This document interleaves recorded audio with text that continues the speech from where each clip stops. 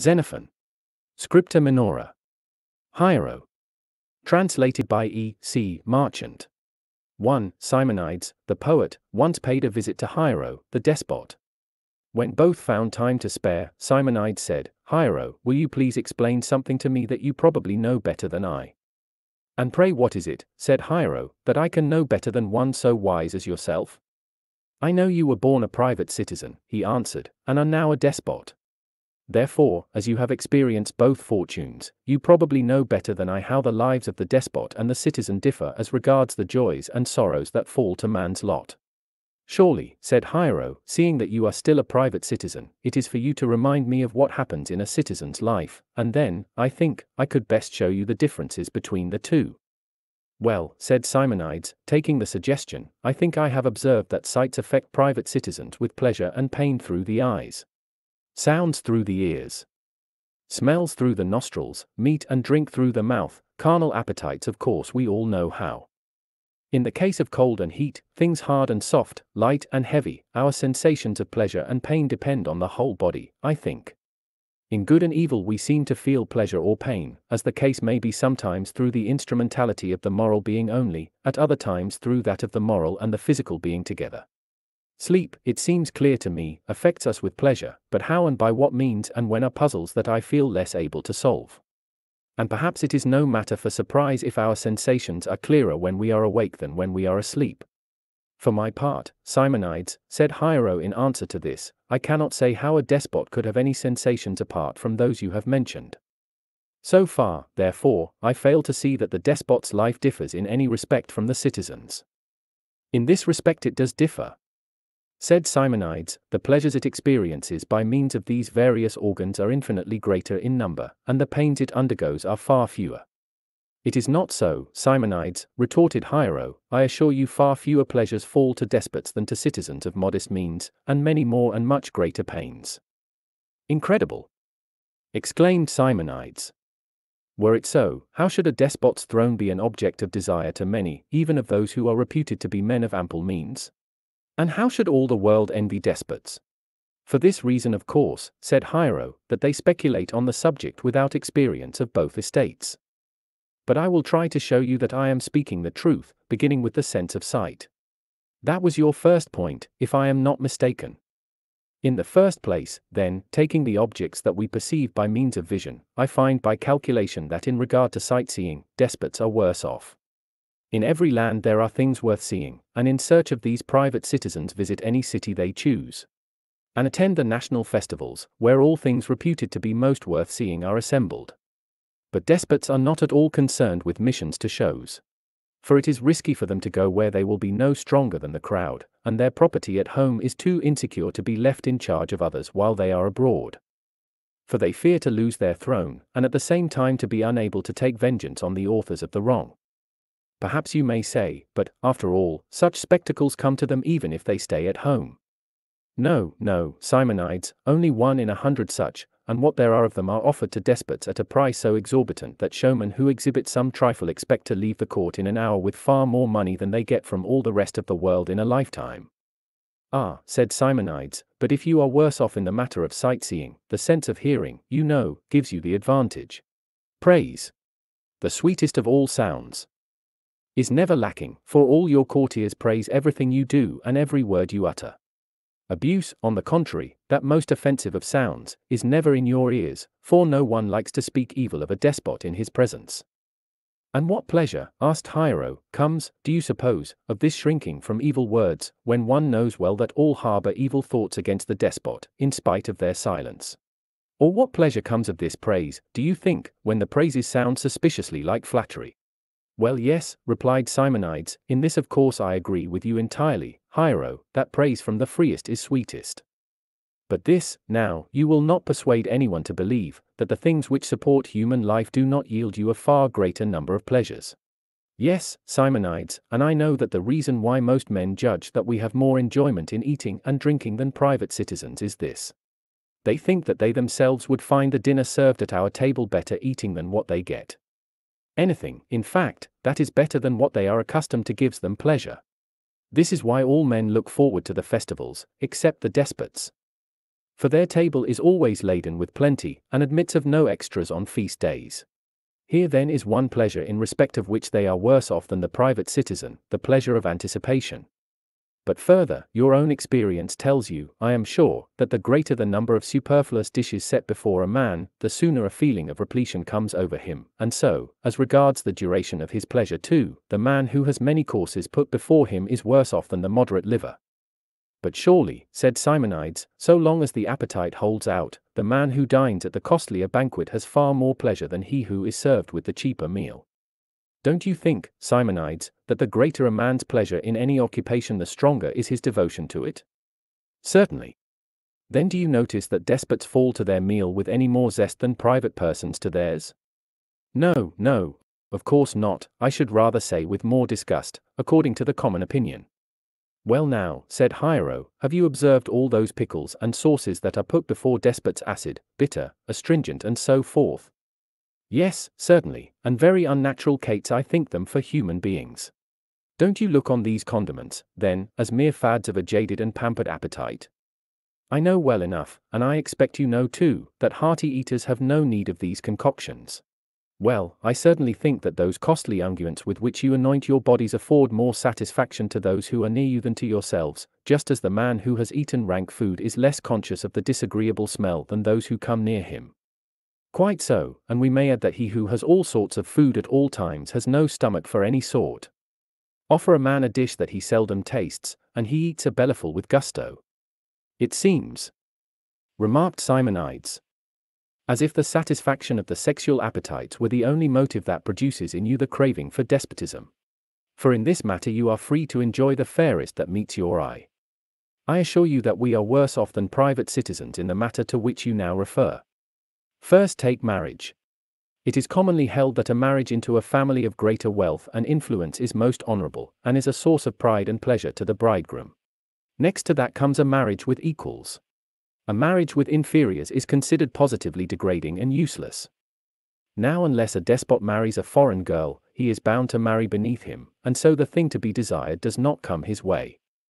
And whereas it is exceedingly pleasant to receive the attentions of the proudest of ladies, the attentions of slaves are quite unappreciated when shown, and any little shortcomings produce grievous outbursts of anger and annoyance. In his relations with young boys. Again, even much more than in his relations with women, the despot is at a disadvantage. We all know, I suppose, that passion increases the sweets of sex beyond measure. Passion, however, is very shy of entering the heart of a despot, for passion is fain to desire not the easy prize, but the hoped for joy. Therefore, just as a man who is a stranger to thirst can get no satisfaction out of drinking, so he who is a stranger to passion is a stranger to the sweetest pleasures of sex. To this speech of Hiero Simonides replied, laughing, How say you, Hiero? You deny that love for boys springs up in a despot's heart? Then how about your passion for Dailochus, whom they call most fair? Why, Simonides, the explanation, of course, is this I desire to get from him not what I may have, apparently, for the asking, but that which a despot should be the last to take. The fact is, I desire of Dailochus just that which human nature, maybe, drives us to ask of the fair. But what I long to get, I very strongly desire to obtain by his goodwill, and with his consent, but I think I could sooner desire to do myself an injury than to take it from him by force. For to take from an enemy against his will is, I think, the greatest of all pleasures, but favors from a loved one are very pleasant, I fancy, only when he consents. For instance, if he is in sympathy with you, how pleasant are his looks, how pleasant his questions and his answers, how very pleasant and ravishing are the struggles and bickerings but to take advantage of a favorite against his will seems to me more like brigandage than love. Nay, your brigand finds some pleasure in his gain and in hurting his foe, but to feel pleasure in hurting one whom you love, to be hated for your affection, to disgust him by your touch, surely that is a mortifying experience and pitiful. The fact is, a private citizen has instant proof that any act of compliance on the part of his beloved is prompted by affection since he knows that the service rendered is due to no compulsion, but the despot can never feel sure that he is loved. For we know that acts of service prompted by fear copy as closely as possible the ministrations of affection. Indeed, even plots against despots as often as not are the work of those who profess the deepest affection for them. 2. To this Simonides replied, Well, The points that you raise seem to me mere trifles. For I notice that many respected men willingly go short in the matter of meat and drink and delicacies, and deliberately abstain from sexual indulgence. But I will show you where you have a great advantage over private citizens. Your objects are vast, your attainment swift, you have luxuries in abundance, you own horses unequaled in excellence, arms unmatched in beauty, superb jewelry for women, stately houses full of costly furniture, moreover, you have servants many in number and excellent in accomplishments, and you are rich in power to harm enemies and reward friends. To this Hiero answered, Well, Simonides, that the multitude should be deceived by despotic power surprises me not at all. Since the mob seems to guess wholly by appearances that one man is happy, another miserable. Despotism flaunts its seeming precious treasures outspread before the gaze of the world, but its troubles it keeps concealed in the heart of the despot, in the place where human happiness and unhappiness are stored away. That this escapes the observation of the multitude, I say, I am not surprised. But what does seem surprising to me is that men like you, whose intelligence is supposed to give you a clearer view of most things than your eyes, should be equally blind to it. But I know well enough by experience, Simonides, and I tell you that despots get the smallest share of the greatest blessings, and have most of the greatest evils. Thus, for instance, if peace is held to be a greatest blessing to mankind, very little of it falls to the share of despots, if war is a great evil, of that despots receive the largest share. To begin with, so long as their state is not engaged in a war in which all take part. Private citizens are free to go wherever they choose without fear of being killed. But all despots move everywhere as in an enemy's country, at any rate they think they are bound to wear arms continually themselves, and to take an armed escort about with them at all times. Secondly, in the event of an expedition against an enemy's country, private citizens at least think themselves safe as soon as they have come home. But when despots reach their own city, they know that they are now among more enemies than ever. Again, suppose that strangers invade their city in superior force, true, the weaker are conscious of danger while they are outside the walls, yet once they are inside the fortress, all feel themselves bestowed in safety. But the despot is not out of danger even when he passes within the palace gates, nay, it is just there that he thinks he must walk most warily. Once again, to private citizens a truce or peace brings rest from war. But despots are never at peace with the people subject to their despotism. And no truce can ever make a despot confident. There are, of course, wars that are waged by states against one another, and wars waged by the despot against his oppressed subjects. Now the hardships incidental to these wars that fall on the citizen fall also on the despot. For both must wear arms, be watchful, run risks, and the sting of a defeat is felt by both alike. So far, then, both are equally affected by wars. But the joys that fall to the citizens of states at war are not experienced by despots. For, you know, when states defeat their foes in a battle, words fail one to describe the joy they feel in the rout of the enemy, in the pursuit, in the slaughter of the enemy. What transports of triumphant pride! What a halo of glory about them! What comfort to think that they have exalted their city! Everyone is crying, I had a share in the plan, I killed most. And it's hard to find where they don't revel in falsehood, claiming to have killed more than all that were really slain. So glorious it seems to them to have won a great victory. But when a despot harbors suspicion, and, well aware that opposition is on foot, puts the conspirators to death, he knows that he does not exalt the city as a whole, he understands that the number of his subjects will be less, he cannot look cheerful, nor does he boast himself of his achievement. Nay, he belittles the occurrence as much as possible, and explains, while he is at the work, that there is nothing wrong in what he has done, so far his deeds from seeming honorable even to himself. Even the death of those whom he feared does not restore him to confidence, he is yet more on his guard afterwards than before. And now I have shown you the kind of war that a despot wages continually. 3. Turn next to friendship. And behold how despots share in it. First, let us consider whether friendship is a great blessing to mankind. When a man is loved by friends, I take it, they rejoice at his presence, delight to do him good, miss him when he is absent, greet him most joyfully on his return, rejoice with him in his good fortune, unite in aiding him when they see him tripping. Even states are not blind to the fact that friendship is a very great blessing, and very delightful to men. At any rate, many states have a law that adulterers only may be put to death with impunity, obviously for this reason, because they believe them to be destroyers of the wife's friendship with her husband, although, when a woman's lapse is the result of some accident, husbands do not honor their wives any less on that account, provided that wives seem to reserve their affection unblemished. In my judgment, to be loved is a blessing so precious that I believe good things fall literally of themselves on him who is loved from gods and men alike. Such, then, is the nature of this possession a possession wherein despots above all other men are stinted. If you want to know that I am speaking the truth, Simonides, consider the question in this way. The firmest friendships, I take it, are supposed to be those that unite parents to children, children to parents, wives to husbands, comrades to comrades. Now you will find, if you will but observe, that private citizens are, in fact, loved most deeply by these. But what of despots? Many have slain their own children, many have themselves been murdered by their children, many brothers, partners in despotism, have perished by each other's hand, many have been destroyed even by their own wives, ay, and by comrades whom they accounted their closest friends. Seeing, then, that they are so hated by those who are bound by natural ties and constrained by custom to love them most, how are we to suppose that they are loved by any other being? 4. Next take confidence. Surely he who has very little of that is stinted in a great blessing? What companionship is pleasant without mutual trust? What intercourse between husband and wife is delightful without confidence? What squire is pleasant if he is not trusted? Now of this confidence in others despots enjoy the smallest share. They go in constant suspicion even of their meat and drink, they bid their servitors taste them first, before the libation is offered to the gods, because of their misgiving that they may sup poison in the dish or the bowl. Again, to all other men their fatherland is very precious. For citizens ward one another without pay from their slaves and from evilders, to the end that none of the citizens may perish by a violent death. They have gone so far in measures of precaution that many have made a law whereby even the companion of the blood guilty is deemed impure, and so thanks to the fatherland every citizen lives in security. But for despots the position is the reverse in this case too. Instead of avenging them, the cities heap honors on the slayer of the despot, and, whereas they exclude the murderers of private persons from the temples. The cities, so far from treating assassins in the same manner, actually put up statues of them in the holy places. If you suppose that just because he has more possessions than the private citizen, the despot gets more enjoyment out of them, this is not so either, Simonides.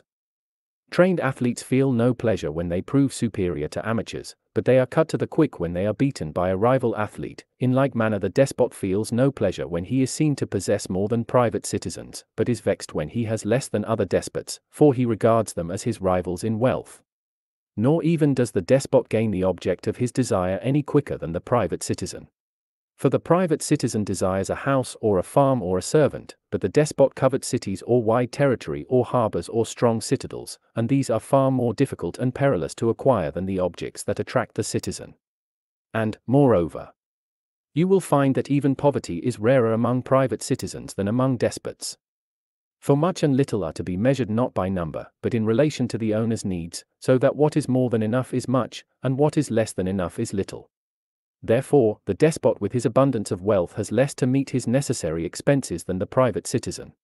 For while private citizens can cut down the daily expenditure as they please, despots cannot, since the largest items in their expenses and the most essential are the sums they spend on the lifeguards, and to curtail any of these means ruin. Besides, when men can have all they need by honest means, why pity them as though they were poor?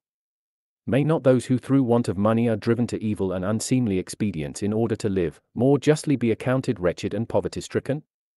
Now, despots are not seldom forced into the crime of robbing temples and their fellow men through chronic want of cash to meet their necessary expenses. Living, as it were, in a perpetual state of war. They are forced to maintain an army, or they perish. 5. Despots are oppressed by yet another trouble. Simonides, which I will tell you of they recognize a stout hearted, a wise, or an upright man as easily as private citizens do. But instead of admiring such men, they fear them. The brave lest they strike a bold stroke for freedom, the wise lest they hatch a plot, the upright lest the people desire them for leaders. When they get rid of such men through fear, who are left for their use, save only the unrighteous, the vicious, and the servile the unrighteous being trusted because, like the despots, they fear that the cities may some day shake off the yoke and prove their masters, the vicious on account of the license they enjoy as things are, the servile because even they themselves have no desire for freedom? This too, then, is a heavy trouble, in my opinion, to see the good in some men, and yet perforce to employ others. Furthermore, even a despot must needs love his city, for without the city he can enjoy neither safety nor happiness. But despotism forces him to find fault even with his fatherland. For he has no pleasure in seeing that the citizens are stout hearted and well armed, rather, he delights to make the foreigners more formidable than the citizens, and these he employs as a bodyguard. Again, even when favorable seasons yield abundance of good things, the despot is a stranger to the general joy, for the needier the people, the humbler he thinks to find them. 6. But now, Simonides, he continued, I want to show you all those delights that were mine when I was a private citizen, but which I now find are withheld from me since the day I became a despot. I communed with my fellows then, they pleased me and I pleased them. I communed with myself whenever I desired rest. I passed the time in carousing, often till I forgot all the troubles of mortal life, often till my soul was absorbed in songs and revels and dances, often till the desire of sleep fell on me and all the company. But now I am cut off from those who had pleasure in me, since slaves instead of friends are my comrades, I am cut off from my pleasant intercourse with them, since I see in them no sign of goodwill towards me. Drink and sleep I avoid as a snare. To fear a crowd, and yet fear solitude, to fear to go unguarded, and yet fear the very men who guard you, to recoil from attendants unarmed and yet dislike to see them armed. Surely that is a cruel predicament. And then, to trust foreigners more than citizens, strangers more than Greeks, to long to keep free men slaves, and yet be forced to make slaves free. Do you not think that all these are sure tokens of a soul that is crushed with fear? Fear, you know, is not only painful in itself by reason of its presence in the soul, but by haunting us even in our pleasures, it spoils them utterly. If, like me, you are acquainted with war, Simonides, and ever had the enemy's battle line close in front of you, call to mind what sort of food you ate at that time, and what sort of sleep you slept. I tell you, the pains that despots suffer are such as you suffered then. Nay, they are still more terrible, for despots believe that they see enemies not in front alone, but all around them. To this Simonides made answer, excellent words in part, I grant.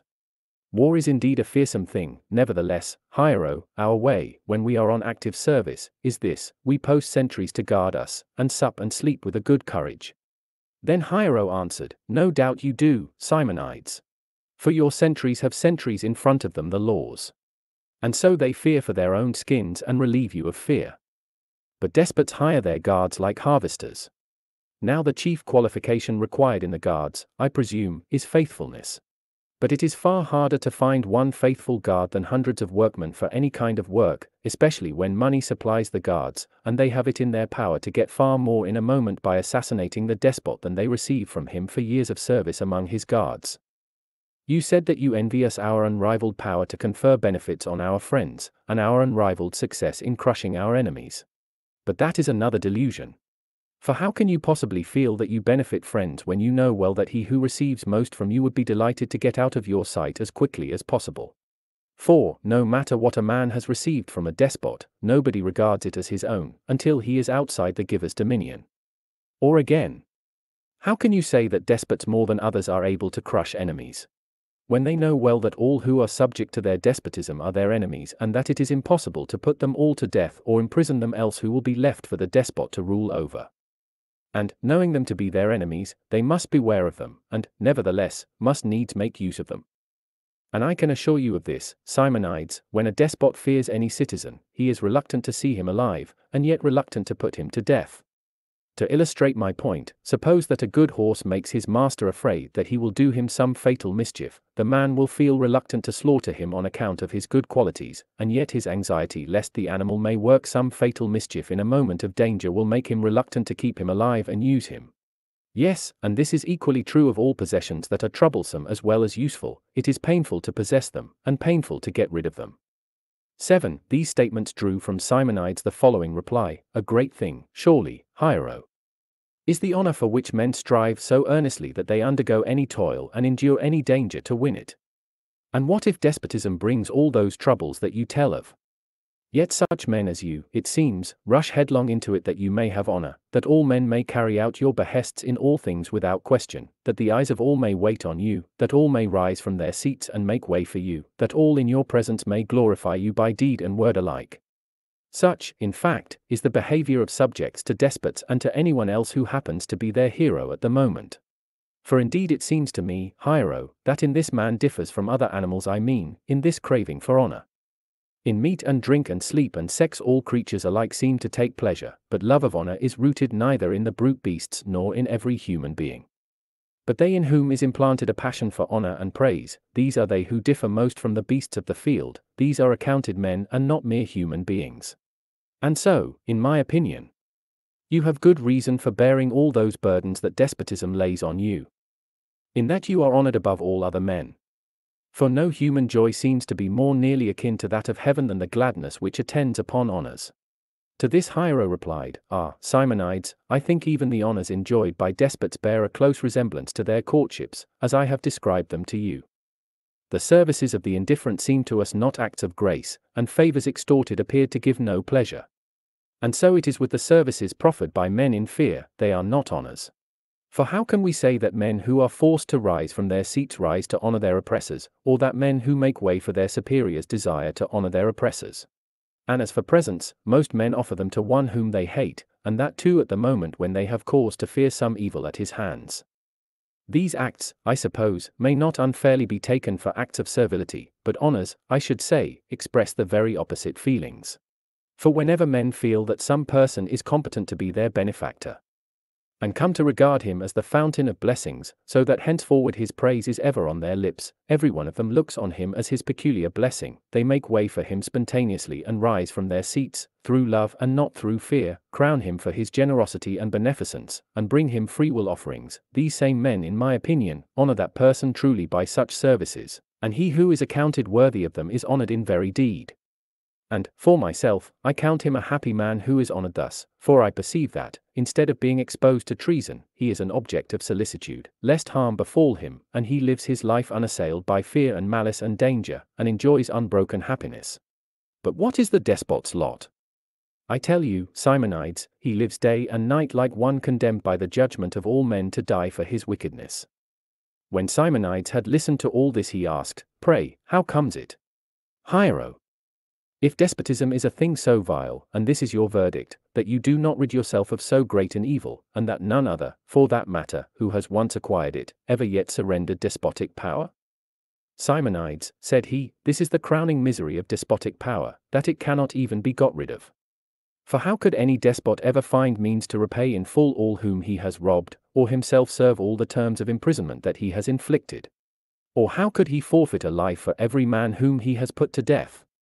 Ah, Simonides, he cried, if it profits any man to hang himself, know what my finding is, a despot has most to gain by it, since he alone can neither keep nor lay down his troubles with profit.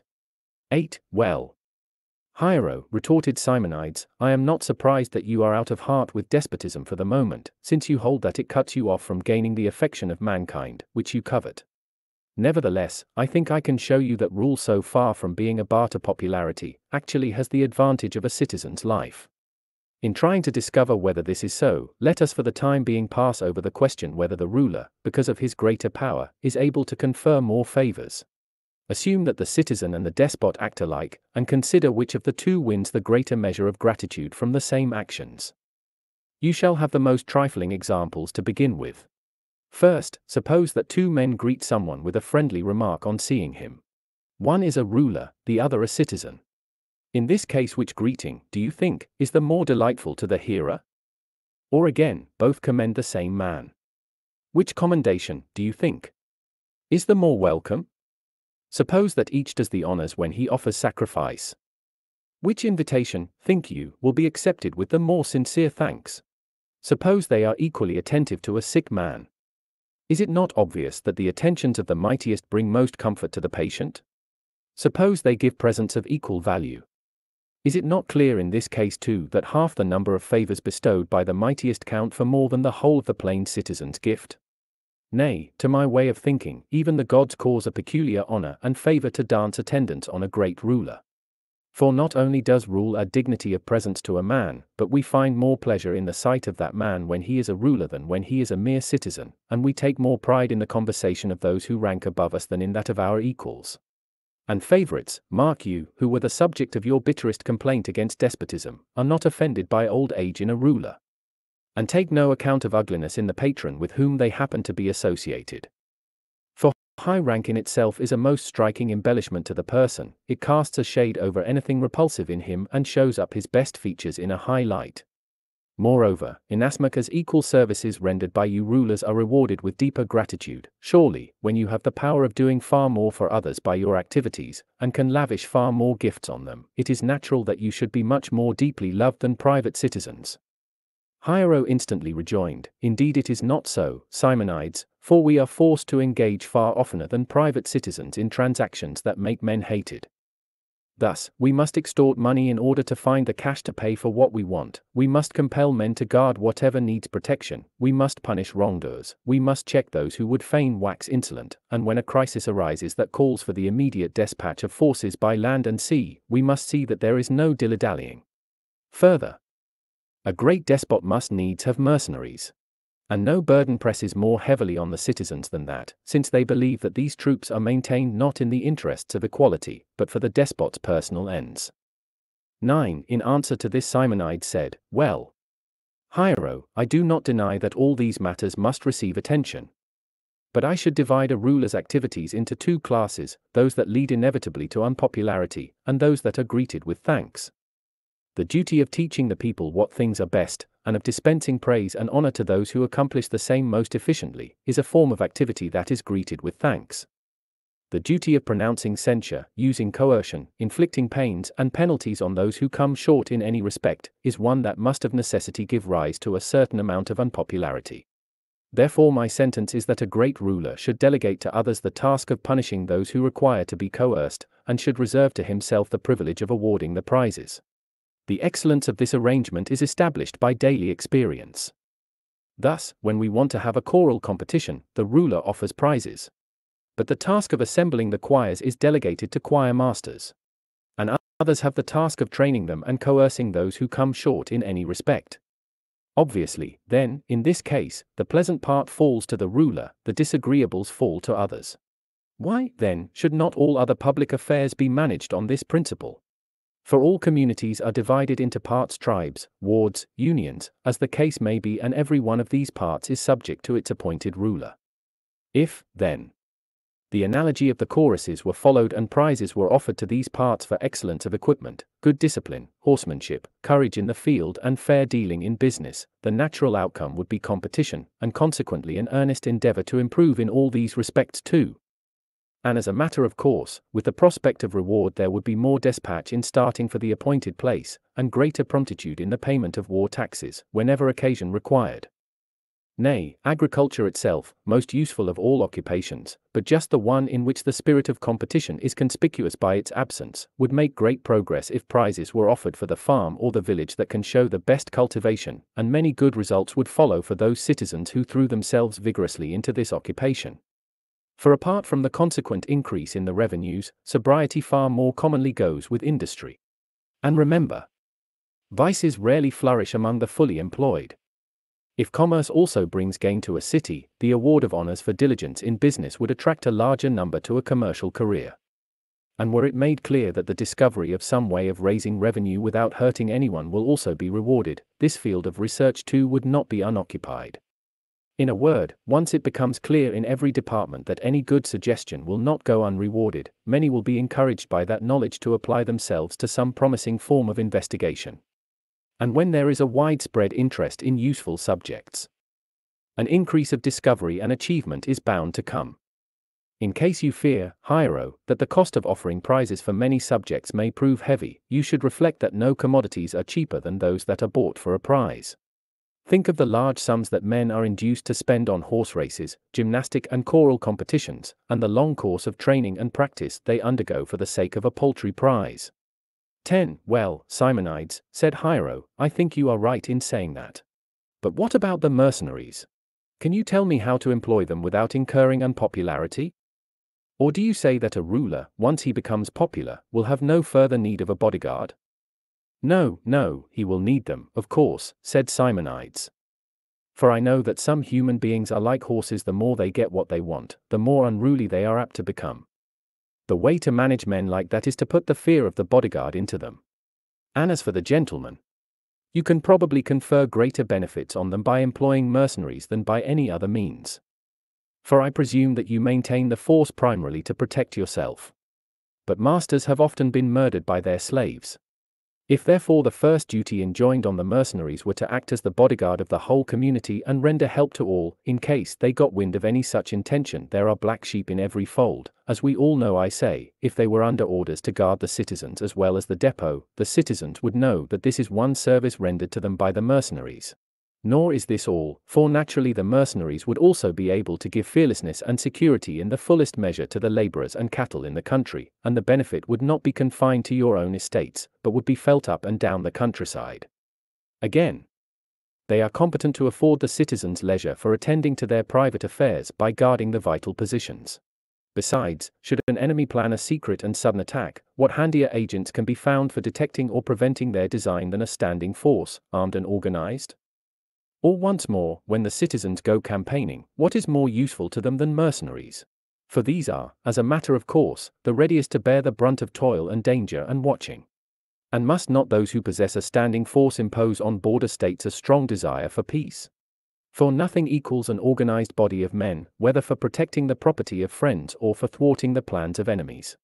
Further, when the citizens get it into their heads that these troops do no harm to the innocent and hold the would be malefactor in check, come to the rescue of the wronged, care for the citizens and shield them from danger, surely they are bound to pay the cost of them with a right goodwill.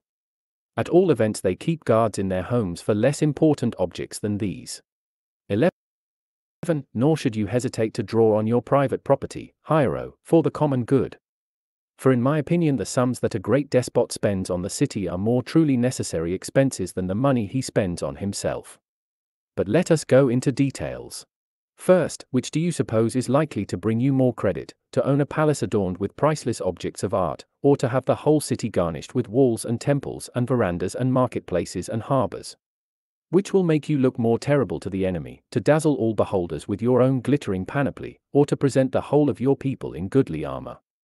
Which plan, think you, will yield revenues more abounding, to keep only your own capital employed, or to contrive to bring the capital of all the citizens into employment? And what about the breeding of chariot horses, commonly considered the noblest and grandest business in the world? By which method do you think you will gain most credit for that? If you outdo all other Greeks in the number of teams you breed and send to the festivals, or if the greatest number of breeders and the greatest number of competitors are drawn from your city, and how is the nobler victory gained? By the excellence of your team, or by the prosperity of the city of which you are the head? Indeed, my own opinion is that it is not even seemly for a great despot to compete with private citizens. For your victory would excite envy rather than admiration, on the ground that many estates supply the money that you spend, and no defeat would be greeted with so much ridicule as yours. I tell you, Hiero, you have to compete with other heads of states, and if you cause your state to surpass theirs in prosperity, be well assured that you are the victor in the noblest and grandest competition in the world. And in the first place, you will forthwith have secured just what you really want the affection of your subjects. Secondly, your victory will not be proclaimed by one herald's voice, but all the world will tell of your virtue the observed of all observers' eyes, you will be a hero, not only to private citizens, but to many states, you will be admired not only in your home, but in public among all men. And you will be free to go wherever you choose, so far as safety is concerned, to see the sights, and equally free to enjoy them in your home, for you will have a throng of aspirants before you, some eager to display something wise or beautiful or good, others longing to serve you. Everyone present will be an ally, everyone absent will long to see you. Thus you will be not only the loved, but the adored of mankind. You will need not to court the fair, but to listen patiently to their suit. Anxiety for your welfare will fall not on yourself, but on others. You will have the willing obedience of your subjects, you will mark their unsolicited care for you, and should any danger arise, you will find in them not merely allies, but champions and zealots accounted worthy of many gifts, and at no loss for some man of goodwill with whom to share them, you will find all rejoicing in your good fortune, all fighting for your interests, as though they were their own.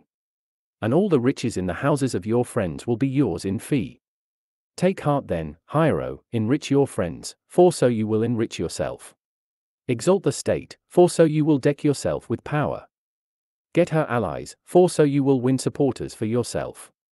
Account the fatherland your estate, citizens your comrades, friends your own children, your sons' possessions dear as life. And try to surpass all these in deeds of kindness. For if you outdo your friends in kindness, it is certain that your enemies will not be able to resist you. And if you do all these things, rest assured that you will be possessed of the fairest and most blessed possession in the world, for none will be jealous of your happiness. Agesilaus. Translated by E. C. Marchant.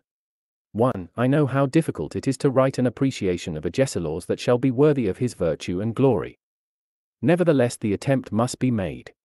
For it would not be seemly that so good a man, just because of his perfection, should receive no tribute of praise, however inadequate. Now concerning his high birth, what greater and nobler could be said than this, that even today the line of his descent from Heracles is traced through the roll of his ancestors, and those no simple citizens, but kings and sons of kings? Nor are they open to the reproach that though they were kings, they ruled over a petty state. On the contrary, as their family is honored above all in their fatherland, so is their state glorious above all in Greece, thus they are not first in the second rank, but leaders in a community of leaders. On one account, his fatherland and his family are worthy to be praised together. For never at any time has the state been moved by jealousy of their preeminence to attempt the overthrow of their government. And never at any time have the kings striven to obtain greater powers than were conferred on them originally at their succession to the throne.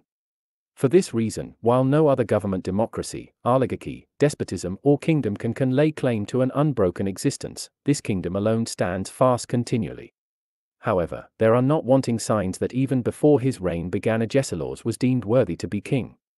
For on the death of King Agis there was a struggle for the throne between Leotychides, as the son of Agis, and Agesilaus, as the son of Archidamus. The state decided in favor of Agesilaus, judging him to be the more eligible in point of birth and character alike. Surely to have been pronounced worthy of the highest privilege by the best men in the mightiest state is proof sufficient of his virtue, at least before he began to reign. I will now give an account of the achievements of his reign. For I believe that his deeds will throw the clearest light on his qualities. Now Agesilaus was still a young man when he gained the throne. He had been but a short time in power when the news leaked out that the king of the Persians was assembling a great navy and army for an attack on the Greeks. While the Lacedaemonians and their allies were considering the matter, Agesilaus declared that if they would give him 30 Spartans, 2,000 newly enrolled citizens, and a contingent of 6,000 allies, he would cross to Asia and try to effect a peace, or, in case the barbarian wanted to fight, would keep him so busy that he would have no time for an attack on the Greeks. His eagerness to pay back the Persian in his own coin for the former invasion of Greece, his determination to wage an offensive rather than a defensive war, and his wish to make the enemy pay for it rather than the Greeks, were enough to arouse an immediate and widespread enthusiasm for his project. But what appealed most to the imagination was the idea of entering on a struggle not to save Greece, but to subdue Asia. And what of his strategy after he had received the army and had sailed out?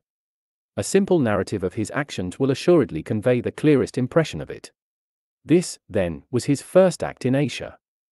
Tissaphernes had sworn the following oath to Agesilaus, If you will arrange an armistice to last until the return of the messengers whom I will send to the king, I will do my utmost to obtain independence for the Greek cities in Asia, and Agesilaus on his part had sworn to observe the armistice honestly, allowing three months for the transaction. What followed? Tissaphernes forthwith broke his oath, and instead of arranging a peace, applied to the king for a large army in addition to that which he had before. As for Agesilaus, though well aware of this, he none the less continued to keep the armistice. I think, therefore, that here we have his first noble achievement. By showing up Tissaphernes as a perjurer, he made him distrusted everywhere. And, contrariwise, by proving himself to be a man of his word and true to his agreements, he encouraged all, Greeks and barbarians alike, to enter into an agreement with him whenever he wished it. The arrival of the new army emboldened Tissaphernes to send an ultimatum to Agesilaus, threatening was unless he withdrew from Asia, and the allies and the Lacedaemonians present made no concealment of their chagrin, believing that the strength of Agesilaus was weaker than the Persian king's armament. But Agesilaus with a beaming face bade the envoys of Tissaphernes inform their master that he was profoundly grateful to him for his perjury, by which he had gained the hostility of the gods for himself and had made them allies of the Greeks. Without a moment's delay, he gave the word to his troops to pack up in preparation for a campaign, and warned the cities that lay on the lines of march to Caria to have their markets ready stocked. He advised by letter the Greeks of Ionia, the Aeolid, and the Hellespont to send their contingents for the campaign to his headquarters at Ephesus. Now Tissaphernes reflected that Agesilaus was without cavalry, while Caria was a difficult country for mounted men, and he thought that Agesilaus was wroth with him on account of his deceit. Concluding, therefore, that his estate in Caria was the real object of the coming attack, he sent the whole of his infantry across to that district and took his cavalry round into the plain of the Maeander, confident that he could ride down the Greeks before they reached the country where cavalry could not operate. But instead of marching on Caria, Agesilaus forthwith turned round and made for Phrygia. Picking up the various forces that met him on the route, he proceeded to reduce the cities and captured a vast quantity of booty by sudden attacks. This achievement also was thought to be a proof of sound generalship, that when war was declared and cousining in consequence became righteous and fair dealing. He showed Tissaphernes to be a child at deception. It was thought, too, that he made shrewd use of this occasion to enrich his friends. For the accumulation of plunder was so great that things were selling for next to nothing. So he gave his friends the word to buy, saying that he was shortly going down to the coast with his army the auctioneers were ordered to have a schedule made of the prices obtained and to give delivery of the goods. Thus, without capital outlay, and without any loss to the treasury, all his friends made a prodigious amount of money. Further, whenever deserters offered to give information where plunder might be taken, they naturally went to the king. In such a case, he took care that the capture should be effected by his friends, so that they might at one and the same time make money and add to their laurels. The immediate result was that he had many ardent suitors for his friendship, recognizing that a country plundered and depopulated could not long support an army. Whereas an inhabited and cultivated land would yield inexhaustible supplies. He took pains not only to crush his enemies by force, but also to win them over by gentleness. He would often warn his men not to punish their prisoners as criminals, but to guard them as human beings, and often when shifting camp, if he noticed little children, the property of merchants, left behind many merchants offered children for sale because they thought they would not be able to carry and feed them he looked after them too, and had them conveyed to some place of refuge. Again, he arranged that prisoners of war who were too old to accompany the army were to be looked after, that they might not fall a prey to dogs or wolves. It thus came about that he won the goodwill not only of those who heard of these facts, but even of the prisoners themselves. In his settlement with the cities that he won over, he invariably excused them from all servile duties and required only such obedience as freemen owe to their rules. And by his clemency he made himself master of fortresses impregnable to assault. However, since a campaign in the plains was impossible even in Phrygia, owing to Pharnabazus' cavalry, he decided that he must raise a mounted force, if he was to avoid continually running away from the enemy. He therefore enrolled the wealthiest men in all the cities thereabouts as breeders of horses, and issued a proclamation that anyone who supplied a horse and arms and an efficient man should be exempt from personal service. In this way he brought it about that every one of them carried out these requirements with the zeal of a man in quest of someone to die in his stead. He also specified cities that were to furnish contingents of cavalry, feeling sure that from the horse-breeding cities riders proud of their horsemanship would be forthcoming. This again was considered an admirable stroke on his part, that no sooner had he raised his cavalry than it became a powerful body ready for action. At the first sign of spring he collected the whole of his forces at Ephesus. With a view to their training he offered prizes for the cavalry squadron that rode best for the company of heavy infantry that reached the highest level of physical fitness. He also offered prizes to the targeteers and the archers who showed the greatest efficiency in their particular duties. Thereupon one might see every gymnasium crowded with the men exercising, the racecourse thronged with cavalrymen riding, and the javelin men and archers shooting at the mark. Indeed, he made the whole city in which he was quartered a sight to see, for the market was full of arms and horses of all sorts on sale, and the coppersmiths, carpenters, workers in iron, cobblers, and painters were all busy making weapons of war, so that you might have thought that the city was really a war factory. And an inspiring sight it would have been to watch Agesilaus and all his soldiers behind him returning garlanded from the gymnasium and dedicating their garlands to Artemis. For where men reverence the gods, train themselves in warfare and practice obedience, there you surely find high hopes abounding. Moreover, believing that contempt for the enemy would kindle the fighting spirit, he gave instructions to his heralds that the barbarians captured in the raids should be exposed for sale naked. So when his soldiers saw them white because they never stripped, and fat and lazy through constant riding in carriages, they believed that the war would be exactly like fighting with women. He also gave notice to the troops that he would immediately lead them by the shortest route to the most fertile parts of the country, so that he might at once find them preparing themselves in body and mind for the coming struggle. Tissaphernes, however, believed that in saying this he meant to deceive him again, and that now he would really invade Caria. Accordingly, he sent his infantry across into Caria as before, and stationed his cavalry in the plain of the Maeander. But Agesilaus did not play false, in accordance with his notice he marched straight to the neighborhood of Sardis. And for three days his route lay through a country bare of enemies. So that he supplied his army with abundance of provisions. On the fourth day the enemy's cavalry came up. Their leader told the officer in command of the baggage train to cross the river Pactolus and encamp. The cavalry, meantime, catching sight of the Greek camp followers plundering in scattered bands, killed a large number of them. On noticing this, Agesilaus ordered his cavalry to go to their help. The Persians in turn, seeing the supports coming, gathered in a mass and confronted them with the full strength of their horse. Then Agesilaus, realizing that the enemy's infantry was not yet up, while he had all his resources on the spot, thought the moment was come to join battle if he could.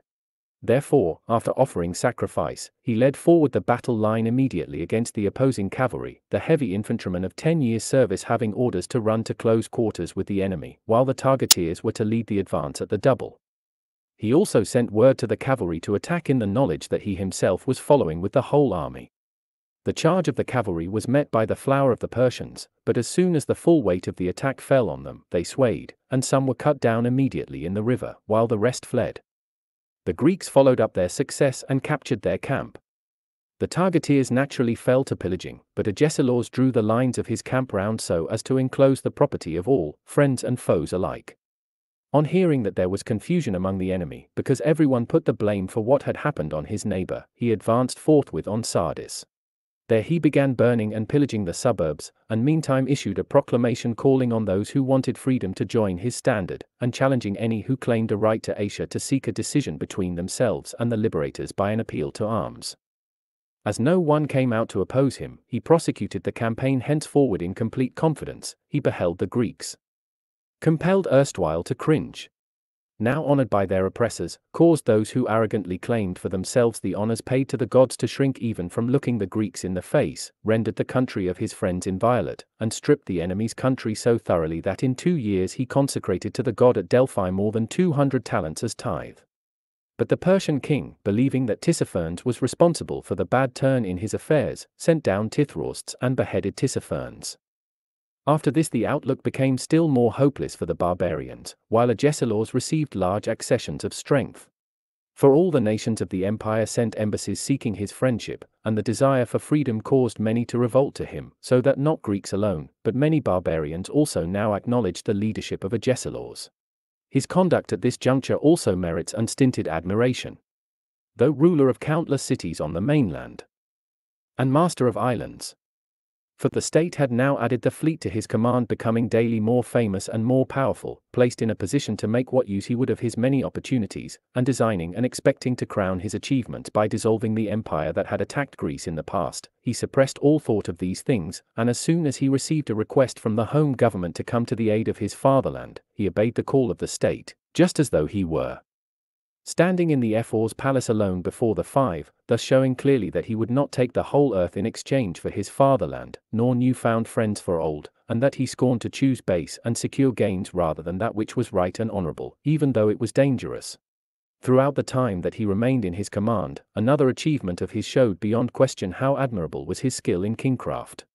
Having found all the cities that he had gone out to govern rent by faction in consequence of the political disturbances that followed on the collapse of the Athenian Empire, he brought it about by the influence of his presence that the communities lived in unbroken harmony and prosperity without recourse to banishment or executions.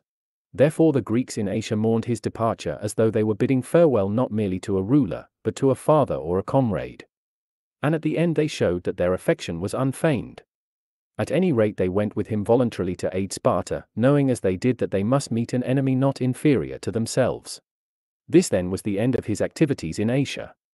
2. After crossing the Hellespont, he passed through the very same tribes as the Persian king with his mighty host, and the distance that had been traversed by the barbarian in a year was covered by Agesilaus in less than a month.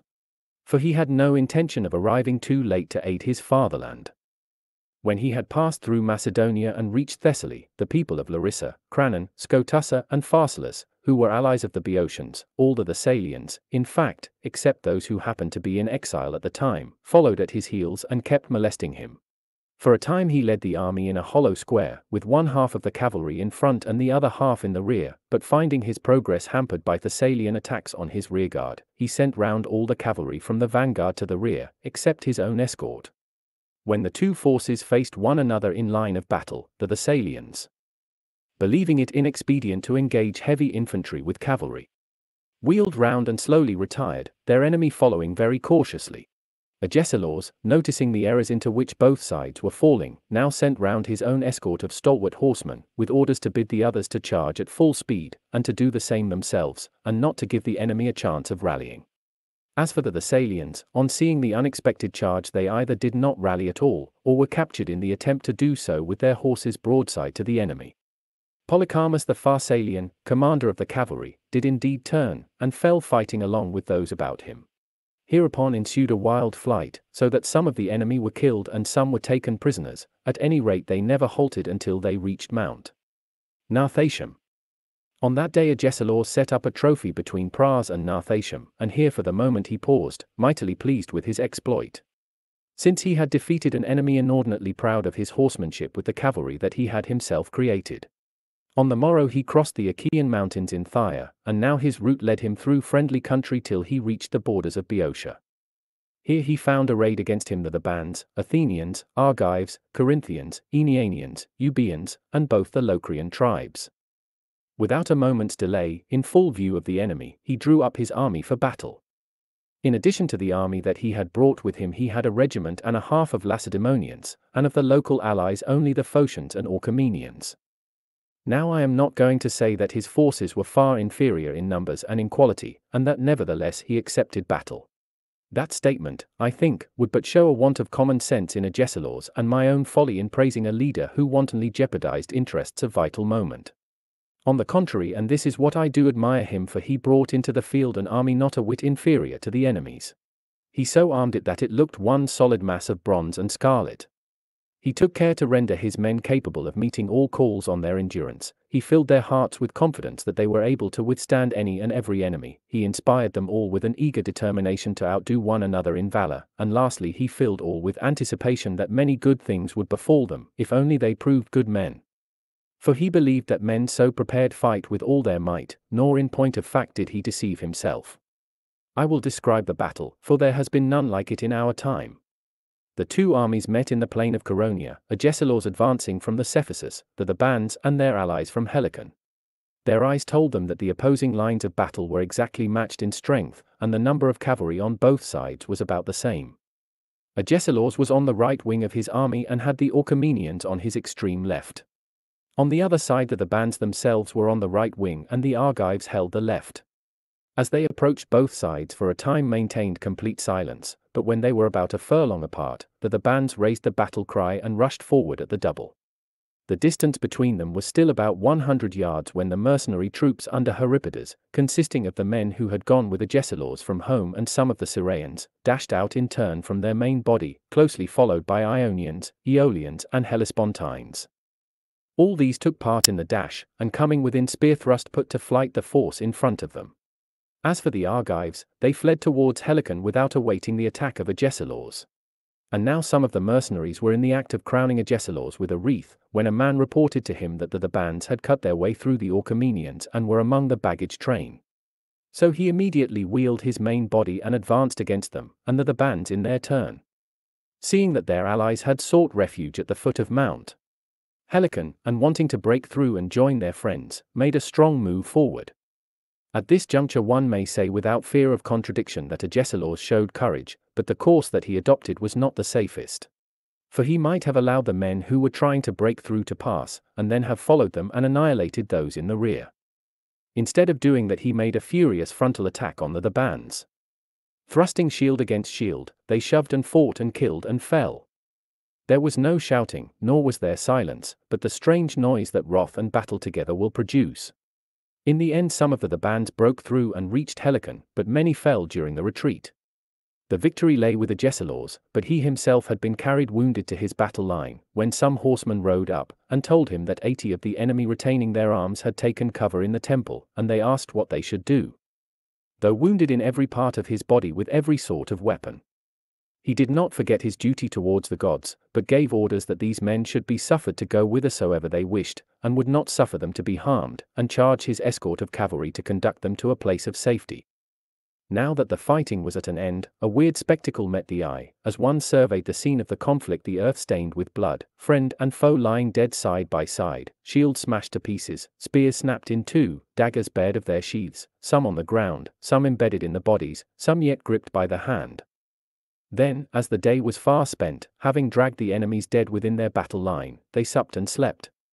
Early next morning Agesilaus ordered Gylis, the polemarch, to draw up the army in battle order and to set up a trophy, and to command every man to wear a wreath in honor of the god and all the flute players to play. Now while they were carrying out these orders that Thebans sent a herald, asking leave to bury their dead under protection of a truce. And so a truce was made, and Agesilaus left for home, choosing, instead of supreme power in Asia, to rule and to be ruled at home according to the constitution.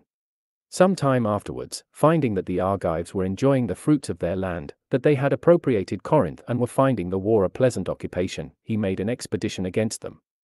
He first laid waste all their territory, then crossed to Corinth by the pass and captured the walls leading to Lechaeum. Having thus unbarred the gates of Peloponnese, he returned home for the festival of Hyacinthus and joined in singing the paean in honor of the god, taking the place assigned to him by the choirmaster.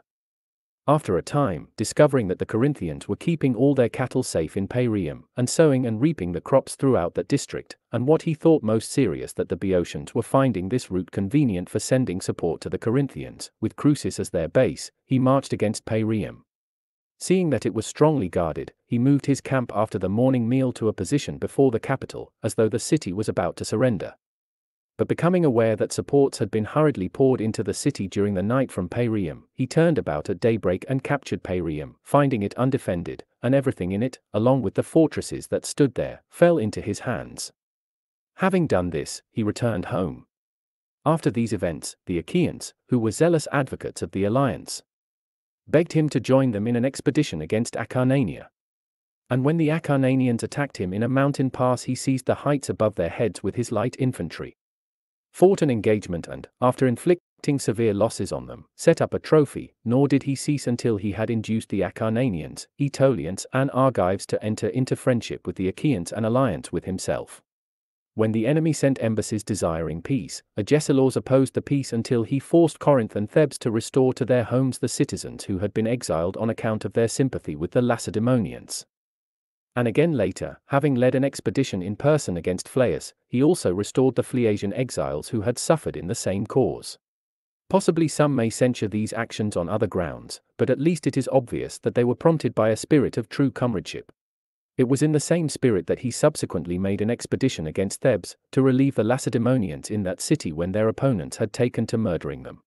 Finding the city protected on all sides by a trench and stockade, he crossed the pass of Cynoscephalae, and laid waste the country up to the city walls, offering battle to the, Thebans both on the plain and on the hills, if they chose to fight. In the following year he made another expedition against Thebes, and, after crossing the stockade and trenches at Scolus, laid waste the rest of Boeotia. Up to this time he and his city enjoyed unbroken success, and though the following years brought a series of troubles, it cannot be said that they were incurred under the leadership of Agesilaus. On the other hand, after the disaster at Leuctra, when his adversaries in league with the Mantineans were murdering his friends and acquaintances in Tegea, and a coalition of all Boeotia, Arcadia, and Elis had been formed, he took the field with the Lacedaemonian forces only, thus disappointing the general expectation that the Lacedaemonians would not even go outside their own borders for a long time to come. It was not until he had laid waste the country of those who had murdered his friends that he returned home once more. After this Sparta was attacked by all the Arcadians, Argives, Eleans and Boeotians, who had the support of the Phocians, both the Locrian peoples, the Thessalians, Aenianians, Acarnanians and Euboeans. In addition the slaves and many of the outlander communities were in revolt, and at least as many of the Spartan nobles had fallen in the Battle of Leuctra as survived. He kept the city safe notwithstanding, and that though it was without walls, not going out into the open where the advantage would have lain wholly with the enemy, and keeping his army strongly posted where the citizens would have the advantage, for he believed that he would be surrounded on all sides if he came out into the plain, but that if he made a stand in the defiles and the heights, he would be master of the situation. After the retirement of the enemy, none will deny that his conduct was marked by good sense. The marching and riding incidental to active service were no longer possible to a man of his years. But he saw that the state must have money if she was to gain an ally anywhere. So he applied himself to the business of raising money. At home he did all that ingenuity could suggest, and, if he saw any prospect of serving the state abroad, shrank from no measures that circumstances called for, and he was not ashamed to go out, not as a general, but as an envoy. And even as an envoy he accomplished work worthy of a great general. For instance, Autophradates laying siege to Ariobarzanes, an ally of Sparta, at Assos, took to his heels from fear of Agesilaus. Cotys for his part, besieging Sestos, while it was still in the hands of Ariobarzanes, broke up the siege and made off. With good reason, therefore, might the victorious envoy have set up a trophy once again to record these bloodless successes. Again, Mausolus, laying siege to both these places with a fleet of a hundred vessels, was induced, not indeed by fear, but by persuasion, to sail for home. In this affair too his success was admirable. For those who considered that they were under an obligation to him and those who fled before him, both paid. Yet again, Tachos and Mausolus, another of those who contributed money to Sparta, owing to his old ties of hospitality with the Agesilaus, sent him home with a magnificent escort. Subsequently, when he was now about 80 years of age, he became aware that the king of Egypt was bent on war with Persia and was possessed of large forces of infantry and cavalry and plenty of money. He was delighted when a summons for help reached him from the Egyptian king, who actually promised him the chief command for he believed that at one stroke he would repay the Egyptian for his good offices to Sparta, would again set free the Greeks in Asia, and would chastise the Persian for his former hostility, and for demanding now, when he professed to be an ally of Sparta, that her claim to Messene should be given up. However, when this suitor for his assistance failed to give him the commander Agesilaus felt that he had been grossly deceived, and was in doubt what he ought to do. At this juncture first a portion of the Egyptian troops, operating as a separate army, revolted from the king, and then the rest of his forces deserted him. The king left Egypt and fled in terror to Sidon in Phoenicia, while the Egyptians split up into two parties, and each chose its own king. Agesilaus now realized that if he helped neither king, neither of them would pay the Greeks their wages. Neither would provide a market, and the conqueror, whichever he proved to be, would be hostile, but if he cooperated with one of them, that one, being under an obligation to him, would in all probability adopt a friendly attitude. Accordingly, having decided which of them showed the stronger signs of being a friend to the Greeks, he took the field with him.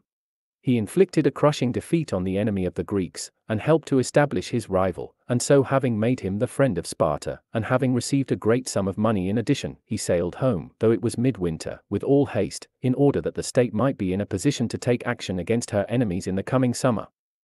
3. Such. Then is the record of my hero's deeds, so far as they were done before a crowd of witnesses. Actions like these need no proofs, the mere mention of them is enough and they command belief immediately.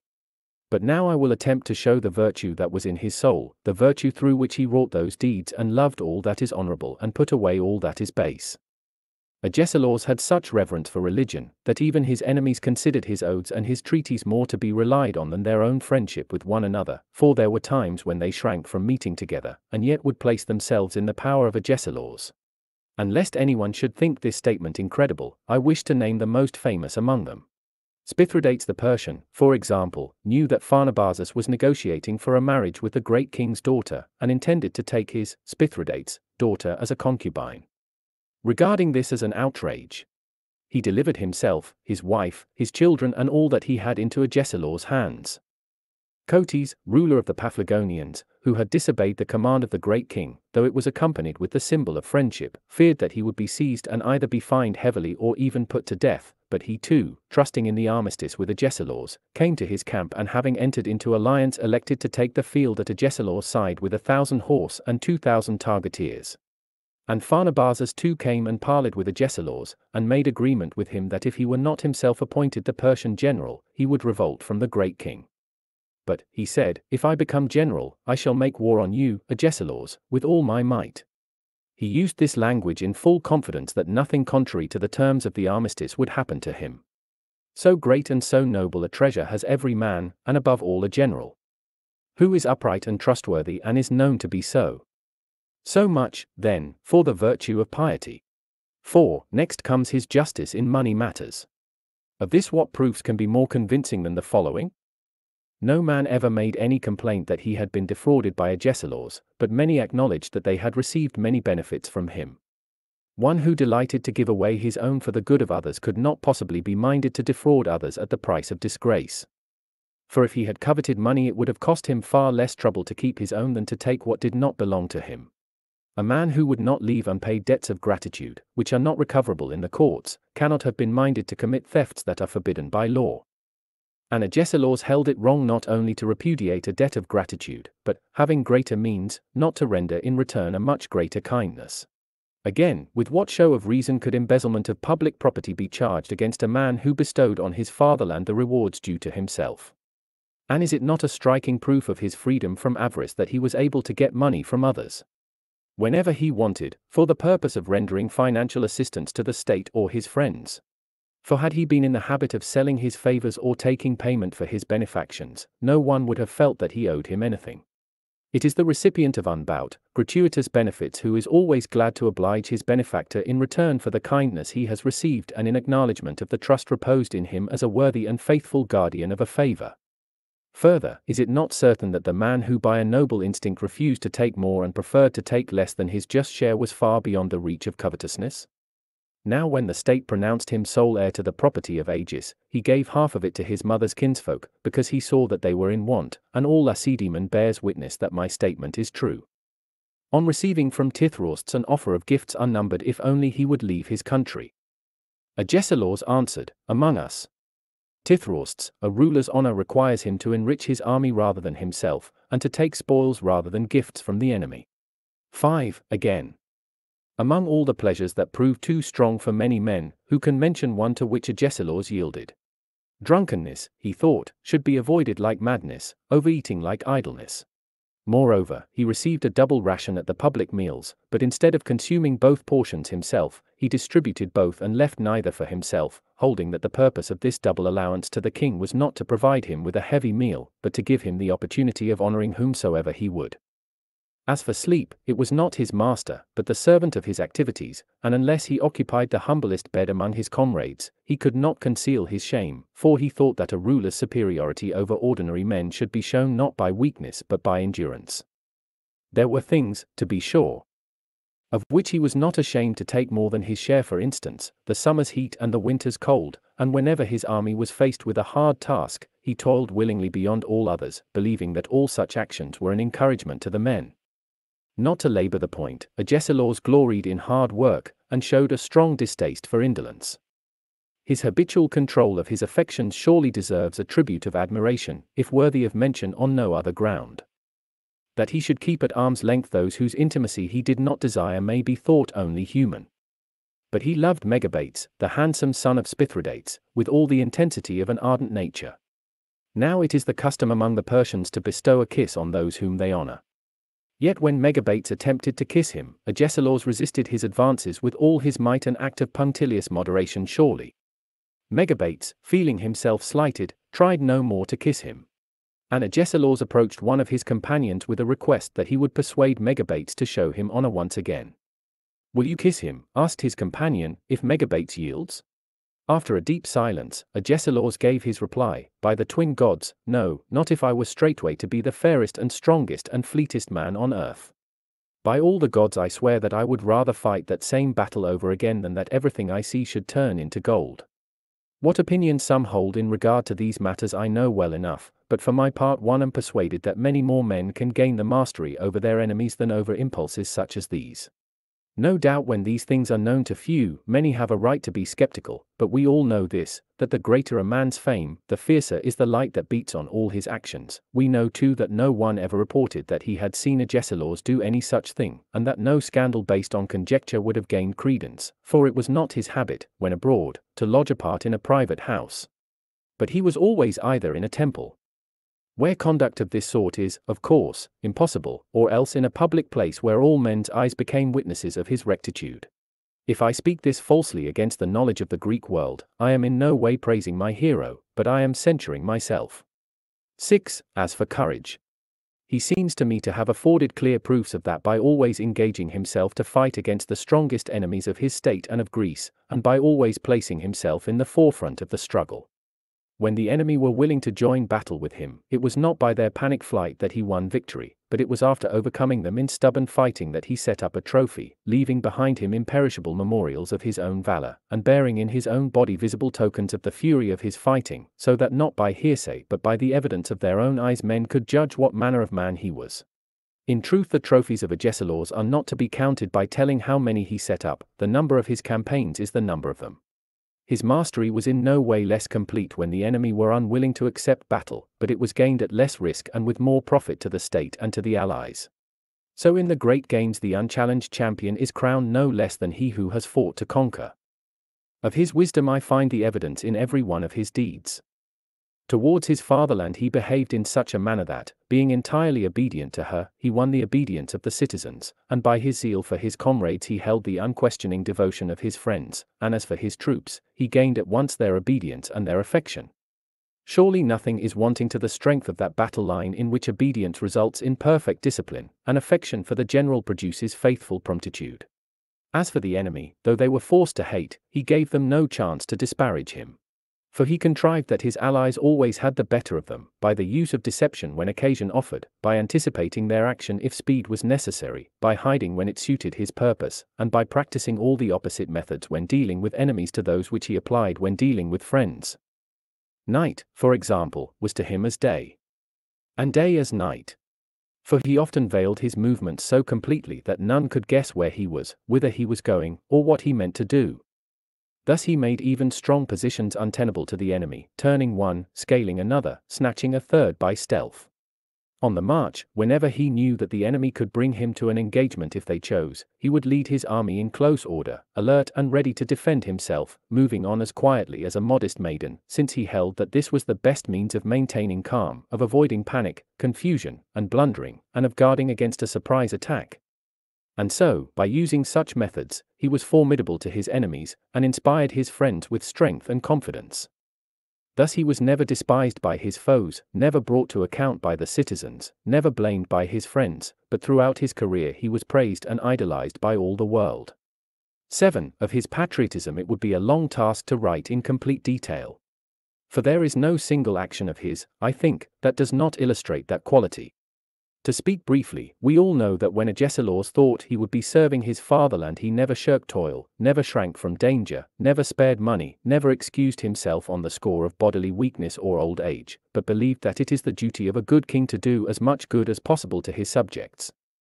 Among the greatest services he rendered to his fatherland I reckon the fact that, though the most powerful man in the state, he was clearly a devoted servant of the laws.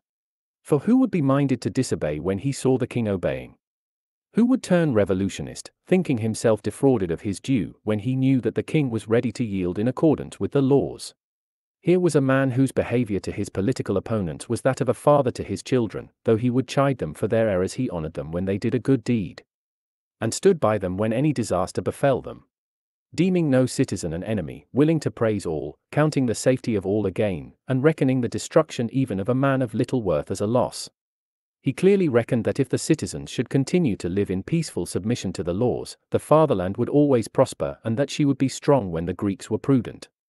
Again, if it is honorable in one who is a Greek to be a friend to the Greeks, what other general has the world seen unwilling to take a city when he thought that it would be sacked, or who looked on victory in a war against Greeks as a disaster? Now when a report reached Agesilaus that eight Lacedaemonians and near ten thousand of the enemy had fallen at the battle of Corinth, instead of showing pleasure, he actually exclaimed, Alas for thee! Hellas! Those who now lie dead were enough to defeat all the barbarians in battle had they lived. And when the Corinthian exiles told him that the city was about to be surrendered to them and pointed to the engines with which they were confident of taking the walls, he would not make an assault, declaring that Greek cities ought not to be enslaved, but chastened. And if, he added, we are going to annihilate the erring members of our own race, let us beware lest we lack men to help in the conquest of the barbarians.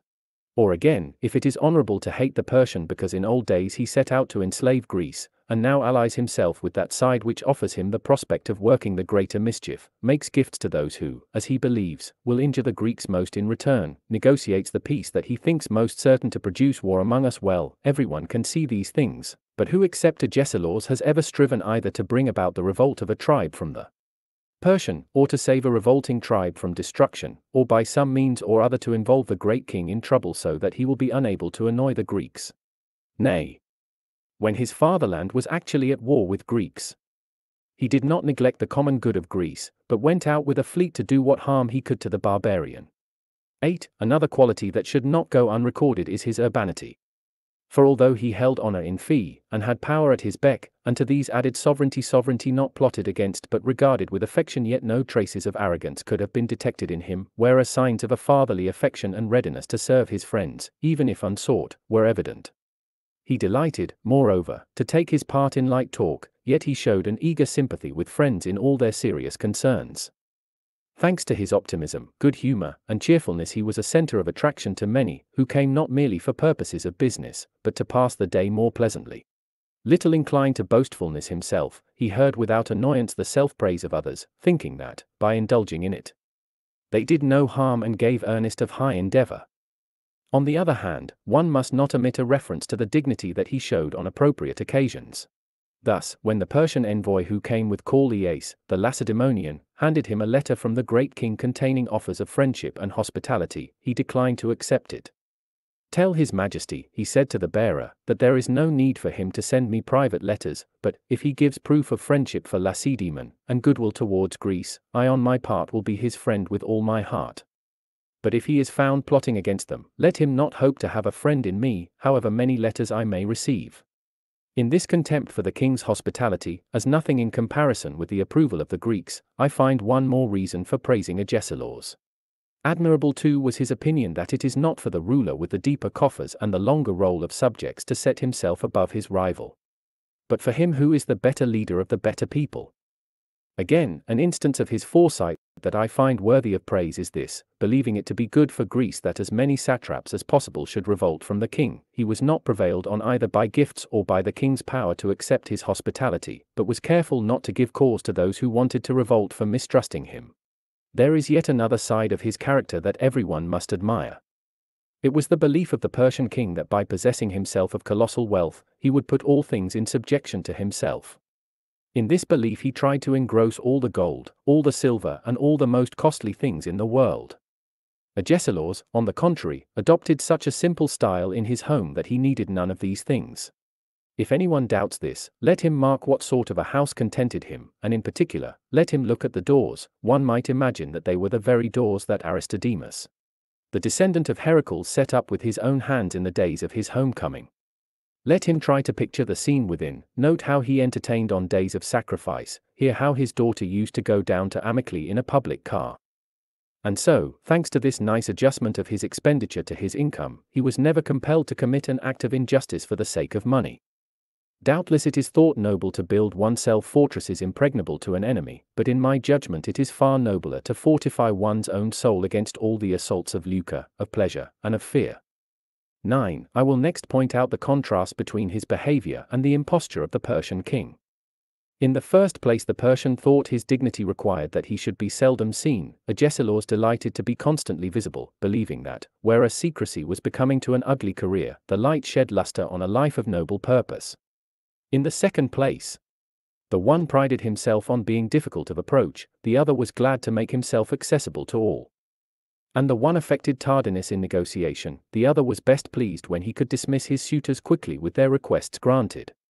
In the matter of personal comfort, moreover, it is worth noticing how much simpler and how much more easily satisfied were the tastes of Agesilaus.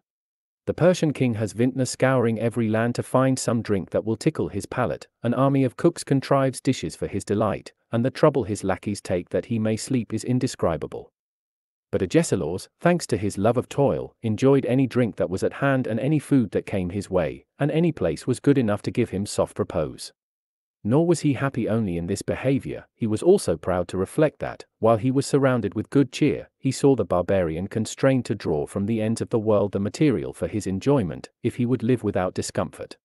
And it cheered his heart to know that he could accommodate himself to the divine ordering of the world. Whereas he saw his rival shunning heat and shunning cold through weakness of character, imitating the life, not of brave men, but of the weakest of the brutes. Surely, too, he did what was seemly and dignified when he adorned his own estate with works and possessions worthy of a man, keeping many hounds and war horses, but persuaded his sister Cynisca to breed chariot horses, and showed by her victory that such a stud marks the owner as a person of wealth, but not necessarily of merit. How clearly his true nobility comes out in his opinion that a victory in the chariot race over private citizens would add not a whit to his renown, but if he held the first place in the affection of the people, gained the most friends and best all over the world, outstripped all others in serving his fatherland and his comrades and in punishing his adversaries, then he would be victor in the noblest and most splendid contests, and would gain high renown both in life and after death. 10. Such, then, are the qualities for which I praise Agesilaus. These are the marks that distinguish him, say, from the man who, lighting on a treasure, becomes wealthier but not wiser in business, or from the man who wins victory through an outbreak of sickness among the enemy, and adds to his success but not to his knowledge of strategy.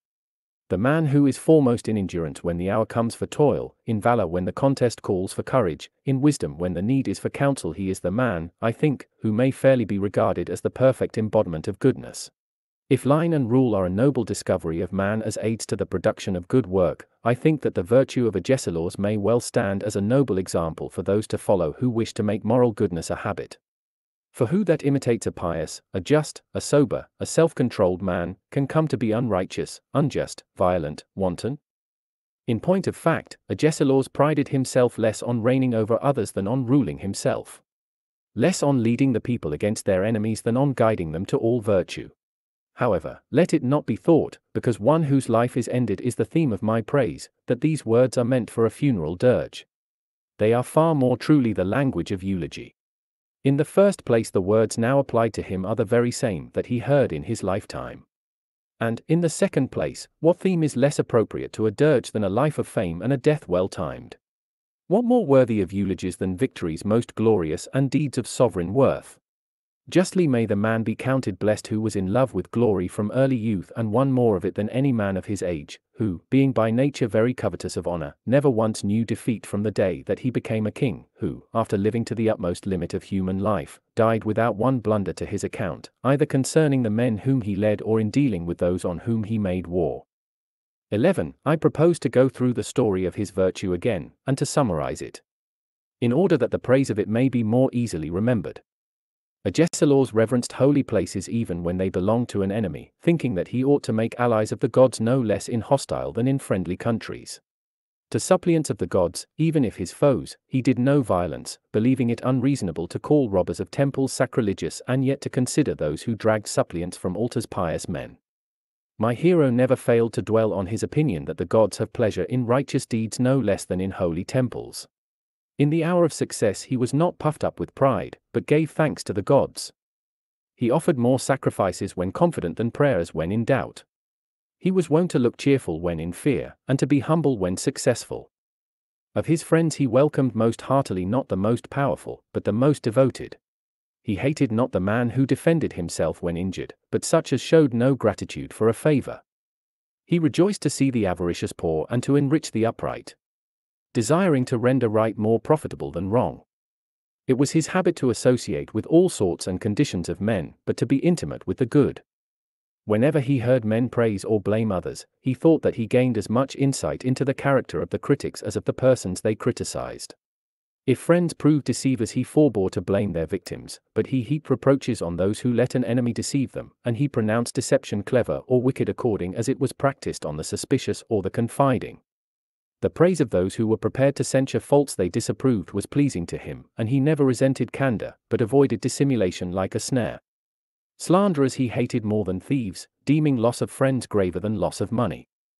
The mistakes of private persons he judged leniently, because few interests suffer by their incompetence, but the errors of rulers he treated as serious, since they lead to many troubles. Kingship, he held, demands not indolence, but manly virtue. He would not allow a statue of himself to be set up, though many wanted to give him one, but on memorials of his mind he labored unceasingly, thinking the one to be the sculptor's work, the other his own, the one appropriate to the rich, the other to the good. In the use of money he was not only just but generous, thinking that a just man may be content to leave other men's money alone, but the generous man is required also to spend his own in the service of others. He was ever God fearing, believing that they who are living life well are not yet happy, but only they who have died gloriously are blessed. He held it a greater calamity to neglect that which is good knowingly than in ignorance. No fame attracted him unless he did the right work to achieve it. He seemed to me one of the few men who count virtue not a task to be endured but a comfort to be enjoyed. At any rate, praise gave him more pleasure than money. Courage, as he displayed it, was joined with prudence rather than boldness. And wisdom he cultivated more by action than in words. Very gentle with friends, he was very formidable to enemies, and while he resisted fatigue obstinately, he yielded most readily to a comrade, though fair deeds appealed more to his heart than fair faces. To moderation in times of prosperity he added confidence in the midst of danger. His urbanity found its habitual expression not in jokes but in his manner, and when on his dignity, he was never arrogant, but always reasonable, at least, if he showed his contempt for the haughty, he was humbler than the average man. For he prided himself on the simplicity of his own dress and the splendid equipment of his army, on a strict limitation of his own needs and a boundless generosity to his friends. Added to this, he was the bitterest of adversaries, but the mildest of conquerors, wary with enemies, but very compliant to friends while ever ensuring security to his own side. He ever made it his business to bring to naught the designs of his enemy. By his relatives he was described as devoted to his family, by his intimates as an unfailing friend, by those who served him as unforgetful, by the oppressed as a champion, by his comrades in danger as a savior second to the gods. In one respect, I think, he was unique. He proved that, though the bodily strength decays, the vigor of good men's souls is ageless. At any rate, he never wearied in the pursuit of great and noble glory so long as his body could support the vigor of his soul. What man's youth, then, did not seem weaker than his old age? For who in his prime was so formidable to his foes as Agesilaus at the very limit of human life? Whose removal brought such welcome relief to the enemy as the death of Agesilaus, despite his years? Who gave such confidence to allies as Agesilaus, though now on the threshold of death? What young man was more regretted by his friends than Agesilaus, though he died full of years? So complete was the record of his service to his fatherland that it did not end even when he died. He was still a bountiful benefactor of the state when he was brought home to be laid in his eternal resting place, and, having raised up monuments of his virtue throughout the world, was buried with royal ceremony in his own land. Constitution of the Lacedaemonians. Translated by E. C. Marchant. It occurred to me one day that Sparta, though among the most thinly populated of states, was evidently the most powerful and most celebrated city in Greece, and I fell to wondering how this could have happened. But when I considered the institutions of the Spartans, I wondered no longer. Lycurgus, who gave them the laws that they obey, and to which they owe their prosperity, I do regard with wonder, and I think that he reached the utmost limit of wisdom for it was not by imitating other states, but by devising a system utterly different from that of most others, that he made his country preeminently prosperous. First, to begin at the beginning, I will take the begetting of children. In other states, the girls who are destined to become mothers and are brought up in the approved fashion live on the very plainest fare, with a most meager allowance of delicacies. Wine is either withheld altogether, or, if allowed them, is diluted with water. The rest of the Greeks expect their girls to imitate the sedentary life that is typical of handicraftsmen. To keep quiet and do wool work. How, then, is it to be expected that women so brought up will bear fine children? But Lycurgus thought the labor of slave women sufficient to supply clothing. He believed motherhood to be the most important function of freeborn woman. Therefore, in the first place, he insisted on physical training for the female no less than for the male sex. Moreover, he instituted races and trials of strength for women competitors as for men, believing that if both parents are strong, they produce more vigorous offspring. He noticed, too, that, during the time immediately succeeding marriage, it was usual elsewhere for the husband to have unlimited intercourse with his wife. The rule that he adopted was the opposite of this, for he laid it down that the husband should be ashamed to be seen entering his wife's room or leaving it. With this restriction on intercourse, the desire of the one for the other must necessarily be increased. And their offspring was bound to be more vigorous than if they were surfeited with one another. In addition to this, he withdrew from men the right to take a wife whenever they chose, and insisted on their marrying in the prime of their manhood, believing that this too promoted the production of fine children. It might happen, however, that an old man had a young wife, and he observed that old men keep a very jealous watch over their young wives. To meet these cases, he instituted an entirely different system by requiring the elderly husband to introduce into his house some man whose physical and moral qualities he admired, in order to beget children. On the other hand, in case a man did not want to cohabit with his wife and nevertheless desired children of whom he could be proud, he made it lawful for him to choose a woman who was the mother of a fine family and of high birth, and if he obtained her husband's consent, to make her the mother of his children. He gave his sanction to many similar arrangements. For the wives want to take charge of two households. And the husbands want to get brothers for their sons. Brothers who are members of the family and share in its influence, but claim no part of the money. Thus his regulations with regard to the begetting of children were in sharp contrast with those of other states. Whether he succeeded in populating Sparta with a race of men remarkable for their size and strength anyone who chooses may judge for himself. 2. Having dealt with the subject of birth. I wish next to explain the educational system of Lycurgus, and how it differs from other systems. In the other Greek states, parents who profess to give their sons the best education place their boys under the care and control of a moral tutor as soon as they can understand what is said to them, and send them to a school to learn letters, music, and the exercises of the wrestling ground. Moreover, they soften the children's feet by giving them sandals, and pamper their bodies with changes of clothing, and it is customary to allow them as much food as they can eat. Lycurgus, on the contrary, instead of leaving each father to appoint a slave to act as tutor, gave the duty of controlling the boys to a member of the class from which the highest offices are filled, in fact to the warden as he is called. He gave this person authority to gather the boys together, to take charge of them and to punish them severely in case of misconduct. He also assigned to him a staff of youths provided with whips to chastise them when necessary. And the result is that modesty and obedience are inseparable companions at Sparta. Instead of softening the boys' feet with sandals, he required them to harden their feet by going without shoes. He believed that if this habit were cultivated, it would enable them to climb hills more easily and descend steep inclines with less danger, and that a youth who had accustomed himself to go barefoot would leap and jump and run more nimbly than a boy in sandals. And instead of letting them be pampered in the matter of clothing, he introduced the custom of wearing one garment throughout the year, believing that they would thus be better prepared to face changes of heat and cold. As to the food, he required the prefect to bring with him such a moderate amount of it that the boys would never suffer from repletion, and would know what it was to go with their hunger unsatisfied. For he believed that those who underwent this training would be better able to continue working on an empty stomach, if necessary, and would be capable of carrying on longer without extra food. If the word of command were given to do so, they would want fewer delicacies and would accommodate themselves more readily to anything put before them, and at the same time would enjoy better health. He also thought that a diet which made their bodies slim would do more to increase their height than one that consisted of flesh forming food. On the other hand, lest they should feel too much the pinch of hunger, while not giving them the opportunity of taking what they wanted without trouble, he allowed them to alleviate their hunger by stealing something. It was not on account of a difficulty in providing for them that he encouraged them to get their food by their own cunning. No one, I suppose, can fail to see that. Obviously, a man who intends to take to thieving must spend sleepless nights and play the deceiver and lie in ambush by day, and moreover, if he means to make a capture, he must have spies ready. There can be no doubt, then, that all this education was planned by him in order to make the boys more resourceful in getting supplies and better fighting men. Someone may ask, but why, if he believed stealing to be a fine thing, did he have the boy who was caught beaten with many stripes? I reply, because in all cases men punish a learner for not carrying out properly whatever he is taught to do. So the Spartans chastise those who get caught for stealing badly. He made it a point of honor to steal as many cheeses as possible from the altar of Artemis Orthia.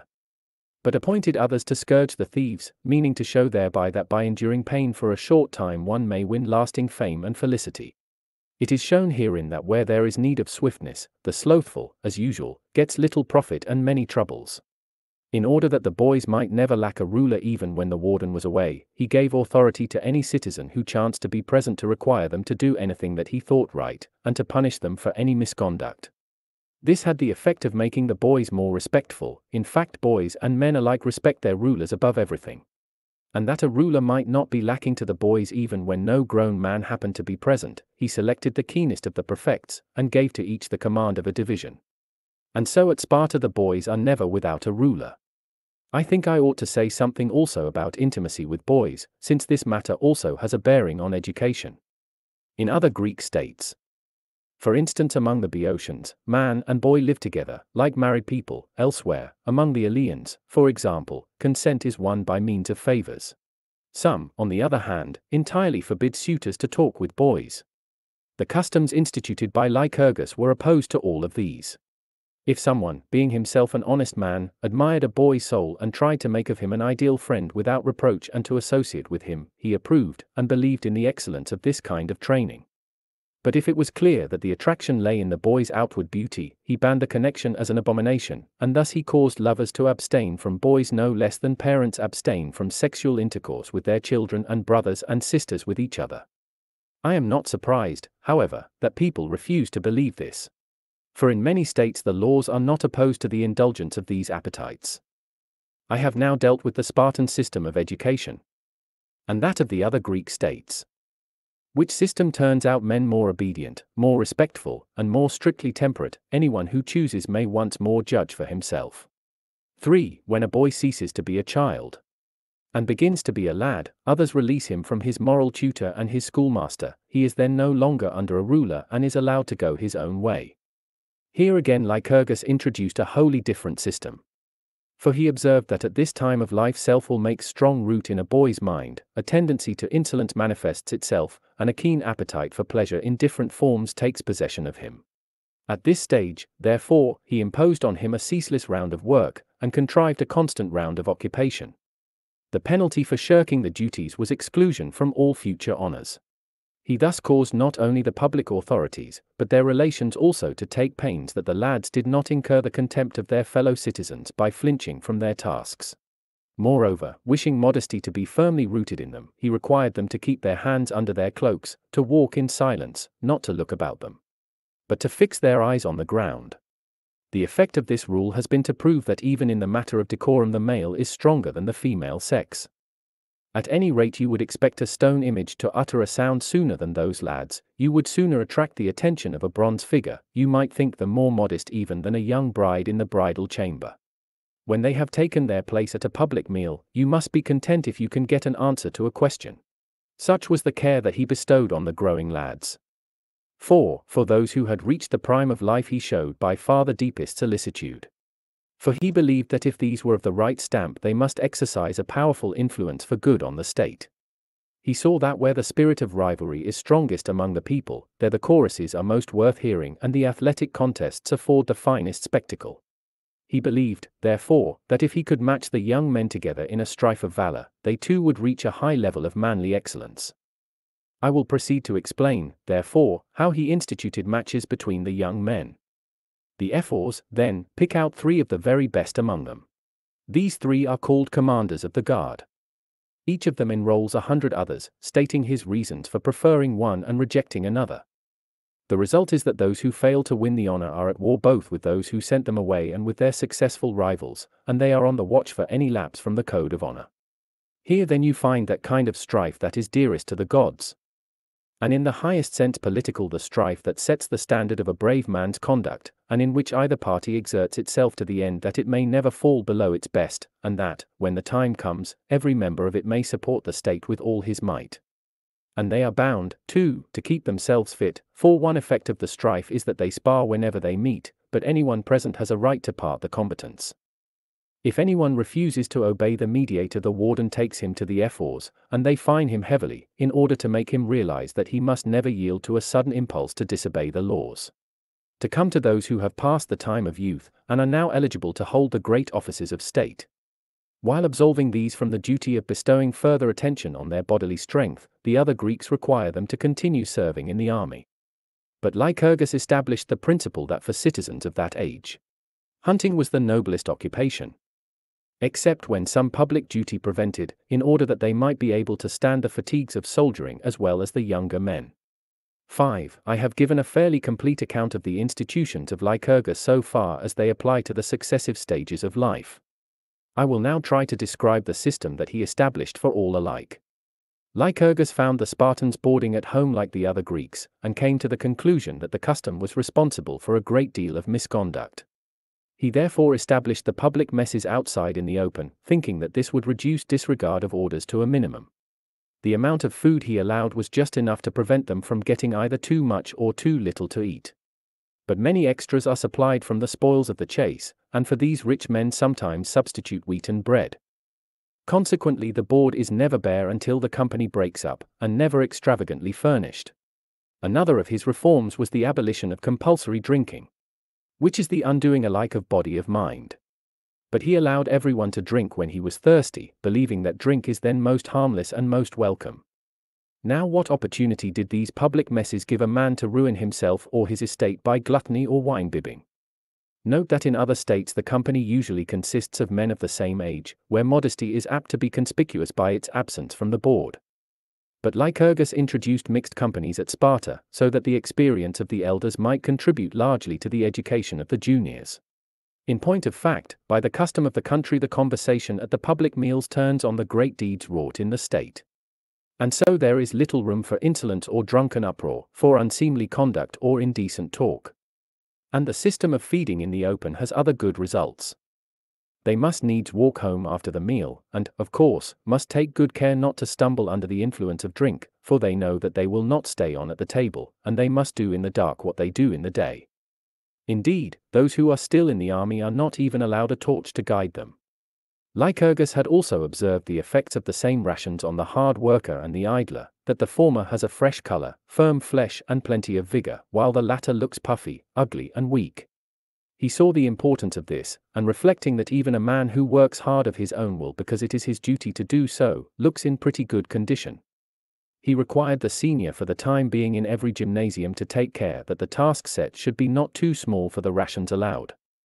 And I think that in this matter too he succeeded so it would not be easy to find healthier or handier men than the Spartans. For their exercises train the legs, arms, and neck equally. 6. In the following respects. Again, his institutions differ from the ordinary type.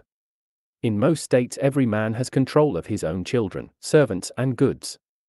Lycurgus wanted to secure that the citizens should get some advantage from one another without doing any harm.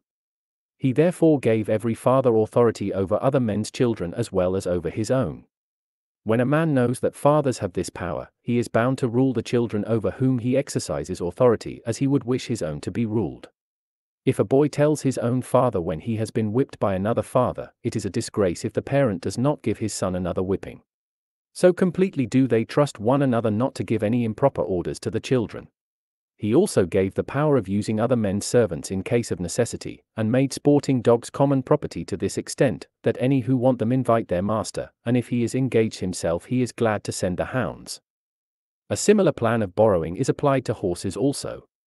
Thus a man who falls ill or wants a carriage or wishes to get to some place quickly, if he sees a horse anywhere, takes and uses it carefully and duly restores it. There is yet another among the customs instituted by him which is not found in other communities. It was intended to meet the needs of parties belated in the hunting field with nothing ready to eat. He made a rule that those who had plenty should leave behind the prepared food, and that those who needed food should break the seals, take as much as they wanted, seal up the rest, and leave it behind.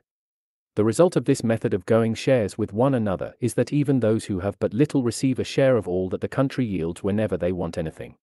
7. Nor does this exhaust the list of the customs established by Lycurgus at Sparta that are contrary to those of the other Greeks.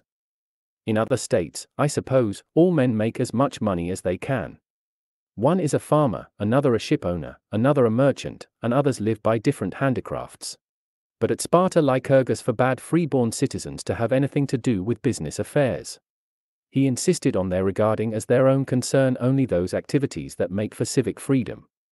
Indeed, how should wealth be a serious object there, when he insisted on equal contributions to the food supply and on the same standard of living for all, and thus cut off the attraction of money for indulgence's sake? Why, there is not even any need of money to spend on cloaks, for their adornment is due not to the price of their clothes, but to the excellent condition of their bodies.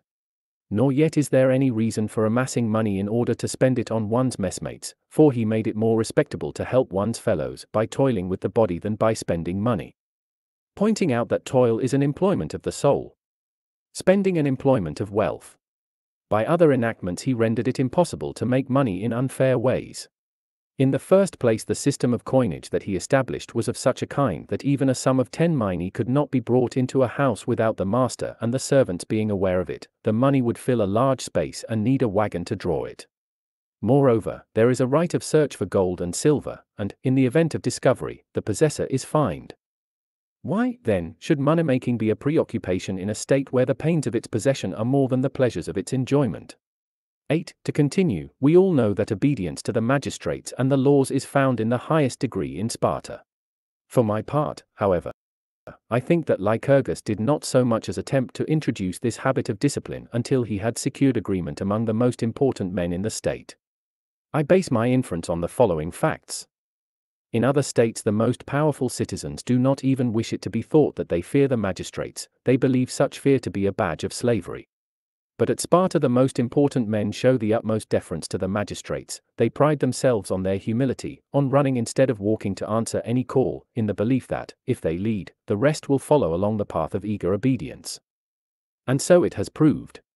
It is probable also that these same citizens helped to set up the office of ephor, having come to the conclusion that obedience is a very great blessing whether in a state or an army or a household for they thought that the greater the power of these magistrates, the more they would impress the minds of the citizens. Accordingly, the ephors are competent to fine whom they choose, and have authority to enact immediate payment, they have authority also to deprive the magistrates of office, and even to imprison and prefer a capital charge against them. Possessing such wide power, they do not, like other states, leave persons elected to office to rule as they like throughout the year, but in common with despots and the presidents of the games, they no sooner see anyone breaking the law than they punish the offender. Among many excellent plans contrived by Lycurgus for encouraging willing obedience to the laws among the citizens, I think one of the most excellent was this before delivering his laws to the people, he paid a visit to Delphi, accompanied by the most important citizens, and inquired of the god whether it was desirable and better for Sparta that she should obey the laws that he himself had framed. Only when the god answered that it was better in every way did he deliver them. After enacting that to refuse obedience to laws given by the Pythian god was not only unlawful, but wicked. 9. The following achievement of Lycurgus, again, deserves admiration. He caused his people to choose an honorable death in preference to a disgraceful life. And, in fact, one would find on consideration that they actually lose a smaller proportion of their men than those who prefer to retire from the danger zone. To tell the truth, escape from premature death more generally goes with valor than with cowardice, for valor is actually easier and pleasanter and more resourceful and mightier and obviously glory adheres to the side of valor, for all men want to ally themselves somehow with the brave. However, it is proper not to pass over the means by which he contrived to bring about this result. Clearly, what he did was to ensure that the brave should have happiness, and the coward misery. For in other states, when a man proves a coward, the only consequence is that he is called a coward. He goes to the same market as the brave man, sits beside him, attends the same gymnasium.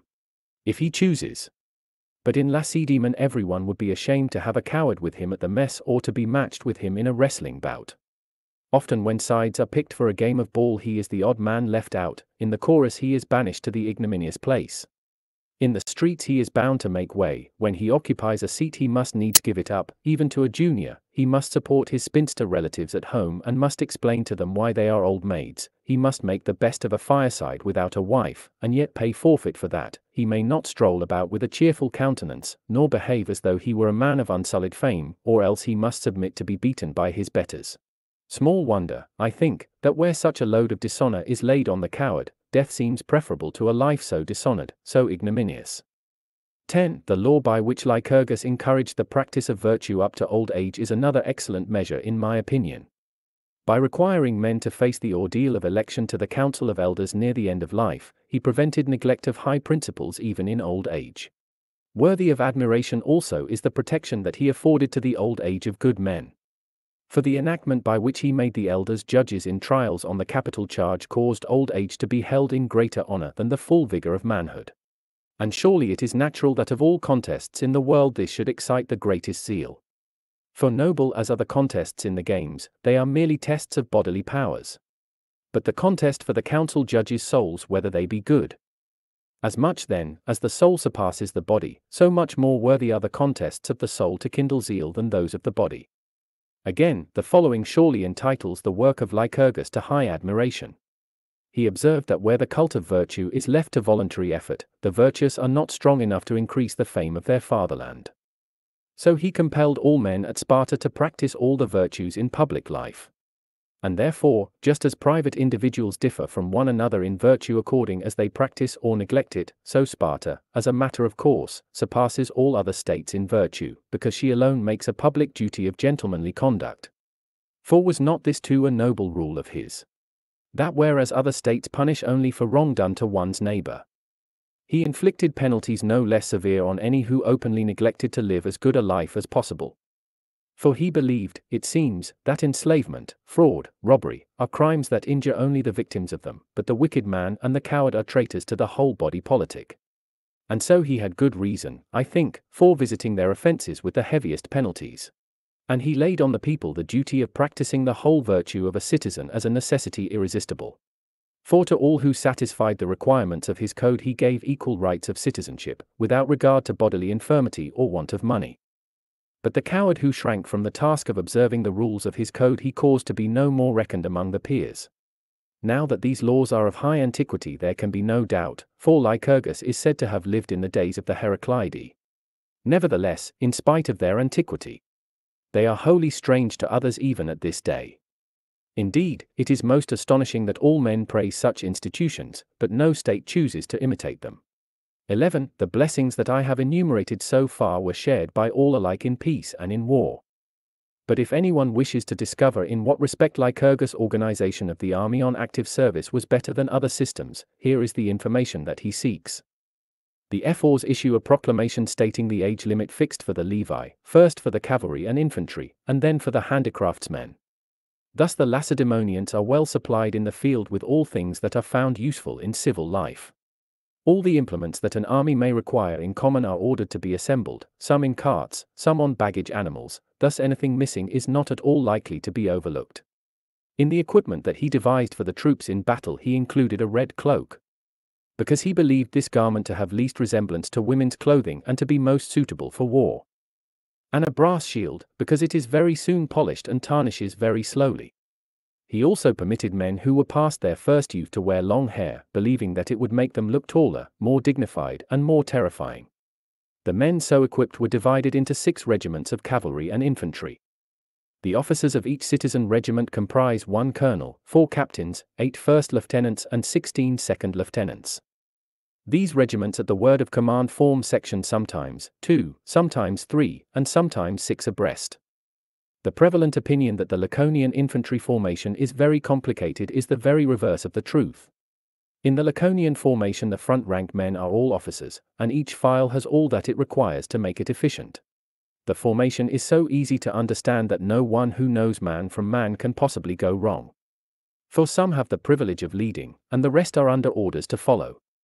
Orders to wheel from column into line of battle are given verbally by the second lieutenant acting as a herald and the line is formed either thin or deep, by wheeling. Nothing whatever in these movements is difficult to understand. To be sure, the secret of carrying on in a battle with any troops at hand when the line gets into confusion is not so easy to grasp, except for soldiers trained under the laws of Lycurgus. The Lacedaemonians also carry out with perfect ease maneuvers that instructors in tactics think very difficult. Thus, when they march in column, every section of course follows in the rear of the section in front of it. Suppose that at such a time an enemy in order of battle suddenly makes his appearance in front, the word is passed to the second lieutenant to deploy into line to the left, and so throughout the column until the battle line stands facing the enemy. Or again, if the enemy appears in the rear while they are in this formation, each file countermarches, in order that the best men may always be face to face with the enemy. True. The leader is then on the left. But instead of thinking this a disadvantage, they regard it as a positive advantage at times. For should the enemy attempt a flanking movement, he would try to encircle them, not on the exposed but on the protected side. If, however, It seems better for any reason that the leader should be on the right wing, the left wing wheels, and the army countermarches by ranks until the leader is on the right, and the rear of the column on the left. If, on the other hand, an enemy force appears on the right when they are marching in column, all that they have to do is to order each company to wheel to the right so as to front the enemy like a man o' war, and thus again the company at the rear of the column is on the right. If again an enemy approaches on the left, they do not allow that either, but either push him back or wheel their companies to the left to face him, and thus the rear of the column finds itself on the left. 12. I will now explain the method of encampment approved by Lycurgus. Seeing that the angles of a square are useless, he introduced the circular form of camp, except where there was a secure hill or wall, or a river afforded protection in the rear. He caused sentries to be posted by day facing inwards along the place where the arms were kept, for the object of these is to keep an eye not on the enemy but on their friends. The enemy is watched by cavalry from positions that command the widest outlook. To meet the case of a hostile approach at night, he assigned the duty of acting as sentries outside the lines to the Sciritae. In these days, the duty is shared by foreigners, if any happen to be present in the camp. The rule that patrols invariably carry their spears has the same purpose, undoubtedly, as the exclusion of slaves from the place of arms. Nor is it surprising that sentries who withdraw for necessary purposes only go so far away from one another and from the arms as not to cause inconvenience. Safety is the first object of this rule also. The camp is frequently shifted with the double object of annoying their enemies and of helping their friends. Moreover, the law requires all Lacedaemonians to practice gymnastics regularly throughout the campaign, and the result is that they take more pride in themselves and have a more dignified appearance than other men. Neither walk nor racecourse may exceed in length the space covered by the regiment, so that no one may get far away from his own arms. After the exercises, the senior colonel gives the order by herald to sit down. This is their method of inspection. And next to take breakfast and to relieve the outposts quickly. After this, there are amusements and recreations until the evening exercises. These being finished, the herald gives the order to take the evening meal, and, as soon as they have sung to the praise of the gods to whom they have sacrificed with good omens, to rest by the arms. Let not the length to which I run occasion surprise, for it is almost impossible to find any detail in military matters requiring attention that is overlooked by the Lacedaemonians. 13. I will also give an account of the power and honor that Lycurgus conferred on the king in the field. In the first place, while on military service, the king and his staff are maintained by the state. The colonels mess with the king, in order that constant intercourse may give better opportunities for taking counsel together in case of need. Three of the peers also attend the king's mess. These three take entire charge of the commissariat for the king and his staff. So that these may devote all their time to affairs of war. But I will go back to the beginning and explain how the king sets out with an army. First, he offers up sacrifice at home to Zeus the leader and to the gods associated with him. If the sacrifice appears propitious, the fire bearer takes fire from the altar and leads the way to the borders of the land. There, the king offers sacrifice again to Zeus and Athena. Only when the sacrifice proves acceptable to both these deities does he cross the borders of the land. And the fire from these sacrifices leads the way and is never quenched, and animals for sacrifice of every sort follow. At all times when he offers sacrifice, the king begins the work before dawn of day, wishing to forestall the goodwill of the god. And at the sacrifice are assembled colonels, captains, lieutenants, commandants of foreign contingents, commanders of the baggage train, and, in addition, any general from the states who chooses to be present. There are also present two of the ephors, who interfere in nothing except by the king's request, but keep an eye on the proceedings, and see that all behave with a decorum suitable to the occasion. When the sacrifices are ended, the king summons all and delivers the orders of the day. And so, could you watch the scene, you would think all other men mere improvisers in soldiering and the Lacedaemonians the only artists in warfare. When the king leads, provided that no enemy appears, no one precedes him except the Sciritae and the mounted vedettes. But if ever they think there will be fighting, he takes the lead of the first regiment and wheels to the right, until he is between two regiments and two colonels. The troops that are to support these are marshaled by the senior member of the king's staff. The staff consists of all peers who are members of the royal mess, seers, doctors, flute players, commanding officers, and any volunteers who happen to be present. Thus, nothing that has to be done causes any difficulty. For everything is duly provided for. The following arrangements made by Lycurgus with a view to the actual fighting are also, in my opinion, very useful. When a goat is sacrificed, the enemy being near enough to see, custom ordains that all the flute players present are to play and every Lacedaemonian is to wear a wreath. An order is also given to polish arms. It is also the privilege of the young warrior to comb his hair. Before entering battle, to look cheerful and earn a good report. Moreover, the men shout words of encouragement to the subaltern, for it is impossible for each subaltern to make his voice travel along the whole of his section to the far end. The colonel is responsible for seeing that all is done properly. When the time for encamping seems to have arrived, the decision rests with the king, who also indicates the proper place. On the other hand, the dispatch of embassies, whether to friends or enemies, is not the king's affair. All who have any business to transact deal in the first instance with the king. Suitors for justice are remitted by the king to the court of Hellanodicae, applications for money to the treasurers, and if anyone brings booty, he is sent to the auctioneers. With this routine, the only duties left to the king on active service are to act as priest in matters of religion and as general in his dealings with the men. 14. Should anyone ask me whether I think that the laws of Lycurgus still remain unchanged at this day, I certainly could not say that with any confidence whatever. For I know that formerly the Lacedaemonians preferred to live together at home with moderate fortunes rather than expose themselves to the corrupting influences of flattery as governors of dependent states. And I know too that in former days they were afraid to be found in possession of gold, whereas nowadays there are some who even boast of their possessions. There were alien acts in former days, and to live abroad was illegal. And I have no doubt that the purpose of these regulations was to keep the citizens from being demoralized by contact with foreigners. And now I have no doubt that the fixed ambition of those who are thought to be first among them is to live to their dying day as governors in a foreign land. There was a time when they would fain be worthy of leadership, but now they strive far more earnestly to exercise rule than to be worthy of it. Therefore, in times past, the Greeks would come to Lacedaemon and beg her to lead them against reputed wrongdoers, but now many are calling on one another to prevent a revival of Lacedaemonian supremacy. Yet we need not wonder if these reproaches are levelled at them, since it is manifest that they obey neither their God nor the laws of Lycurgus. 15. I wish also to give an account of the compact made by Lycurgus between king and state.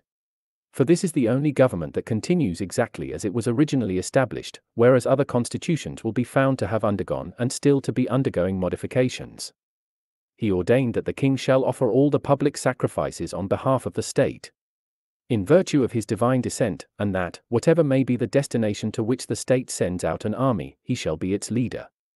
He also gave him the right to receive certain parts of the beast sacrificed, and assigned to him enough choice land in many of the outlander cities to ensure him a reasonable competence without excessive riches. In order that even the kings should mess in public, he assigned to them a public mess tent, he also honored them with a double portion at the meal, not that they might eat enough for two, but that they might have the wherewithal to honor anyone whom they chose. He also allowed each king to choose two messmates, who are called Pythii.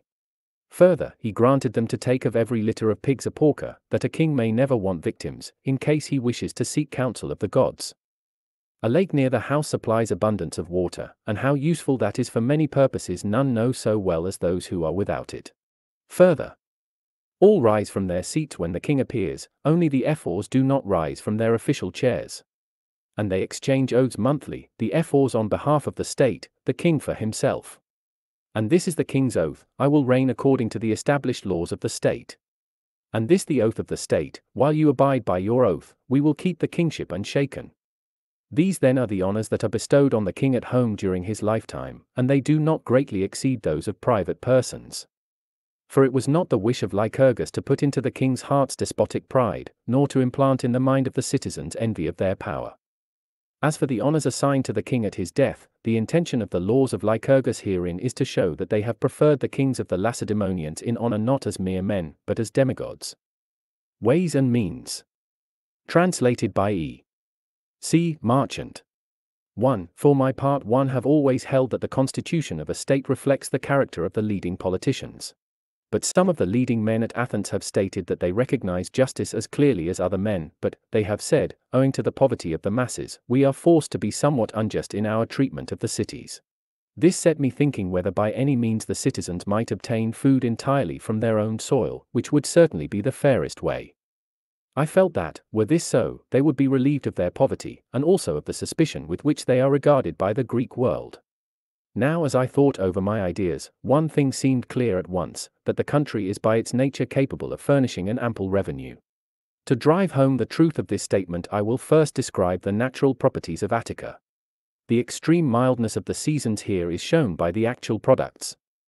At any rate, plants that will not even grow in many countries bear fruit here. Not less productive than the land is the sea around the coasts. Notice too that the good things which the gods send in their season all come in earlier here and go out later than elsewhere. And the preeminence of the land is not only in the things that bloom and wither annually, she has other good things that last forever.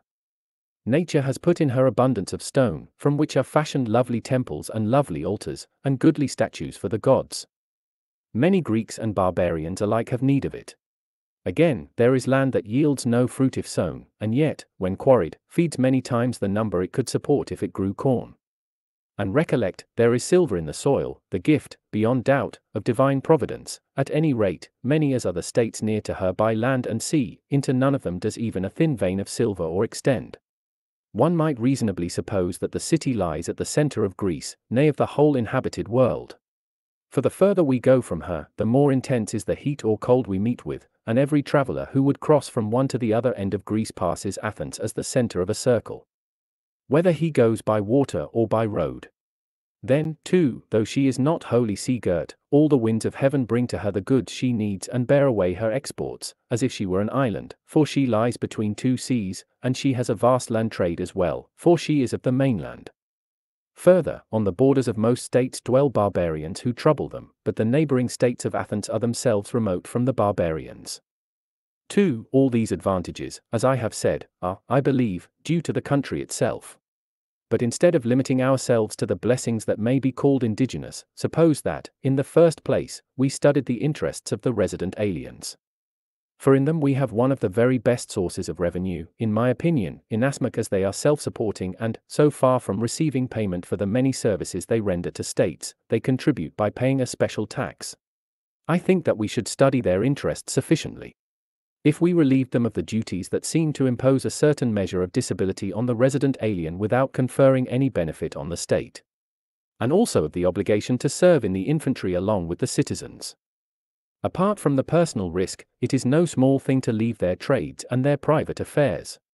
The state itself too would gain if the citizens served in the ranks together, and no longer found themselves in the same company with Lydians, Phrygians, Syrians, and barbarians of all sorts, of whom a large part of our alien population consists. In addition to the advantage of dispensing with the services of these men, it would be an ornament to the state that the Athenians should be thought to rely on themselves rather than on the help of foreigners in fighting their battles. If, moreover, we granted the resident aliens the right to serve in the cavalry and various other privileges which it is proper to grant them. I think that we should find their loyalty increase and at the same time should add to the strength and greatness of the state. Then again, since there are many vacant sites for houses within the walls, if the state allowed approved applicants to erect houses on these and granted them the freehold of the land, I think that we should find a larger and better class of persons desiring to live at Athens. And if we appointed a board of guardians of aliens analogous to the guardians of orphans, and some kind of distinction were earmarked for guardians whose list of resident aliens was longest, that too would add to the loyalty of the aliens, and probably all without a city would covet the right of settling in Athens, and would increase our revenues. 3. I shall now say something of the unrivaled amenities and advantages of our city as a commercial center. In the first place, I presume, she possesses the finest and safest accommodation for shipping, since vessels can anchor here and ride safe at their moorings in spite of bad weather. Moreover, at most other ports, merchants are compelled to ship a return cargo, because the local currency has no circulation in other states, but at Athens they have the opportunity of exchanging their cargo and exporting very many classes of goods that are in demand, or, if they do not want to ship a return cargo of goods, it is sound business to export silver, for, wherever they sell it, they are sure to make a profit on the capital invested. If prizes were offered to the magistrates of the market for just and prompt settlement of disputes, so that sailings were not delayed, the effect would be that a far larger number of merchants would trade with us and with much greater satisfaction. It would also be an excellent plan to reserve front seats in the theatre for merchants and shipowners. And to offer them hospitality occasionally. When the high quality of their ships and merchandise entitles them to be considered benefactors of the state. With the prospect of these honors before them, they would look on us as friends and hasten to visit us to win the honor as well as the profit. The rise in the number of residents and visitors would of course lead to a corresponding expansion of our imports and exports, of sales, rents, and customs. Now, such additions to our revenues as these need cost us nothing whatever beyond benevolent legislation and measures of control. Other methods of raising revenue that I have in mind will require capital, no doubt. Nevertheless, I venture to hope that the citizens would contribute eagerly towards such objects, when I recall the large sums contributed by the state when Lysistratus was in command and troops were sent to aid the Arcadians, and again in the time of Hegesilaus. I am also aware that large expenditure is frequently incurred to send warships abroad, though none can tell whether the venture will be for better or worse, and the only thing certain is that the subscribers will never see their money back nor even enjoy any part of what they contribute but no investment can yield them so fine a return as the money advanced by them to form the capital fund. For every subscriber of 10 minae, drawing 3 obols a day, gets nearly 20%. As much as he would get on bottomry, and every subscriber of 5 minae gets more than a third of his capital back in interest. But most of the Athenians will get over a 100%. In a year, for those who advance one mina will draw an income of nearly two minae, guaranteed by the state, which is to all appearances the safest and most durable of human institutions. I think, too, that if their names were to be recorded in the roll of benefactors for all time, many foreigners also would subscribe, and a certain number of states would be attracted by the prospect of enrollment. I believe that even kings and despots and oriental governors would desire to share in this reward. When funds were sufficient, it would be a fine plan to build more lodging houses for shipowners near the harbors, and convenient places of exchange for merchants, also hotels to accommodate visitors. Again, if houses and shops were put up both in the Piraeus and in the city for retail traders, they would be an ornament to the state, and at the same time the source of a considerable revenue. Moreover, I think it would be a good plan to take a hint from the state ownership of public warships, and to see whether it be possible to acquire a fleet of public merchant vessels and to lease them under securities, like our other public property. For if this proved to be practicable, these vessels would yield another large revenue. 4. As for the silver mines, I believe that if a proper system of working were introduced, a vast amount of money would be obtained from them apart from our other sources of revenue. I want to point out the possibilities of these mines to those who do not know. 4. Once you realize their possibilities, you will be in a better position to consider how the mines should be managed. Now, we all agree that the mines have been worked for many generations. At any rate, no one even attempts to date the beginning of mining operations. And yet, although digging and the removal of the silver ore have been carried on for so long a time, note how small is the size of the dumps compared with the virgin and silver laden hills. And it is continually being found that, so far from shrinking, the silver yielding area extends further and further. Well, so long as the maximum number of workmen was employed in them, no one ever wanted a job, in fact, there were always more jobs than the laborers could deal with. And even at the present day, no owner of slaves employed in the mines reduces the number of his men. On the contrary, every master obtains as many more as he can. The fact is, I imagine, that when there are few diggers and searchers, the amount of metal recovered is small, and when there are many, the total of ore discovered is multiplied. Hence, of all the industries with which I am acquainted, this is the only one in which expansion of business excites no jealousy. Further than this, every farmer can tell just how many yoke of oxen are enough for the farm and how many laborers. To put more on the land than the requisite number is counted loss. In mining undertakings, on the contrary, everyone tells you that he is short of labor. Mining, in fact, is quite different from other industries. An increase in the number of coppersmiths, for example, produces a fall in the price of copper work, and the coppersmiths retire from business. The same thing happens in the iron trade. Again, when corn and wine are abundant, the crops are cheap. And the profit derived from growing them disappears so that many give up farming and set up as merchants or shopkeepers or moneylenders. But an increase in the amount of the silver ore discovered and of the metal one is accompanied by an increase in the number of persons who take up this industry. Neither is silver like furniture, of which a man never buys more when once he has got enough for his house. No one ever yet possessed so much silver as to want no more. If a man finds himself with a huge amount of it, he takes as much pleasure in burying the surplus as in using it. Mark too that, whenever states are prosperous, silver is in strong demand. The men will spend money on fine arms and good horses and magnificent houses and establishments, and the women go in for expensive clothes and gold jewelry. If, on the other hand, the body politic is diseased owing to failure of the harvest or to war, the land goes out of cultivation and there is a much more insistent demand for cash to pay for food and mercenaries. If anyone says that gold is quite as useful as silver, I am not going to contradict him, but I know this that when gold is plentiful, silver rises and gold falls in value. With these facts before us, we need not hesitate to bring as much labor as we can get into the mines and carry on work in them, feeling confident that the ore will never give out and that silver will never lose its value. I think, indeed, that the state has anticipated me in this discovery, at any rate, she throws open the mining industry to foreigners on the same terms as are granted to citizens. To make myself clearer on the subject of alimony, I will now explain how the mines may be worked with the greatest advantage to the state. Not that I expect to surprise you by what I am going to say, as if I had found the solution of a difficult problem.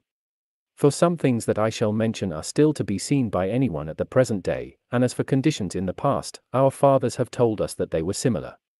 But what may well excite surprise is that the state, being aware that many private individuals are making money out of her, does not imitate them. Those of us who have given thought to the matter have heard long ago, I imagine, that Nicias son of Niceratus once owned a thousand men in the mines, and let them out to Sosias the Thracian, on condition that Sosias paid him an obol a day per man net and filled all vacancies as they occurred. Hipponicus, again, had six hundred slaves let out on the same terms and received a rent of a mina a day net. Philemonides had three hundred, and received half a mina. There were others too, owning numbers in proportion, I presume, to their capital. But why dwell on the past? At this day, there are many men in the mines let out in this way. Were my proposals adopted, the only innovation would be that just as private individuals have built up a permanent income by becoming slave owners, so the state would become possessed of public slaves, until there were three for every citizen. Whether my plan is workable, let anyone who chooses judge for himself by examining it in detail. So let us take first the cost of the men. Clearly, the Treasury is in a better position to provide the money than private individuals. Moreover, the Council can easily issue a notice inviting all and sundry to bring slaves, and can buy those that are brought to it. When once they are purchased, why should there be more hesitation about hiring from the Treasury than from a private person, the terms offered being the same? At any rate, men hire consecrated lands and houses. And farm taxes under the state the Treasury can insure the slaves purchased by requiring some of the lessees to become guarantors, as it does in the case of the tax farmers. In fact, a tax farmer can swindle the state more easily than a lessee of slaves. For how are you to detect the export of public money? Money looks the same whether it is private property or belongs to the state. But how is a man to steal slaves when they are branded with the public mark and it is a penal offense to sell or export them? So far, then, it appears to be possible for the state to acquire and to keep men. But, one may ask, when labor is abundant, how will a sufficient number of persons be found to hire it? Well, if anyone feels doubtful about that, let him comfort himself with the thought that many men in the business will hire the state slaves as additional hands, since they have abundance of capital, and that among those now working in the mines many are growing old. Moreover, there are many others, both Athenians and foreigners, who have neither will nor strength to work with their own hands, but would be glad to, to make a living by becoming managers. Assume, however, that the total number of slaves to begin with is 1200. By using the revenue derived from these, the number might in all probability be raised to 6,000 at the least in the course of five or six years. Further, if each man brings in a clear obol a day, the annual revenue derived from that number of men is 60 talents. Out of this sum, if 20 talents are invested in additional slaves, the state will have 40 talents available for any other necessary purpose. And when a total of 10,000 men is reached, the revenue will be 100 talents. But the state will receive far more than that, as anyone will testify who is old enough to remember how much the charge for slave labor brought in before the trouble at Decelia. And there is another proof. During the history of the mines, an infinite number of men has worked in them. And yet the condition of the mines today is exactly the same as it was in the time of our ancestors, and their memory ran not to the contrary. And present conditions all lead to the conclusion that the number of slaves employed there can never be greater than the works need. For the miners find no limit to shaft or gallery. And, mark you, it is as possible now to open new veins as in former times. Nor can one say with any certainty whether the ore is more plentiful in the area already under work or in the unexplored tracts. Then why, it may be asked, are fewer new cuttings made nowadays than formerly? Simply because those interested in the mines are poorer. For operations have only lately been resumed, and a man who makes a new cutting incurs a serious risk. If he strikes good stuff, he makes a fortune, but if he is disappointed, he loses the money he has spent. Therefore, people nowadays are very chary of taking such a risk. However, I think I can meet this difficulty too. And suggest a plan that will make the opening of new cuttings a perfectly safe undertaking. The Athenians, of course, are divided into ten tribes. Now assume that the state were to offer each tribe an equal number of slaves, and that when new cuttings were made, the tribes were to pool their luck. The result would be that if one tribe found silver, the discovery would be profitable to all, and if two, three, four, or half the tribes found, the profits from these works would obviously be greater. Nothing that has happened in the past makes it probable that all would fail to find. Of course, private individuals also are able to combine on this principle and pool their fortunes in order to diminish the risk. Nevertheless, there is no reason to fear that a public company formed on this plan will conflict with the interests of private persons, or be hampered by them. No, just as every new adhesion to a confederacy brings an increase of strength to all its members. So the greater the number of persons operating in the mines, the more treasure they will discover and unearth. I have now explained what regulations I think should be introduced into the state in order that every Athenian may receive sufficient maintenance at the public expense. Some may imagine that enough money would never be subscribed to provide the huge amount of capital necessary, according to their calculations, to finance all these schemes. But even so, they need not despair. For it is not essential that the plan should be carried out in all its details in order that any advantage may come of it. No, whatever the number of houses built, or of ships constructed, or of slaves purchased, they will immediately prove a paying concern. In fact, in one respect, it will be even more profitable to proceed gradually than to do everything at once. For if everybody begins building, we shall pay more for worse work than if we carry out the undertaking gradually, and if we try to find an enormous number of slaves. We shall be forced to buy inferior men at a high price. By proceeding as our means allow, we can repeat whatever is well conceived and avoid the repetition of mistakes. Besides, were the whole scheme put in hand at once, we should have to find the whole of the money, but if some parts were proceeded with and others postponed, the income realized would help to provide the amount still required. Possibly the gravest fear in everyone's mind is that the works may become overcrowded if the state acquires too many slaves.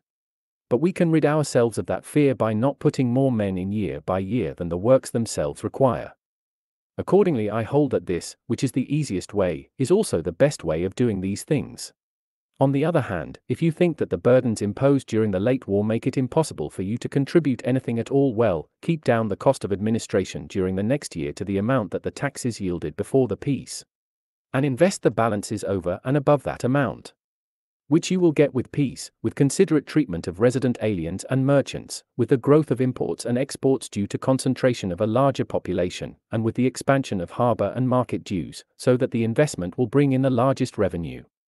Or again, if any fear that this scheme would prove worthless in the event of war breaking out, they should observe that, with this system at work, war becomes far more formidable to the aggressors than to the city. For what instrument is more serviceable for war than men?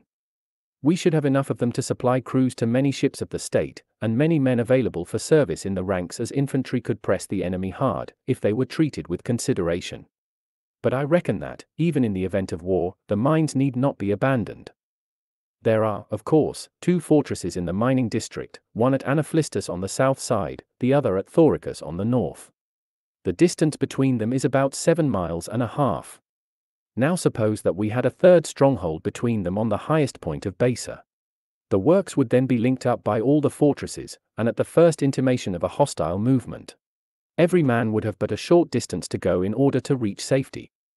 In case an enemy came in force, he would, no doubt, seize any corn or wine or cattle that he found outside, but the silver ore, when he had got it, would be of as much use to him as a heap of stones. And how could an enemy ever go for the mines? the distance between Megara, the nearest city, and the silver mines, is of course much more than 500 furlongs, and Thebes, which is next in proximity, lies at a distance of much more than 600 furlongs from them. Let us assume, then, that an enemy is marching on the mines from some such point. he is bound to pass Athens, and if his numbers are small, he is likely to be destroyed by our cavalry and patrols. On the other hand, to march on them with a large force, leaving his own property unprotected, is no easy matter, for when he arrived at the mines the city of Athens would be much nearer to his own states than he himself would be. But even supposing that he should come, how is he to stay without supplies? And to send part of their forces in search of food may mean destruction to the foraging party and failure to achieve the ends for which he is contending, or if the whole force is continually foraging, it will find itself blockaded instead of blockading. However, the rent derived from the slaves would not be the only source of relief to the community. With the concentration of a large population in the mining district, abundant revenue would be derived from the local market, from state owned houses near the silver mines, from furnaces, and all the other sources. For a densely populated city would grow up there, if it were organized on this plan, yes, and building sites would become as valuable there as they are in our suburbs. If the plans that I have put forward are carried out, I agree that, apart from the improvement in our financial position, we shall become a people more obedient, better disciplined, and more efficient in war. For the classes undergoing physical training will take more pains in the gymnasium when they receive their maintenance in full than they take under the superintendence of the torch races and the classes on garrison duty in a fortress, or serving as targeteers, or patrolling the country will show greater alacrity in carrying out all these duties when the maintenance is duly supplied for the work done. 5. If it seems clear that the state cannot obtain a full revenue from all sources unless she has peace, is it not worthwhile to set up a board of guardians of peace? Were such a board constituted, it would help to increase the popularity of the city and to make it more attractive and more densely thronged with visitors from all parts. If any are inclined to think that a lasting peace for our city will involve a loss of her power and glory and fame in Greece, they too, in my opinion, are out in their calculations. For I presume that those states are reckoned the happiest that enjoy the longest period of unbroken peace, and of all states Athens is by nature most suited to flourish in peace. For if the state is tranquil, what class of men will not need her? Shipowners and merchants will head the list. Then there will be those rich in corn and wine and oil and cattle, men possessed of brains and money to invest, craftsmen and professors and philosophers, poets and the people who make use of their works, those to whom anything sacred or secular appeals that is worth seeing or hearing. Besides, where will those who want to buy or sell many things quickly meet with better success in their efforts than at Athens? No one, I dare say, contests this, but there are some who wish the state to recover her ascendancy, and they may think that it is more likely to be won by war than by peace. Let such, in the first place, call to mind the Persian Wars. Was it by coercing the Greeks or by rendering services to them that we became leaders of the fleet and treasurers of the League funds? Further, after the state had been stripped of her empire through seeming to exercise her authority with excessive harshness, did not the islanders even then restore to us the presidency of the fleet by their own free will? When we refrained from acts of injustice? And again, did not Thebans place themselves under the leadership of the Athenians in return for our good offices? Yet once again, it was not the effect of coercion on our part, but of generous treatment, that the Lacedaemonians permitted the Athenians to arrange the leadership as they chose. And now, owing to the confusion prevalent in Greece, an opportunity, I think, has fallen to the state to win back the Greeks without trouble, without danger, and without expense. For she has it in her power to try to reconcile the warring states, she has it in her power to compose the factions contending in their midst. And were it apparent that you are striving to make the Delphic shrine independent, as it used to be, not by joining in war, but by sending embassies up and down Greece, I for my part should not be in the least surprised if you found the Greeks all of one mind. Banded together by oath and united in alliance against any that attempted to seize the shrine in the event of the Phocians abandoning it. Were you to show also that you are striving for peace in every land and on every sea, I do think that, next to the safety of their own country, all men would put the safety of Athens first in their prayers. If, on the other hand, anyone supposes that financially war is more profitable to the state than peace, I really do not know how the truth of this can be tested better than by considering once more what has been the experience of our state in the past he will find that in old days a very great amount of money was paid into the treasury in time of peace, and that the whole of it was spent in time of war. He will conclude on consideration that in our own time the effect of the late war on our revenues was that many of them ceased, while those that came in were exhausted by the multitude of expenses, whereas the cessation of war by sea has been followed by a rise in the revenues, and has allowed the citizens to devote them to any purpose they choose. But some one may ask me, Do you mean to say that, even if she is wronged, the state should remain at peace with the offender? No, certainly not, but I do say that our vengeance would follow far more swiftly on our enemies if we provoked nobody by wrongdoing, for then they would look in vain for an ally. 6. Well now. Surely, if none of these proposals is impossible or even difficult, if by carrying them into effect we shall be regarded with more affection by the Greeks, shall live in greater security, and be more glorious, if the people will be maintained in comfort and the rich no more burdened with the expenses of war, if with a large surplus in hand we shall celebrate our festivals with even more splendor than at present, shall restore the temples, and repair the walls and docks, and shall give back to priests, councillors, magistrates, knights their ancient privileges. Surely, I say, our proper course is to proceed with this scheme forthwith, that already in our generation we may come to see our city secure and prosperous. Furthermore, if you decide to go forward with the plan, I should advise you to send to Dodona and Delphi, and inquire of the gods whether such a design is fraught with weal for the state both now and in days to come. And should they consent to it? Then I would say that we ought to ask them further. Which of the gods we must propitiate in order that we may prosper in our handiwork? Then, when we have offered an acceptable sacrifice to the gods named in their reply, it behoves us to begin the work. For with heaven to help us in what we do, it is likely that our undertakings will go forward continually to the greater weal of the state. On the Cavalry Commander. Translated by E. C. Marchant.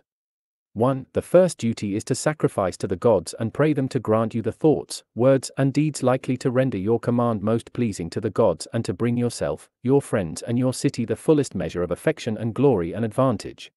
Having gained the goodwill of the gods, you have then to recruit a sufficient number of mounted men that you may bring the number up to the total required by the law, and also may prevent any decrease in the cavalry establishment. Unless additional recruits are enrolled in the force, the number will constantly dwindle, for some men are bound to retire through old age and others to drop off for various reasons.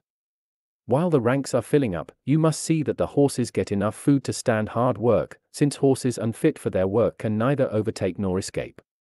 You must see that they are docile, because disobedient animals assist the enemy more than their own side. And horses that kick when mounted must be got rid of for such brutes often do more mischief than the enemy. You must also look after their feet, so that they can be ridden on rough ground, for you know that wherever galloping is painful to them, they are useless. Having made sure that the horses are in good condition, the next business is to train the men. First, they must learn to mount from the spring, since many before now have owed their lives to that. Secondly, they must practice riding over all sorts of ground, since any kind of country may become the area of war. As soon as they have acquired a firm seat, your next task is to take steps that as many as possible shall be able to throw the javelin when mounted and shall become efficient in all the details of horsemanship. After that, both horses and men must be armed, so that, while they are themselves thoroughly protected against wounds, they may have the means of inflicting the greatest loss on the enemy.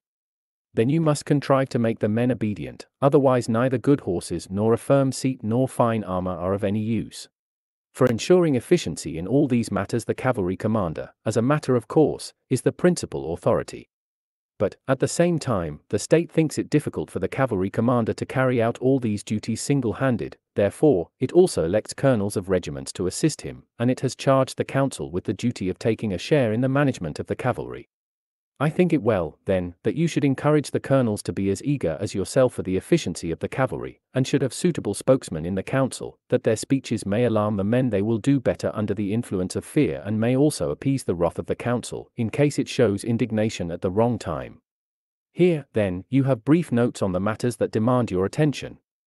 I will now try to explain how these duties may best be carried out in detail.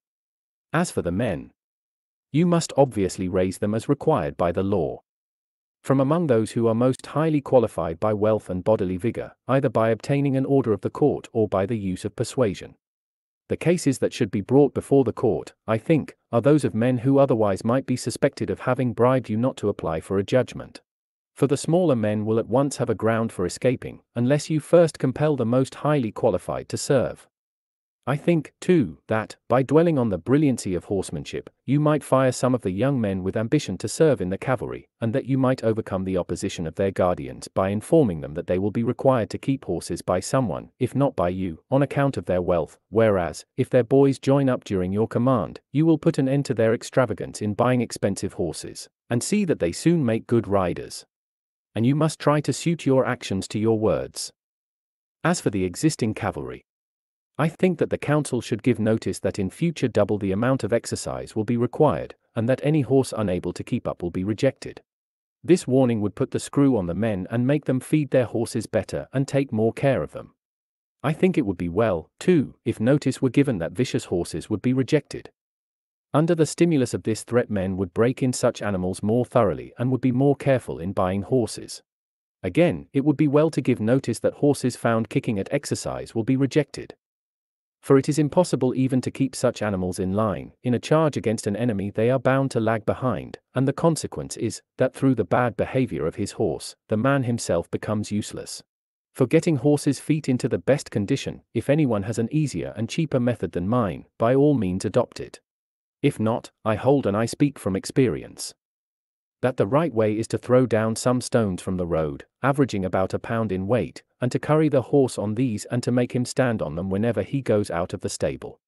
For the horse will constantly use his feet on the stones when he is cleaned and when he is worried by flies. Try it, and you will find your horse's feet round, and will believe in the rest of my rules. Assuming that the horses are in good condition, I will explain how to make the men themselves thoroughly efficient. We would persuade the young recruits to learn for themselves how to mount from the spring, but if you provide an instructor, you will receive well merited praise. The way to help the older men is to accustom them to get a leg up in the Persian fashion. To ensure that the men have a firm seat, whatever the nature of the ground, it is, perhaps, too much trouble to have them out frequently when there is no war going on, but you should call the men together. And recommend them to practice turning off the roads and galloping over all sorts of ground when they are riding to quarters or any other place. For this does as much good as taking them out, and it is less tedious. It is useful to remind them that the state supports an expenditure of nearly 40 talents a year in order that she may not have to look about for cavalry in the event of war, but may have it ready for immediate use. For with this thought in their minds, the men are likely to take more pains with their horsemanship, so that when war breaks out, they may not have to fight untrained for the state, for glory, and for life. It is well also to give notice to the men that you intend to take them out yourself some day, and lead them over country of all kinds. And during the maneuvers that precede the sham fight, it is proper to take them out to a different piece of country at different times, this is better for both men and horses. As for throwing the javelin on horseback, I think that the greatest number will practice that if you add a warning to the colonels that they will be required to ride to javelin exercise themselves at the head of the marksmen of the regiment. Thus, in all probability, every one of them will be eager to turn out as many marksmen as possible for the service of the state. Towards the proper arming of the men, I think that the greatest amount of assistance will be obtained from the colonels, if they are persuaded that from the point of view of the state the brilliance of the regiment is a far more glorious ornament to them than the brightness of their own accoutrements only. It is likely that they will not be hard to persuade in such matters, considering that honor and glory were the attractions that the colonelcy held out to them, and they can arm the men in accordance with the regulations laid down in the law without incurring expense themselves, afterwards compelling the men to spend their pay on their arms, as the law ordains. To make the men who are under your command obedient, it is important to impress on them by word of mouth the many advantages of obedience to authority and no less important to see that good discipline brings gain and insubordination loss in every respect. The best way of inducing every colonel to take pride in commanding a well equipped regiment, I think, is to arm your company of couriers as well as you can, to demand of them constant practice in the use of the javelin, and to instruct them in it after making yourself proficient. And if you could offer prizes to the regiments for skill in all the feats that the public expects the cavalry to perform at the spectacles, I think this would appeal strongly to the spirit of emulation in every Athenian. For evidence of this I may refer to the choruses, in which many labors and heavy expenses are the price paid for trifling rewards. Only you must find judges whose suffrage will shed luster on a victory. 2. When your men are well trained in all these points. They must, of course, understand some plan of formation, that in which they will show to greatest advantage in the sacred processions and at maneuvers, fight, if need be, with the greatest courage, and move along roads and cross rivers with perfect ease in unbroken order. So I will now try to explain the formation that I think will give the best results in these various circumstances. Now the state has divided the cavalry into 10 separate regiments. I hold that within these you should, to begin with, appoint file leaders after consulting each of the colonels, choosing sturdy men who are bent on winning fame by some brilliant deed. These should form the front rank. Next, you should choose an equal number of the oldest and most sensible to form the rear rank. To use an illustration, steel has most power to cut through steel when its edge is keen and its back reliable.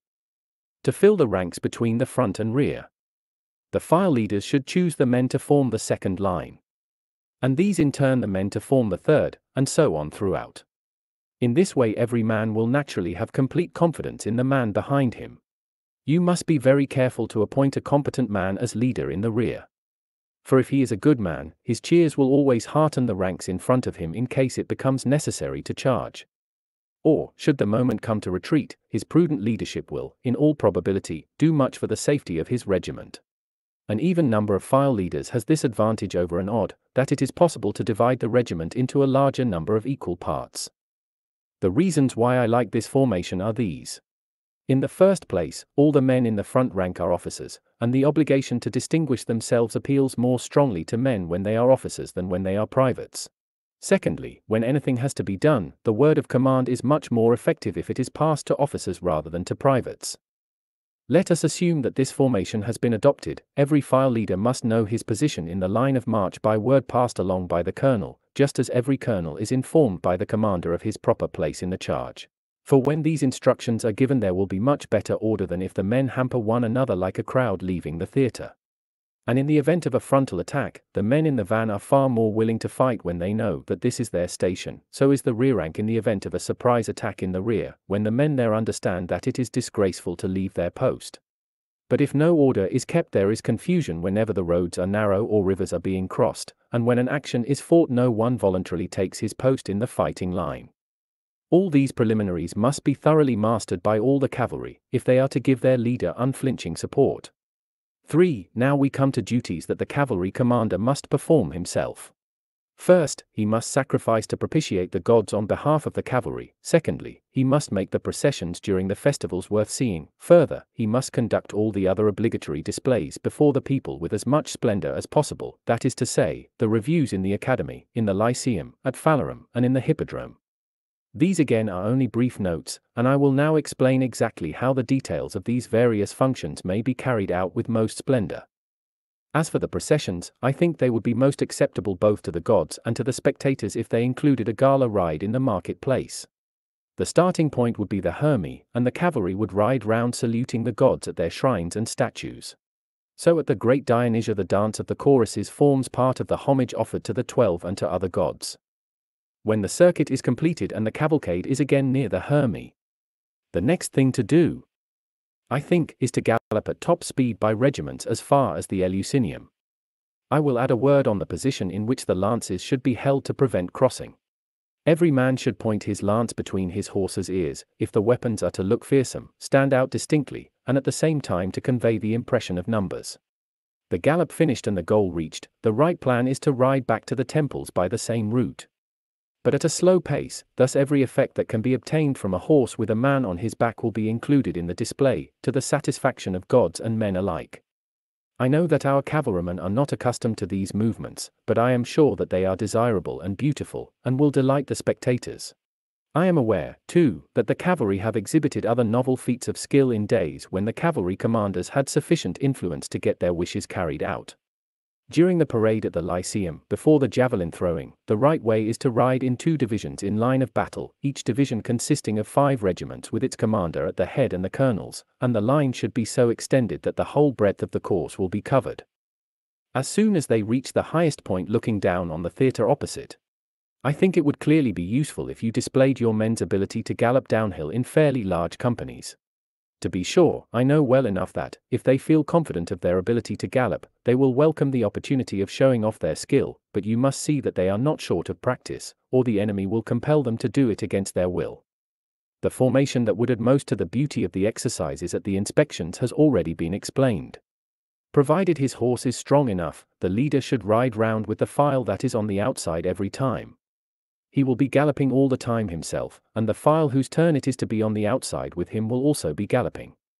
Thus the eyes of the council will always be on the galloping file, and the horses will get a breathing space, resting by turns. When the hippodrome is the scene of the display, the right plan would be that the men should first be drawn up on a front broad enough to fill the hippodrome with horses and drive out the people standing there. In the sham fight, when the regiments pursue and fly from one another at the gallop in two squadrons of five regiments, each side led by its commander, the regiments should ride through one another. How formidable they will look when they charge front to front, how imposing when, after sweeping across the hippodrome, they stand facing one another again, how splendid, when the trumpet sounds and they charge once more at a quicker pace. After the halt, the trumpet should sound once more, and they should charge yet a third time at top speed, and when they have crossed, they should all range themselves in battle line preparatory to being dismissed, and ride up to the council, just as you are accustomed to do. I think that these maneuvers would look more like war and would have the charm of novelty. It is unworthy of his high rank that a cavalry commander should gallop at a slower pace than the colonels, and ride in the same way as they do. When the ride is to take place in the academy on the hard ground, I have the following recommendations to make. To avoid being thrown, the riders should throw the body back in charging. And collect their horses when wheeling, to keep them from falling. In the straight, however, they should gallop, the council will thus watch a safe as well as a beautiful performance. 4. During a march, the cavalry commander must always think ahead. In order that he may rest the horses' backs and relieve the men by walking, giving moderate spells of alternate riding and marching. You can't misjudge what is a moderate spell, since every man is himself the measure that will show you when they are getting tired. But when it is uncertain whether you will encounter an enemy on your way to any place, you must give the regiments a rest in turn for it would be a bad job if all the men were dismounted when the enemy is close at hand. If you are riding along narrow roads, the order must be given to form column, but when you find yourself on broad roads, the order must be given to every regiment to extend front. When you reach open ground, all the regiments must be in line of battle. Incidentally, these changes of order are good for practice, and help the men to get over the ground more pleasantly by varying the march with cavalry maneuvers when riding on difficult ground away from roads. Whether in hostile or friendly country. It is very useful to have some of the aides de camp in advance of each regiment, that they may find a way round into the open in case they come across pathless woodland, and show the men what line they should follow, so that whole companies may not go astray. If your route lies in dangerous country, a prudent commander will have a second advance guard ahead of his scouts for reconnaissance purposes for it is useful both for attack and defense to discover an enemy as far off as possible. It is useful also to halt at the passage of a river, that the rear guard may not wear out their horses in chasing their leader. These rules, no doubt, are familiar to nearly everybody, but few will take the trouble to observe them. A cavalry commander should be at pains even in time of peace to acquaint himself with hostile and friendly country alike. In case he is without personal experience, he should at least consult the men in the force who have the best knowledge of various localities. For the leader who knows the roads has a great advantage over one who does not. In making plans against the enemy, too, a knowledge of the district makes a great difference. You must also have taken steps to enlist the services of spies before the outbreak of war. Some of these should be citizens of neutral states, and some merchants, since all states invariably welcome the importer of merchandise. Sham deserters, too, have their use on occasions. Still, you must never neglect to post guards through reliance on spies, on the contrary, your precautions must at all times be as complete as when you have information that the enemy is approaching. For even if the spies are entirely reliable, it is difficult to report at the critical moment, since many things happen in war to hinder them. The advance of cavalry is less likely to be detected by the enemy if orders are not given by a herald or in writing beforehand, but passed along. Accordingly, for this purpose, too, that the order to advance may be given by word of mouth. It is well to post file leaders and half file leaders behind them so that each may pass the word to as few men as possible. Thus, too, the half file leaders will wheel and extend the line without confusion whenever there is occasion to do so.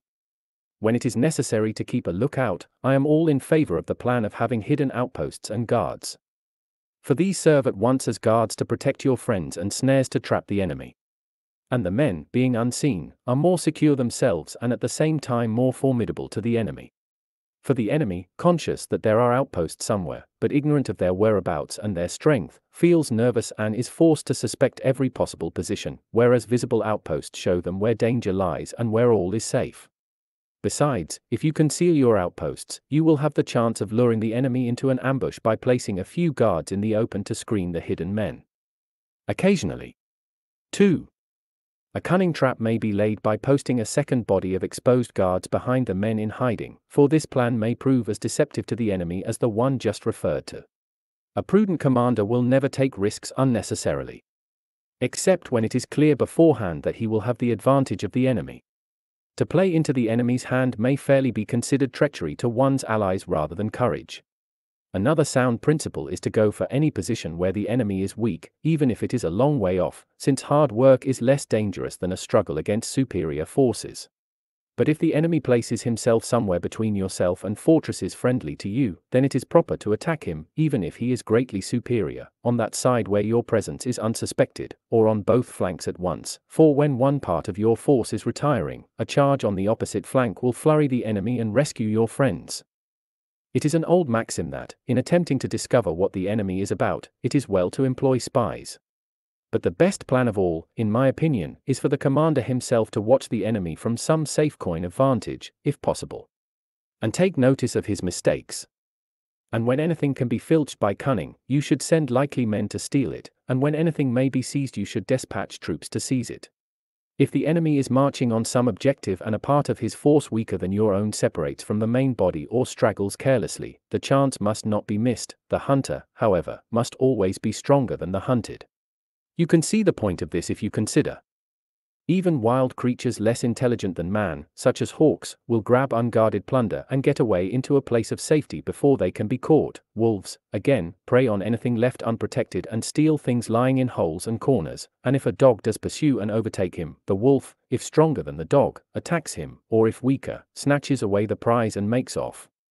Moreover, when a pack of wolves feels no fear of a convoy, they arrange themselves so that some shall drive off the convoy. And others seize the plunder. And thus they get their food. Well, if wild beasts show such sagacity, surely any man may be expected to show more wisdom than creatures that are themselves taken by the skill of man. 5. Every horseman should know at what distance a horse can overtake a man on foot.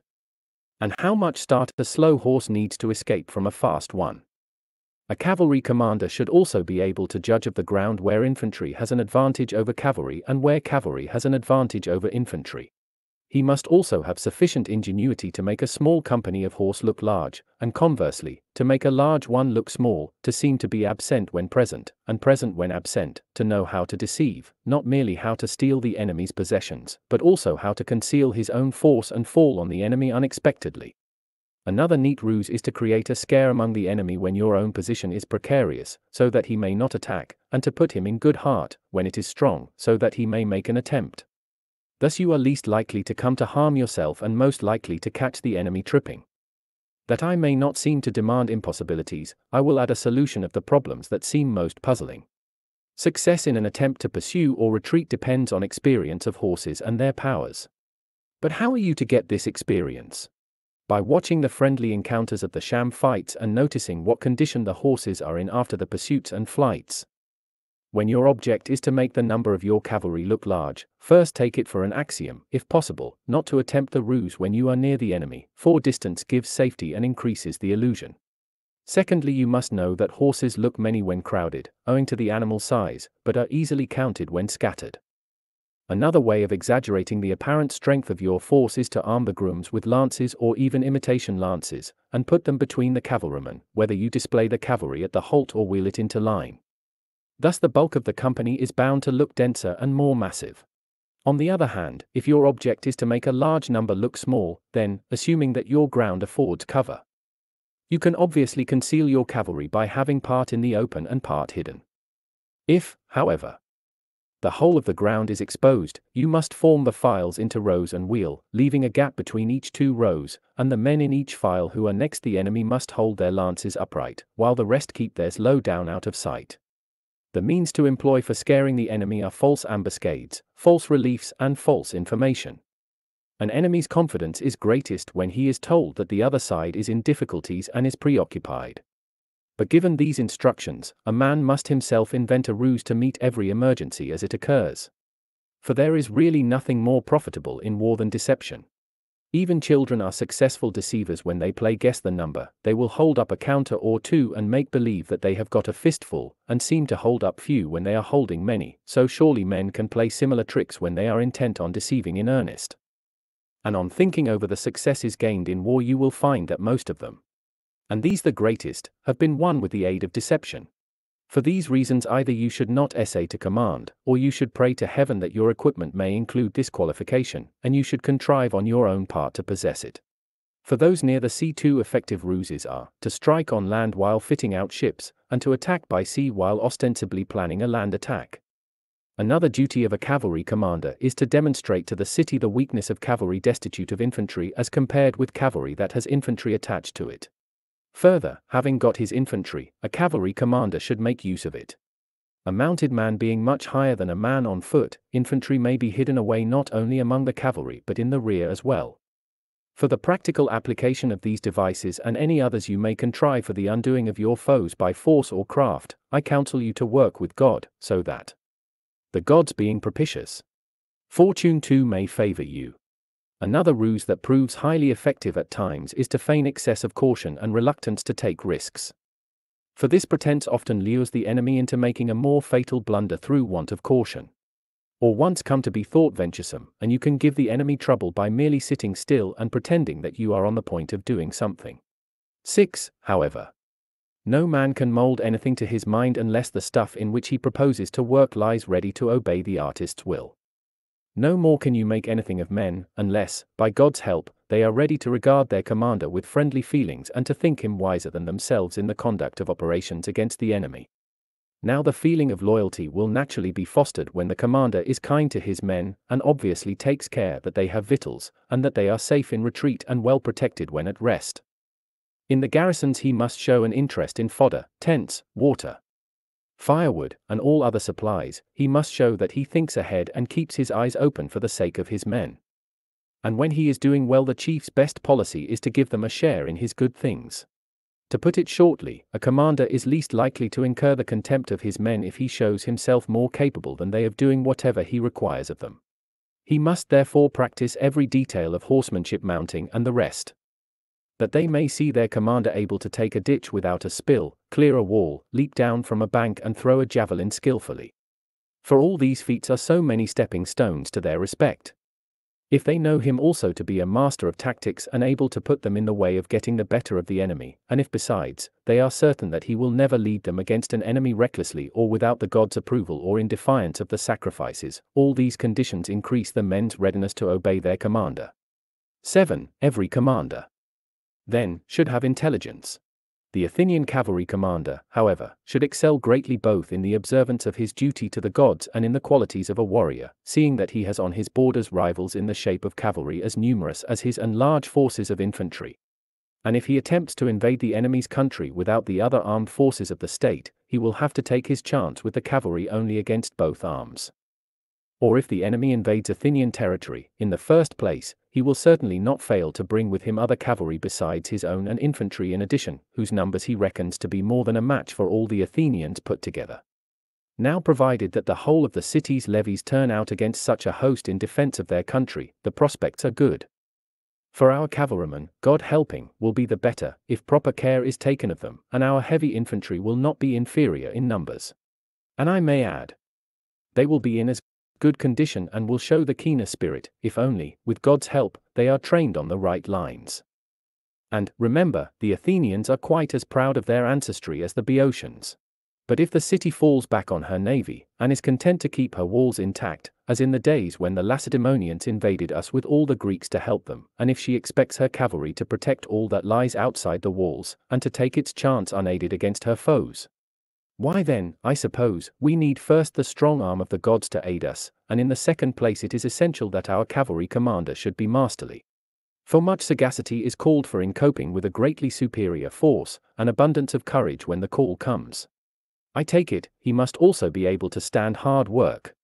For if he should elect to take his chance against the army confronting him, an army that not even the whole state is prepared to stand up to, it is evident that he would be entirely at the mercy of the stronger and incapable of doing anything but should he guard whatever lies outside the walls with a force that will be just sufficient to keep an eye on the enemy and to remove into safety from as great a distance as possible property that needs saving. And a large force is not necessary for this, a small force can keep a lookout as well as a large one, and when it comes to guarding and removing the property of friends, men who have no confidence in themselves or their horses will meet the case, because fear, it seems, is a formidable member of a guard well, it may perhaps be a sound plan to draw on these men for his guards.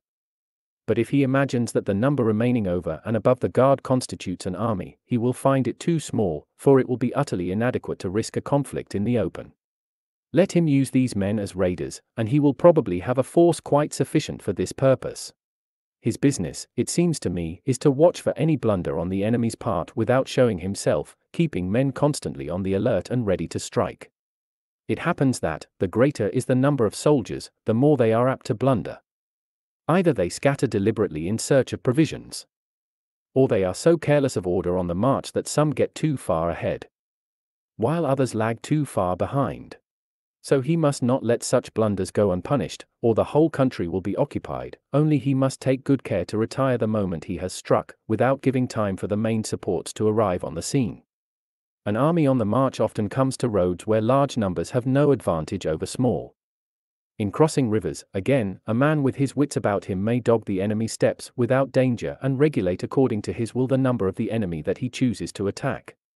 Sometimes it is proper to tackle the enemy while his troops are at breakfast or supper or when they are turning out of bed.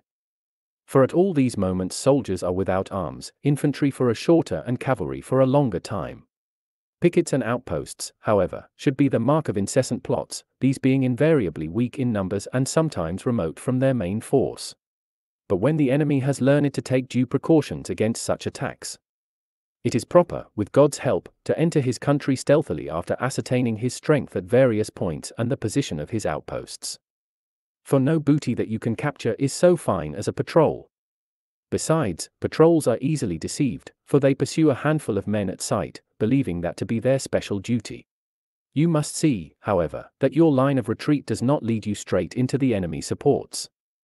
8. It is clear, however, that no troops will be able to inflict loss on a much stronger army with impunity, unless they are so superior in the practical application of horsemanship to war that they show like experts contending with amateurs. This superiority can be attained first and foremost if your marauding bands are so thoroughly drilled in riding that they can stand the hard work of a campaign. For both horses and men that are carelessly trained in this respect will naturally be like women struggling with men. On the contrary, those that are taught and accustomed to jump ditches, leap walls, spring up banks, leap down from heights without a spill, and gallop down steep places, will be as superior to the men and horses that lack this training as birds to beasts. Moreover, those that have their feet well hardened will differ on rough ground from the tender footed as widely as the sound from the lame and those that are familiar with the locality, compared with those to whom it is unfamiliar, will differ in the advance and retreat as much as men with eyes differ from the blind. It should also be realized that horses, to be well fettled, must be well fed and thoroughly exercised, so as to do their work without suffering from heaves. And since bits and saddlecloths are fastened with straps, a cavalry leader must never be short of them, for at a trifling expense he will make men in difficulties efficient in case anyone feels that his troubles will be endless if his duty requires him to practice horsemanship in this way. Let him reflect that men in training for gymnastic contests face troubles far more numerous and exacting than the most strenuous votaries of horsemanship. For most gymnastic exercises are carried out with sweat and drudgery, but nearly all equestrian exercises are pleasant work. For if it is true that any man would like to fly, no action of man bears a closer resemblance to flying. And, remember, it is far more glorious to win a victory in war than in a boxing match, because, whereas the state as well as the victor has a considerable share in this glory, for a victory in war the gods generally crown states with happiness as well. For my part, therefore, I know not why any art should be more assiduously cultivated than the arts of war. It should be noticed that a long apprenticeship to toil enables sea pirates to live at the expense of much stronger folk. On land, too, pillage, though not for those who reap what they have sown is the natural resource of men who are deprived of food. For either men must work or they must eat the fruits of other men's labor, else it is a problem how to live and to obtain peace. If you charge a superior force, you must remember never to leave behind you ground difficult for horses. For a fall in retreat and a fall in pursuit are very different things. I want to add a word of warning against another error. Some men, when they suppose themselves to be stronger than the enemy whom they are going to attack, take an utterly inadequate force with them. The consequence is that they are apt to incur the loss they expected to inflict. Or, when they know themselves to be weaker than the enemy, they use all their available strength in the attack. The right procedure, in my opinion, is just the opposite. When the commander expects to win, he should not hesitate to use the whole of his strength, for an overwhelming victory never yet was followed by remorse. But when he tries conclusions with a much stronger force, knowing beforehand that he is bound to retreat when he has done his best, I hold that it is far better in such a case to throw a small part of his strength into the attack than the whole of it, only horses and men alike should be his very best. For such a force will be able to achieve something and to retreat with less risk. But when he has thrown the whole of his strength into an attack on a stronger force, and wants to retire, the men on the slowest mounts are bound to be taken prisoners, others to be thrown through lack of horsemanship, and others to be cut off owing to inequalities in the ground, since it is hard to find a wide expanse of country entirely to your liking. Moreover, owing to their numbers, they will collide and hinder and hurt one another frequently. But good horses and men will contrive to escape, especially if you manage to scare the pursuers by using your reserves. Sham ambuscades, too, are helpful for this purpose. It is also useful to discover on what quarter your friends may suddenly reveal themselves in a safe position and make the pursuit slower. Then again, it is obvious that in point of endurance and speed, the advantage is much more likely to rest with a small than with a large force. I do not mean that mere paucity of numbers will increase the men's powers of endurance and add to their speed, but it is easier to find few men than many who will take proper care of their horses and will practice the art of horsemanship intelligently on their own account. Should it happen at any time that the cavalry forces engaged are about equal, I think it would be a good plan to split each regiment into two divisions, putting one under the command of the colonel, and the other under the best man available. The latter would follow in the rear of the colonel's division for a time, but presently, when the adversary is near, he would wheel on receiving the order and charge. This plan, I think, would make the blow delivered by the regiment more stunning and more difficult to parry. Both divisions should have an infantry contingent and if the infantry, hidden away behind the cavalry, came out suddenly and went for the enemy, I think they would prove an important factor in making the victory more decisive, for I have noticed that a surprise cheers men up if it is pleasant, but stuns them if it is alarming. Anyone will recognize the truth of this who reflects that, however great their advantage in numbers, men are dazed when they fall into an ambuscade, and that two hostile armies confronting each other are scared out of their wits for the first few days. There is no difficulty in adopting these tactics, but only a good cavalry commander can find men who will show intelligence, reliability, and courage in wheeling to charge the enemy. For the commander must be capable both by his words and action of making the men under him realize that it is good to obey, to back up their leader, and to charge home, of firing them with a desire to win commendation, and of enabling them to carry out their intentions with persistence. Suppose now that the cavalry are busy in the no man's land that separates two battle lines drawn up face to face or two strategic positions, wheeling, pursuing, and retreating. After such maneuvers, both sides usually start off at a slow pace, but gallop at full speed in the unoccupied ground. But if a commander first feints in this manner, and then after wheeling, pursues and retreats at the gallop, he will be able to inflict the greatest loss on the enemy, and will probably come through with the least harm, by pursuing at the gallop so long as he is near his own defense, and retreating at the gallop from the enemy's defenses. If, moreover, he can secretly leave behind him four or five of the best horses and men in each division, they will be at a great advantage in falling on the enemy as he is turning to renew the charge. 9. To read these suggestions a few times is enough. But it, is always necessary for the commander to hit on the right thing at the right moment, to think of the present situation and to carry out what is expedient in view of it. To write out all that he ought to do is no more possible than to know everything that is going to happen. The most important of all my hints, I think, is this whatever you decide to be best, see that it gets done. Whether you are a farmer, a skipper, or a commander, sound decisions bear no fruit unless you see to it that, with heaven's help, they are duly carried out. Further, I am of opinion that the full complement of a thousand cavalry would be raised much more quickly and in a manner much less burdensome to the citizens if they established a force of 200 foreign cavalry. For I believe that the presence of these men would improve the discipline of the whole force and would foster rivalry in the display of efficiency. I know that the fame of the Lacedaemonian horse dates from the introduction of foreign cavalry, and in the other states everywhere I notice that the foreign contingents enjoy a high reputation. For need helps to produce great eagerness. To defray the cost of their horses, I believe that money would be forthcoming from those who strongly object to serve in the cavalry since even men actually enrolled are willing to pay in order to get out of the service from rich men who are physically unfit, and also, I think, from orphans possessed of large estates. I believe also that some of the resident aliens would be proud to be enrolled in the cavalry. For I notice that, whenever the citizens give them a share in any other honorable duty, some are willing enough to take pride in doing the part assigned to them. I fancy, too, that infantry attached to the cavalry will be most effective if it consists of persons who are very bitter against the enemy. All these things are feasible provided the gods give their consent. If anyone is surprised at my frequent repetition of the exhortation to work with God, I can assure him that his surprise will diminish. If he is often in peril, and if he considers that in time of war foemen plot and counterplot, but seldom know what will come of their plots. Therefore there is none other that can give counsel in such a case but the gods.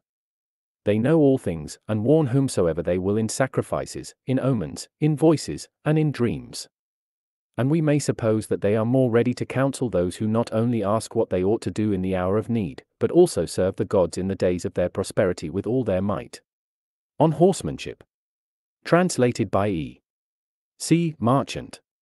1. Inasmuch as we have had a long experience of cavalry and consequently claim familiarity with the art of horsemanship, we wish to explain to our younger friends what we believe to be the correct method of dealing with horses. True, there is already a treatise on horsemanship by Simon, who also dedicated the bronze horse in the Eleusinium at Athens and recorded his own feats in relief on the pedestal. Nevertheless, we shall not erase from our work the conclusions that happen to coincide with his, but shall offer them to our friends with far greater pleasure, in the belief that they are more worthy of acceptance because so expert a horseman held the same opinions as we ourselves. Moreover, we shall try to explain all the points that he has omitted. First, we will give directions how best to avoid being cheated in buying a horse. For judging an unbroken colt, the only criterion, obviously, is the body, for no clear signs of temper are to be detected in an animal that has not yet had a man on his back. In examining his body, we say you must first look at his feet. For, just as a house is bound to be worthless less if the foundations are unsound, however well the upper parts may look, so a war horse will be quite useless, even though all his other points are good, if he has bad feet, for in that case he will be unable to use any of his good points. When testing the feet first look to the hoofs. For it makes a great difference in the quality of the feet if they are thick rather than thin. Next you must not fail to notice whether the hoofs are high both in front and behind, or low. For high hoofs have the frog, as it is called, well off the ground, but flat hoofs tread with the strongest and weakest part of the foot simultaneously, like a bow-legged man. Moreover, Simon says that the ring, too, is a clear test of good feet, and he is right, for a hollow hoof rings like a cymbal in striking the ground. Having begun here, we will proceed upwards by successive steps to the rest of the body. The bones, of the pastern, above the hoofs and below the fetlocks should not be too upright. Like a goat's, such legs give too hard a tread, jar the rider, and are more liable to inflammation nor yet should the bones be too low, else the fetlocks are likely to become bare and sore when the horse is ridden over clods or stones. The bones of the shanks should be thick, since these are the pillars of the body, but not thick with veins nor with flesh, else when the horse is ridden over hard ground, these parts are bound to become charged with blood and varicose, the legs will swell, and the skin will fall away, and when this gets loose the pin, too, is apt to give way and lame the horse. If the colt's knees are supple when bending as he walks, you may guess that his legs will be supple when he is ridden too, for all horses acquire greater suppleness at the knee as time goes on. Supple knees are rightly approved, since they render the horse less likely to stumble and tire than stiff legs. The arms below the shoulders, as in man, are stronger and better looking if they are thick. A chest of some width is better formed both for appearance and for strength, and for carrying the legs well apart without crossing. His neck should not hang downwards from the chest like a boar's, but stand straight up to the crest, like a cock's, but it should be flexible at the bend, and the head should be bony, with a small cheek. Thus the neck will protect the rider, and the eye see what lies before the feet. Besides, a horse of such a mold will have least power of running away, be he never so high spirited, for horses do not arch the neck and head, but stretch them out when they try to run away. You should notice, too, whether both jaws are soft or hard, or only one, for horses with unequal jaws are generally unequally sensitive in the mouth. A prominent eye looks more alert than one that is hollow, and, apart from that, it gives the horse a greater range of vision. And wide open nostrils afford room for freer breathing than close ones. And at the same time make the horse look fiercer. For whenever a horse is angry with another or gets excited under his rider, he dilates his nostrils. A fairly large crest and fairly small ears give the more characteristic shape to a horse's head.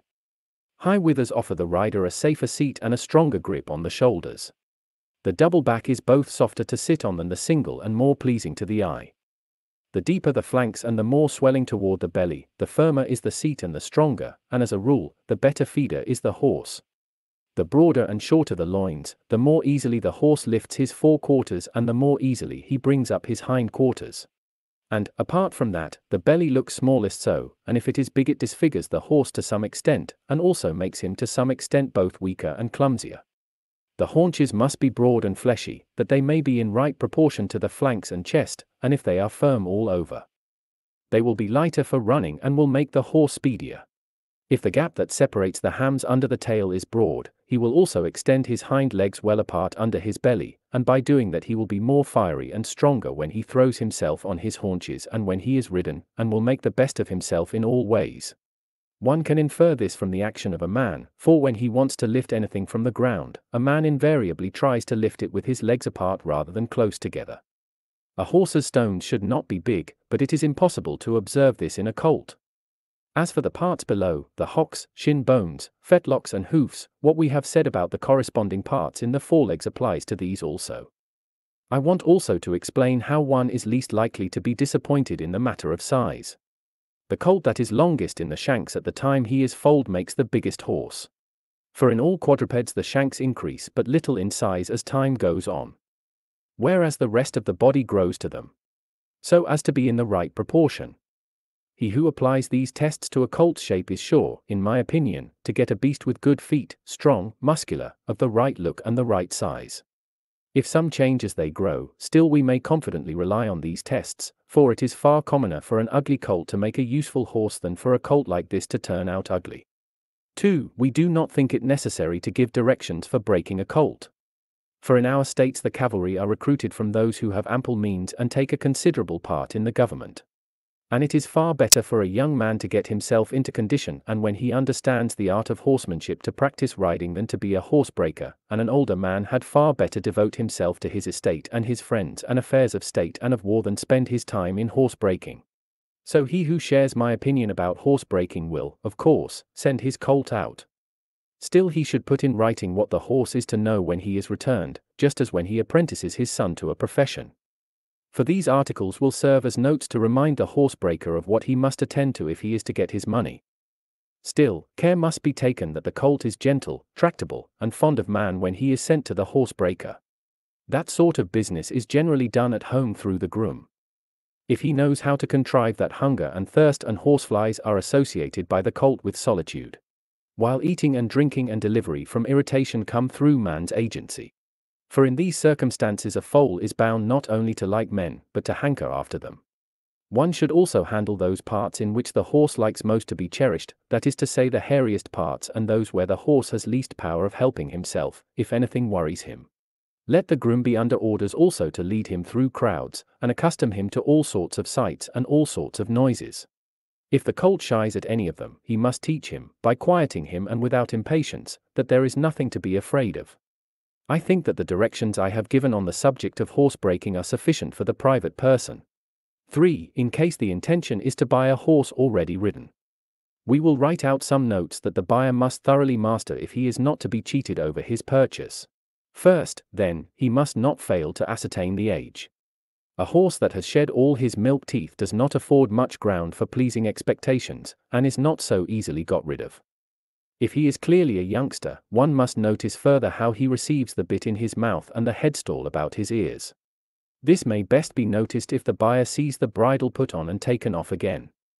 Next, attention must be paid to his behavior when he receives the rider on his back. For many horses will not readily accept a thing if they know beforehand that, if they accept it, they will be forced to work. Another thing to be observed is whether when mounted he is willing to leave his companions, or whether in passing standing horses he does not bolt towards them. Some too, in consequence of bad training run away from the riding ground to the paths that lead home. A horse with jaws unequally sensitive is detected by the exercise called the ring. But much more by changing the exercise.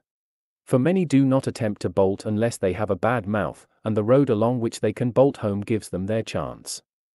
It is likewise necessary to know whether, when going at full speed, he can be pulled up sharp, and whether he turns readily.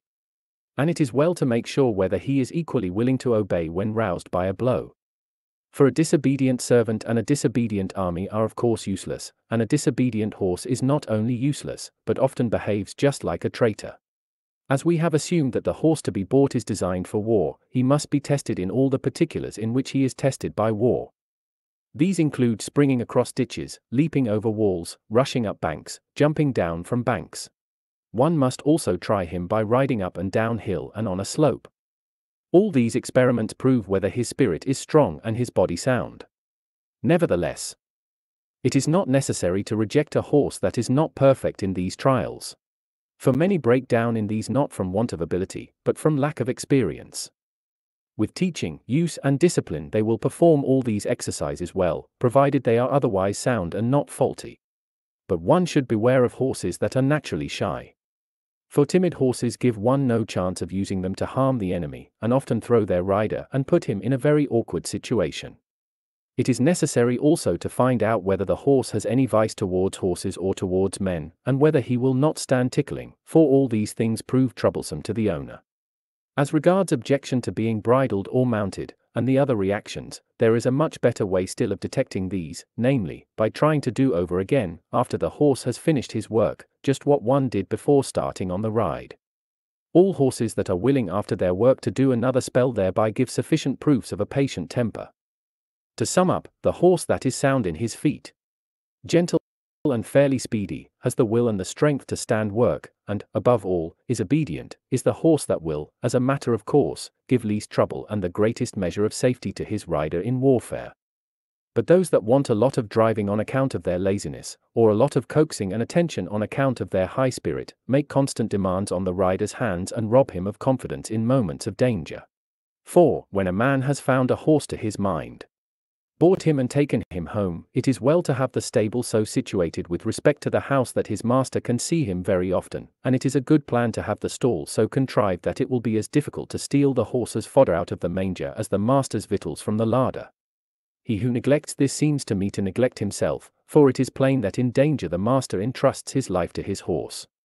But a well secured stall is not only good for preventing theft of the fodder but also because one can see when the horse does not spill his food and on noticing this one may be sure that either his body is overfull of blood and needs treatment or the horse is overworked and wants rest, or that laminitis or some other ailment is coming on. It is the same with horses as with men, all distempers in the early stage are more easily cured than when they have become chronic and have been wrongly treated. Just as the food and exercise of the horse must be attended to in order that he may keep sound. So his feet must be cared for. Now damp and slippery floors ruin even well-formed hoofs. In order that they may not be damp, the floor should have a slope to carry off the wet, and, that they may not be slippery, they should be paved all over with stones, each one about the size of the hoof. Such floors, indeed, have another advantage because they harden the feet of the horses standing on them. To take the next point, the groom must lead out the horse to clean him, and must loose him from the stall after the morning feed, that he may return to his evening feed with more appetite. Now the stable yard will be of the best form and will strengthen the feet if he throws down and spreads over it four or five loads of round stones, the size of a fist, about a pound in weight, and surrounds them with a border of iron so that they may not be scattered. Standing on these will have the same effect as if the horse walked on a stone road for some time every day. When he is being rubbed down and teased with flies, he is bound to use his hoofs in the same way as when he walks. The frogs also are hardened by stones scattered in this way. The same care must be taken to make his mouth tender as to harden his hoofs. This is done by the same methods as are employed to soften human flesh. 5. It is a mark of a good horseman, in our opinion, to see that his groom, like himself, is instructed in the way in which he should treat the horse. First, then, the man ought to know that he should never make the knot in the halter at the point where the headstall is put on. For if the halter is not easy about the ears, the horse will often rub his head against the manger and may often get sores in consequence. Now if there are sore places thereabouts the horse is bound to be restive both when he is bridled and when he is rubbed down. It is well also for the groom to have orders to remove the dung and litter daily to one and the same place. For by doing this he will get rid of it most easily and at the same time relieve the horse. The groom must also know about putting the muzzle on the horse when he takes him out to be groomed or to the rolling place. In fact, he must always put the muzzle on when he leads him anywhere without a bridle. For the muzzle prevents him from biting without hampering his breathing, and moreover, when it is put on, it goes far towards preventing any propensity to mischief he should tie up the horse at a place above the head, because when anything irritates his face, the horse instinctively tries to get rid of it by tossing his head upwards, and if he is tied thus he loosens the halter instead of breaking it by tossing up his head. In rubbing the horse down, the man should start at the head and mane, for if the upper parts are not clean, it is idle to clean his lower parts. Next, going over the rest of his body. He should make the hair stand up with all the dressing instruments and get the dust out by rubbing him the way the hair lies. But he should not touch the hair on the backbone with any instrument, he should rub and smooth it down with the hands the way it naturally grows, for so he will be least likely to injure the rider's seat. He must wash the head well with water, for, as it is bony, to clean it with iron or wood would hurt the horse. He must also wet the forelock, for this tuft of hair, even if pretty long, does not obstruct his sight, but drives from his eyes anything that worries them, and we must presume that the gods have given the horse this hair in lieu of the long ears that they have given to asses and mules as a protection to their eyes. He should also wash the tail and mane, for growth of the tail is to be encouraged in order that the horse may be able to reach as far as possible and drive away anything that worries him, and growth of the mane in order to give the rider as good a hold as possible. Besides, the mane, forelock and tail have been given to the horse by the gods as an ornament.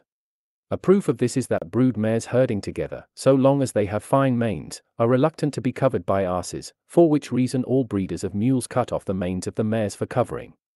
Washing down of the legs we disapprove of, it does no good, and the hoofs are injured by being wetted every day. Excessive cleaning under the belly also should be diminished, for this worries the horse very much, and the cleaner these parts are, the more they collect under the belly things offensive to it, and notwithstanding all the pains that may be taken with these parts, the horse is no sooner led out than he looks much the same as an unwashed animal. So these operations should be omitted, and as for the rubbing of the legs, it is enough to do it with the bare hands. 6. We will now show how one may rub down a horse with least danger to oneself and most advantage to the horse. If in cleaning him the man faces in the same direction as the horse, he runs the risk of getting a blow in the face from his knee and his hoof. But if he faces in the opposite direction to the horse and sits by the shoulder out of reach of his leg when he cleans him, and rubs him down so, then he will come to no harm, and can also attend to the horse's frog by lifting up the hoof. Let him do exactly the same in cleaning the hind legs. The man employed about the horse is to know that in these operations and in all that he has to do he must be very chary of approaching from the head or tail to do his work. For if the horse attempts to show mischief he has the man in his power in both these directions, but if he approaches from the side he can manage the horse with least danger to himself and in the best manner.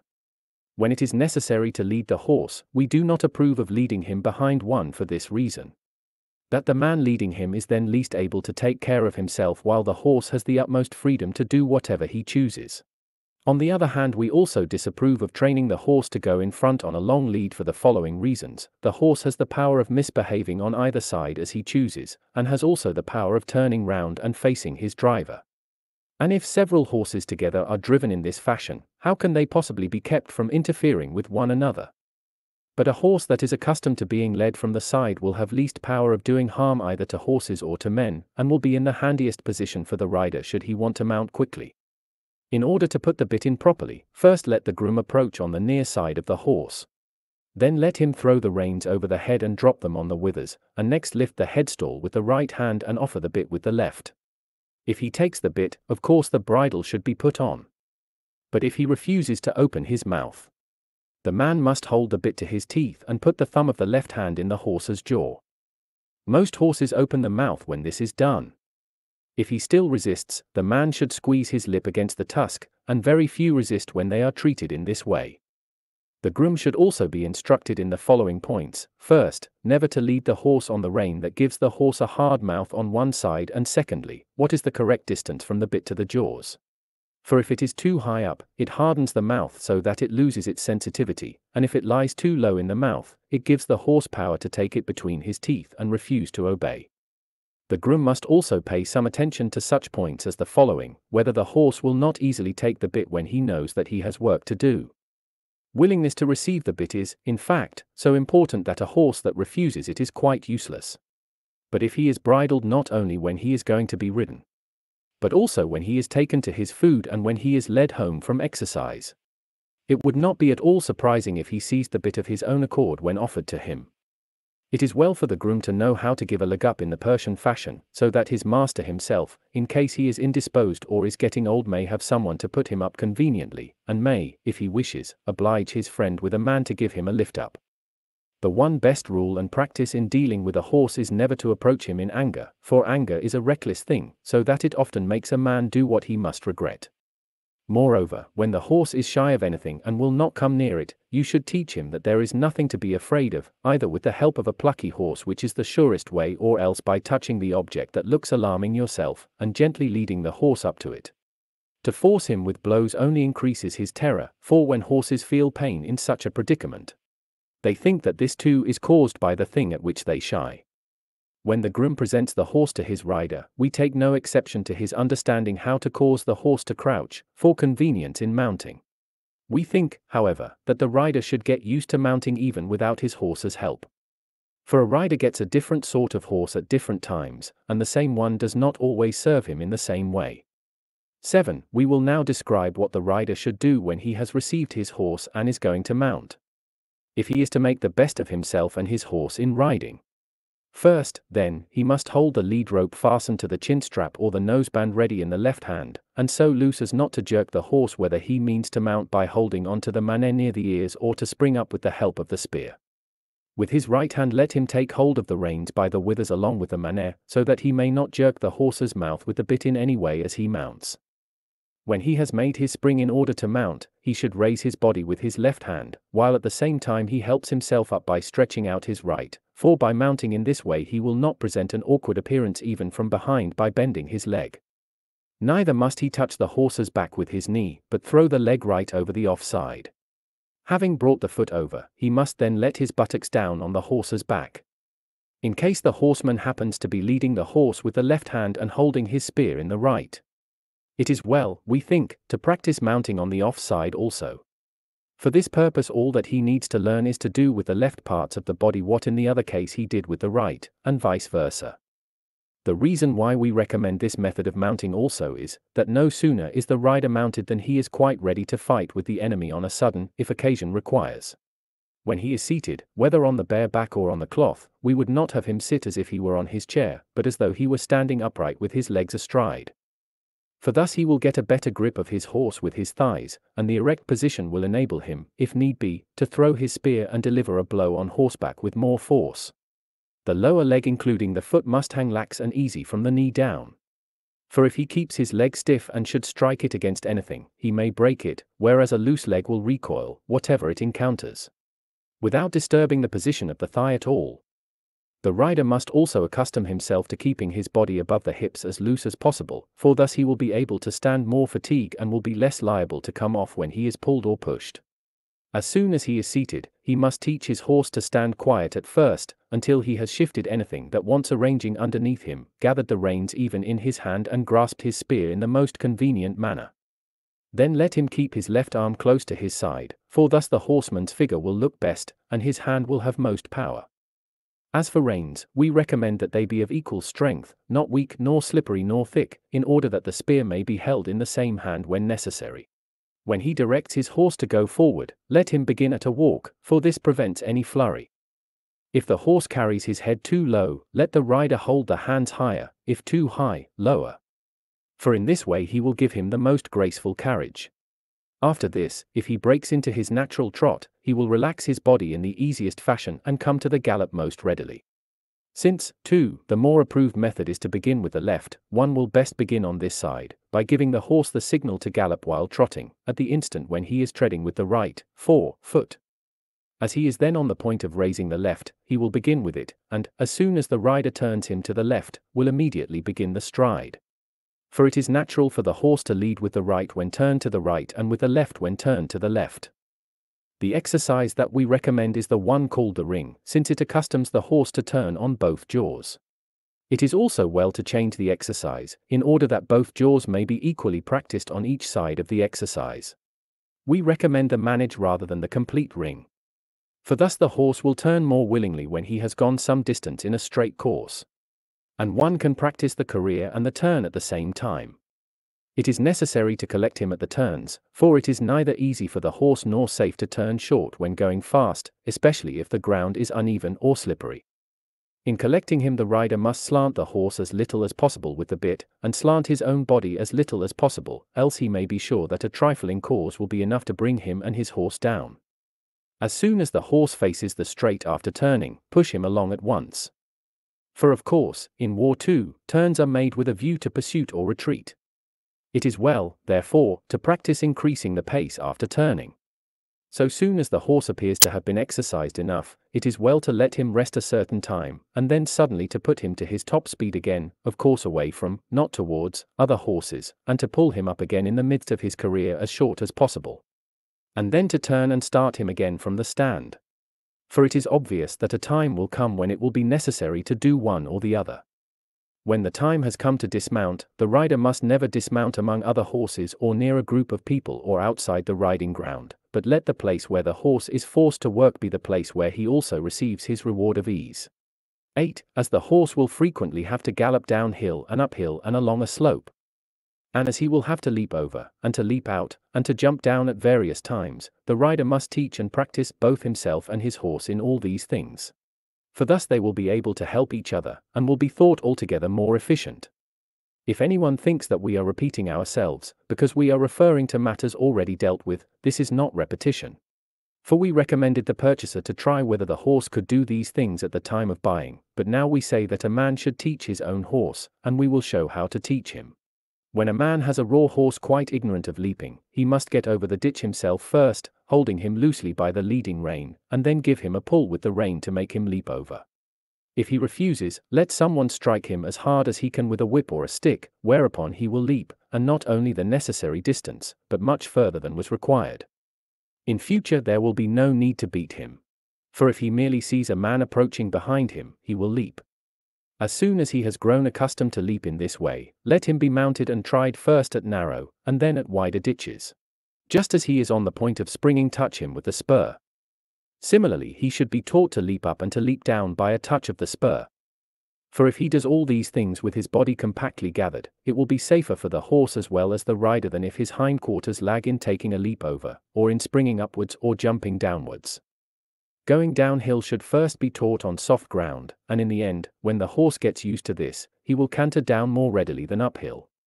If some fear that horses may put out their shoulders by being ridden downhill, they may take comfort when they understand that the Persians and Odrysians all ride races downhill, and yet keep their horses just as sound as the Greeks. Nor will we omit to state how the rider is to assist in all these movements. If the horse springs suddenly, he should lean forward, for so the horse is less likely to slip away and throw the rider off. But in pulling him up short, he should lean back. For so he himself will be less jolted. When jumping a ditch or riding uphill, it is well to take hold of the mane, that the horse may not be burdened by his bridle and the difficulty of the ground at the same time.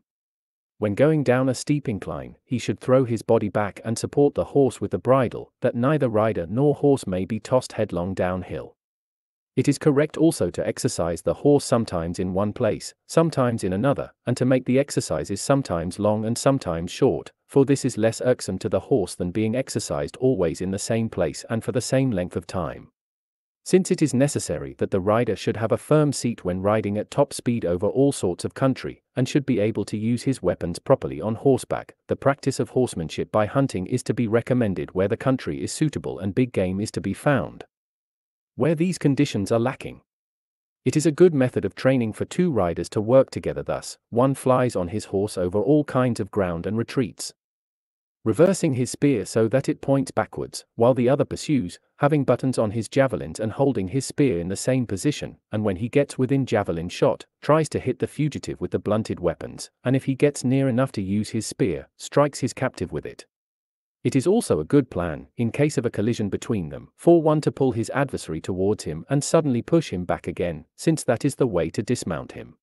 The right thing for the man who is being pulled is to urge his horse forward, by doing this, the pulled is more likely to unhorse the puller than to be unhorsed himself. If at any time when an enemy's camp lies in front there is a cavalry skirmish, and one side presses the pursuit right up to the enemy's line of battle, but then retreats hastily to its own main body, it is well to know in that case that so long as you are by your friends, it is proper and safe to be among the first to wheel and make for the enemy at full speed. But when you come near the enemy to keep your horse well in hand. For in this way you have the best chance of injuring the enemy without coming to harm yourself. Now, whereas the gods have given to men the power of instructing one another in their duty by word of mouth, it is obvious that you can teach a horse nothing by word of mouth. If, however, you reward him when he behaves as you wish, and punish him when he is disobedient, he will best learn to do his duty. This rule can be stated in few words, but it applies to the whole art of horsemanship. He will receive the bit, for example, more willingly if something good happens to him as soon as he takes it he will also leap over and jump out of anything, and perform all his actions duly if he can expect a rest as soon as he has done what is required of him. 9. So far we have described how to avoid being cheated in buying a colt or a horse. How to avoid spoiling him in usage and how to impart to a horse all the qualities required by a cavalryman for war. It is time perhaps to give directions, in case one has to deal with a horse that is too spirited or too sluggish, for the correct way of managing either. First, then, it must be realized that spirit in a horse is precisely what anger is in a man. Therefore, just as you are least likely to make a man angry if you neither say nor do anything disagreeable to him, so he who abstains from annoying a spirited horse is least likely to rouse his anger. Accordingly, at the moment of mounting, the rider should take care to worry him as little as possible, and when he is mounted, he should let him stand still longer than is otherwise usual, and then direct him to go by the most gentle aids. Then let him begin at a very slow pace and increase the speed with the same gentle help, so that the horse will not be aware of the transition to a quicker motion. Any sudden sign disturbs a spirited horse. Just as sudden sights and sounds and sensations disturb a man. It is important to realize that a horse too is flurried by anything sudden. If you want to correct a spirited horse when he is going too fast, do not pull him suddenly, but quietly check him with the bit, soothing him, not forcing him, to a quiet pace. Long rides rather than frequent turnings, calm horses, and quiet ones lasting long soothe and calm a spirited horse and do not excite him. But if anyone supposes that he will calm a horse by frequent riding at a quick pace so as to tire him, his opinion is the opposite of the truth. For in such cases a spirited horse does his utmost to get the upper hand by force, and in his excitement, like an angry man, he often causes many irreparable injuries both to himself and to his rider. One must prevent a high-spirited horse from going at his top speed, and of course, entirely avoid letting him race with another horse. For as a rule the most highly spirited horses are also most eager for victory. As for bits, the smooth are more suitable than the rough, but if a rough one is used, it should be made to resemble a smooth one by lightness of hand. It is also well to accustom oneself to sit still, especially on a spirited horse, and to touch him as little as possible with anything other than the parts that give us a safe seat by contact. It should also be known that a horse can be taught to be calm by a chirp with the lips and to be roused by a cluck with the tongue. And if from the first you use with the cluck aids to calm him, and with the chirp aids to rouse him, the horse will learn to rouse himself at the chirp and to calm down at the cluck. Accordingly, if a shout is heard or a trumpet sounds, you must not allow the horse to notice any sign of alarm in you, and must on no account do anything to him to cause him alarm, but as far as possible let him rest in such circumstances, and, if you have the opportunity, bring him his morning or evening meal. But the best advice is not to get an overspirited horse for war. As for a sluggish beast, I may be content with the remark that in everything you must do the opposite of what we advise for the treatment of a high spirited one. 10. If a man wants to make a useful war horse look more stately and showy when ridden, he must avoid pulling his mouth with the bit, and using the spur and whip, means by which most people imagine that they show off a horse. In point of fact, the results they produce are the very opposite of what they intend. For by dragging the mouth up, they blind their horses instead of letting them see ahead, and by spurring and whipping, flurry them so that they are startled and get into danger. That is the behavior of horses that strongly object to being ridden and that behave in an ugly and unseemly fashion. But if you teach the horse to go with a slack bridle, to hold his neck up and to arch it towards the head, you will cause the horse to do the very things in which he himself delights and takes the greatest pleasure. A proof that he delights in them is that whenever he himself chooses to show off before horses, and especially before mares, he raises his neck highest and arches his head most, looking fierce, he lifts his legs freely off the ground and tosses his tail up. Whenever, therefore, you induce him to carry himself in the attitudes he naturally assumes when he is most anxious to display his beauty, you make him look as though he took pleasure in being ridden, and give him a noble, fierce, and attractive appearance. How we think that these effects may be produced we will now try to explain. To begin with, you should possess two bits at least. One of these should be smooth and have the discs of a good size, the other should have the discs heavy and low. And the teeth sharp. So that when the horse seizes it he may drop it because he objects to its roughness, and when he is bitted with the smooth one instead, may welcome its smoothness and may do on the smooth bit what he has been trained to do with the aid of the rough one. In case, however, he takes no account of it because of its smoothness, and keeps bearing against it, we put large discs on the smooth bit to stop this, so that they may force him to open his mouth and drop the bit. It is possible also to make the rough bit adaptable by wrapping it up and tightening the reins. But whatever be the pattern of the bits, they must all be flexible. For wherever a horse seizes a stiff one, he holds the whole of it against his jaws, just as you lift the whole of a spit wherever you take hold of it. But the other kind of bit acts like a chain, for only the part that you hold remains unbent, while the rest of it hangs loose. As the horse continually tries to seize the part that eludes him in his mouth, he lets the bit drop from his jaws. This is why little rings are hung in the middle on the axles, in order that the horse may feel after them with his tongue and teeth and not think of taking the bit up against the jaws. In case the meaning of the terms flexible and stiff as applied to a bit is not known, we will explain this too. Flexible means that the axles have broad and smooth links so that they bend easily, and if everything that goes round the axles has large openings, and does not fit tight, it is more flexible. Stiff, on the other hand, means that the pieces of the bit do not run over the axles and work in combination easily.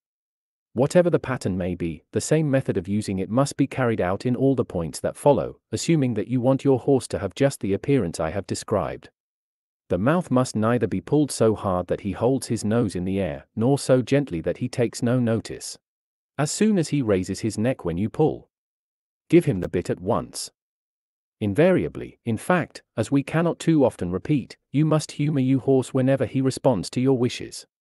And when you notice that high carriage of his neck and lightness of hand give him pleasure, you should not deal hardly with him as though you were forcing him to work, but coax him as when you want to stop, for thus he will break into a fast pace with most confidence. There is plain proof that a horse takes pleasure in going fast, for when he breaks loose a horse never goes at a walking pace, but always runs.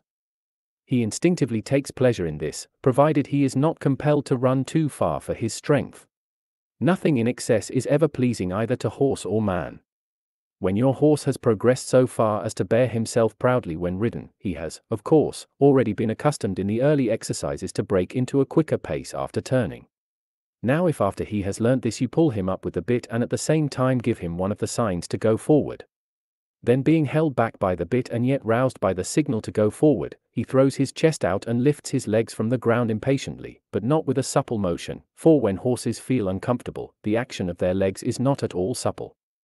But if, when he is thus excited, you give him the bit, then, mistaking the looseness of the bit for a deliverance from restraint, he bounds forward for very joy with a proud bearing and supple legs, exultant, imitating exactly in every way the graces that he displays before horses and those who watch the horse when he is like that call him well bred, a willing worker, worth riding, mettlesome, magnificent, and declare his appearance to be at once pleasing and fiery. And here we conclude these explanations addressed to those who want this sort of thing. 11. But in case anyone wants to own a horse suitable for parade, with a high and showy action. Such qualities are by no means to be found in every horse, but it is essential that he should have plenty of spirit and a strong body. Many suppose that an animal that has supple legs will also be capable of rearing his body. That, however, is not the case, rather it is the horse with supple, short, strong loins that will be able to extend his hind legs well under the forelegs. By loins we do not mean the parts about the tail, but those between the flanks and haunches about the belly. Now, if when he is planting his hind legs under him you pull him up with the bit, he bends the hind legs on the hocks and raises the forepart of his body, so that anyone facing him can see the belly and the sheath. When he does that, you must give him the bit that he may appear to the onlookers to be doing willingly the finest things that a horse can do. Some, however, teach these accomplishments by striking him under the hocks with a rod, others by telling a man to run alongside and hit him with a stick under the gaskins. We, however, consider that the lesson is most satisfactory if, as we have repeatedly said, the rider invariably allows him relaxation when he has done something according to his wishes. For what a horse does under constraint, as Simon says, he does without understanding, and with no more grace than a dancer would show if he was whipped and goaded. Under such treatment, horse and man alike will do much more that is ugly than graceful. No, a horse must make the most graceful and brilliant appearance in all respects of his own will with the help of aids. Further, if you gallop him during a ride until he sweats freely, and as soon as he prances in fine style, quickly dismount and unbridle him, you may be sure that he will come willingly to the prance. This is the attitude in which artists represent the horses on which gods and heroes ride, and men who manage such horses gracefully have a magnificent appearance. Indeed, a prancing horse is a thing so graceful, terrible, and astonishing that it rivets the gaze of all beholders, young and old alike. At all events, no one leaves him or is tired of gazing at him so long as he shows off his brilliance. Should the owner of such a horse happen to be a colonel or a general, he must not make it his object to be the one brilliant figure, but must attach much more importance to making the whole troop behind him worth looking at. Now, if a horse is leading in the manner which wins most praise for such horses, prancing high and with his body closely gathered, so that he moves forward with very short steps, the rest of the horses must obviously follow also at a walking pace. Now, what can there be really brilliant in such a sight? But if you rouse your horse and lead neither too fast nor too slow, but at the pace at which the most spirited horses look most fiery and stately, if you lead your men in that way, there will be such a continual stamping, such a continual neighing and snorting of the horses going on behind you, that not only you yourself but all the troop behind you will be worth watching. If a man buys his horses well, trains them so that they can stand work, and uses them properly in the training for war, in the exhibition rides and on the battlefields, what is there then to hinder him from making horses more valuable than they are when he takes them over, and why should he not be the owner of famous horses, and also become famous himself for his horsemanship, provided no divine power prevents? 12. We want to explain also how a man who is to face danger on horseback should be armed. We say, then, that in the first place his breastplate must be made to fit his body. For the well-fitting breastplate is supported by the whole body, whereas one that is too loose is supported by the shoulders only, and one that is too tight is rather an encumbrance than a defense. And, since the neck is one of the vital parts, we hold that a covering should be available for it also, standing up from the breastplate itself and shaped to the neck. For this will serve as an ornament, and at the same time, if properly made, will cover the rider's face, when he pleases, as high as the nose. For the helmet we consider the Boeotian pattern the most satisfactory, for this. Again, affords the best protection to all the parts that project above the breastplate without obstructing the sight. As for the pattern of the breastplate, it should be so shaped as not to prevent the wearer from sitting down or stooping. About the abdomen and middle and round that region let the flaps be of such material and such a size that they will keep out missiles and as a wound in the left hand disables the rider, we also recommend the piece of armor invented for it called the hand. For it protects the shoulder, the arm, the elbow, and the fingers that hold the reins, it will also extend and fold up, and in addition it covers the gap left by the breastplate under the armpit. But the right hand must be raised when the man intends to fling his javelin or strike a blow. Consequently, that portion of the breastplate that hinders him in doing that should be removed, and in place of it there should be detachable flaps at the joints, in order that, when the arm is elevated, they may open correspondingly, and may close when it is lowered. For the forearm, it seems to us that the piece put over it separately like a greave is better than one that is bound up together with a piece of armor. The part that is left exposed when the right arm is raised should be covered near the breastplate with calfskin or metal, otherwise, the most vital part will be unprotected. Since the rider is seriously imperiled in the event of his horse being wounded, the horse also should be armed, having head, chest, and thigh pieces, the last also serve to cover the rider's thighs. But above all, the horse's belly must be protected, for this, which is the most vital part, is also the weakest. It is possible to make the cloth serve partly as a protection to it, the quilting of the cloth should be such as to give the rider a safer seat and not to gall the horse's back. Thus horse and man alike will be armed in most parts. But the rider's shins and feet will of course be outside the thigh pieces. These too can be guarded if boots made of shoe leather are worn, there will thus be armor for the shins and covering for the feet at the same time. These are the defensive arms which with the gracious assistance of heaven will afford protection from harm. For harming the enemy we recommend the saber rather than the sword, because, owing to his lofty position, the rider will find the cut with the Persian saber more efficacious than the thrust with the sword. And, in place of the spear with a long shaft, seeing that it is both weak and awkward to manage, we recommend rather the two Persian javelins of Cornel wood. For the skillful man may throw the one and can use the other in front or on either side or behind. They are also stronger than the spear and easier to manage. We recommend throwing the javelin at the longest range possible. For this gives a man more time to turn his horse and to grasp the other javelin. We will also state in a few words the most effective way of throwing the javelin.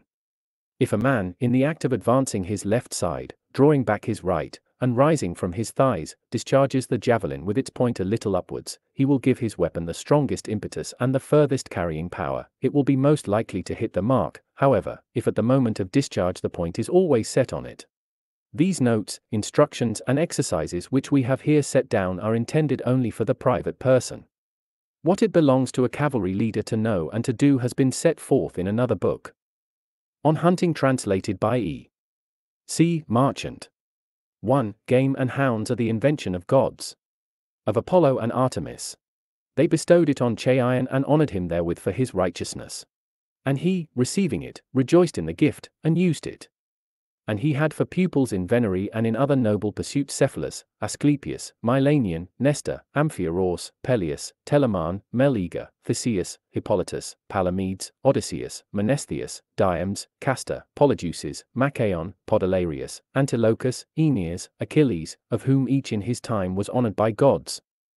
Let no man marvel that the more part of these, even though they pleased gods, died none the less, for that was nature's work but the praise of them grew mightily. Nor yet that not all of these flourished at one time.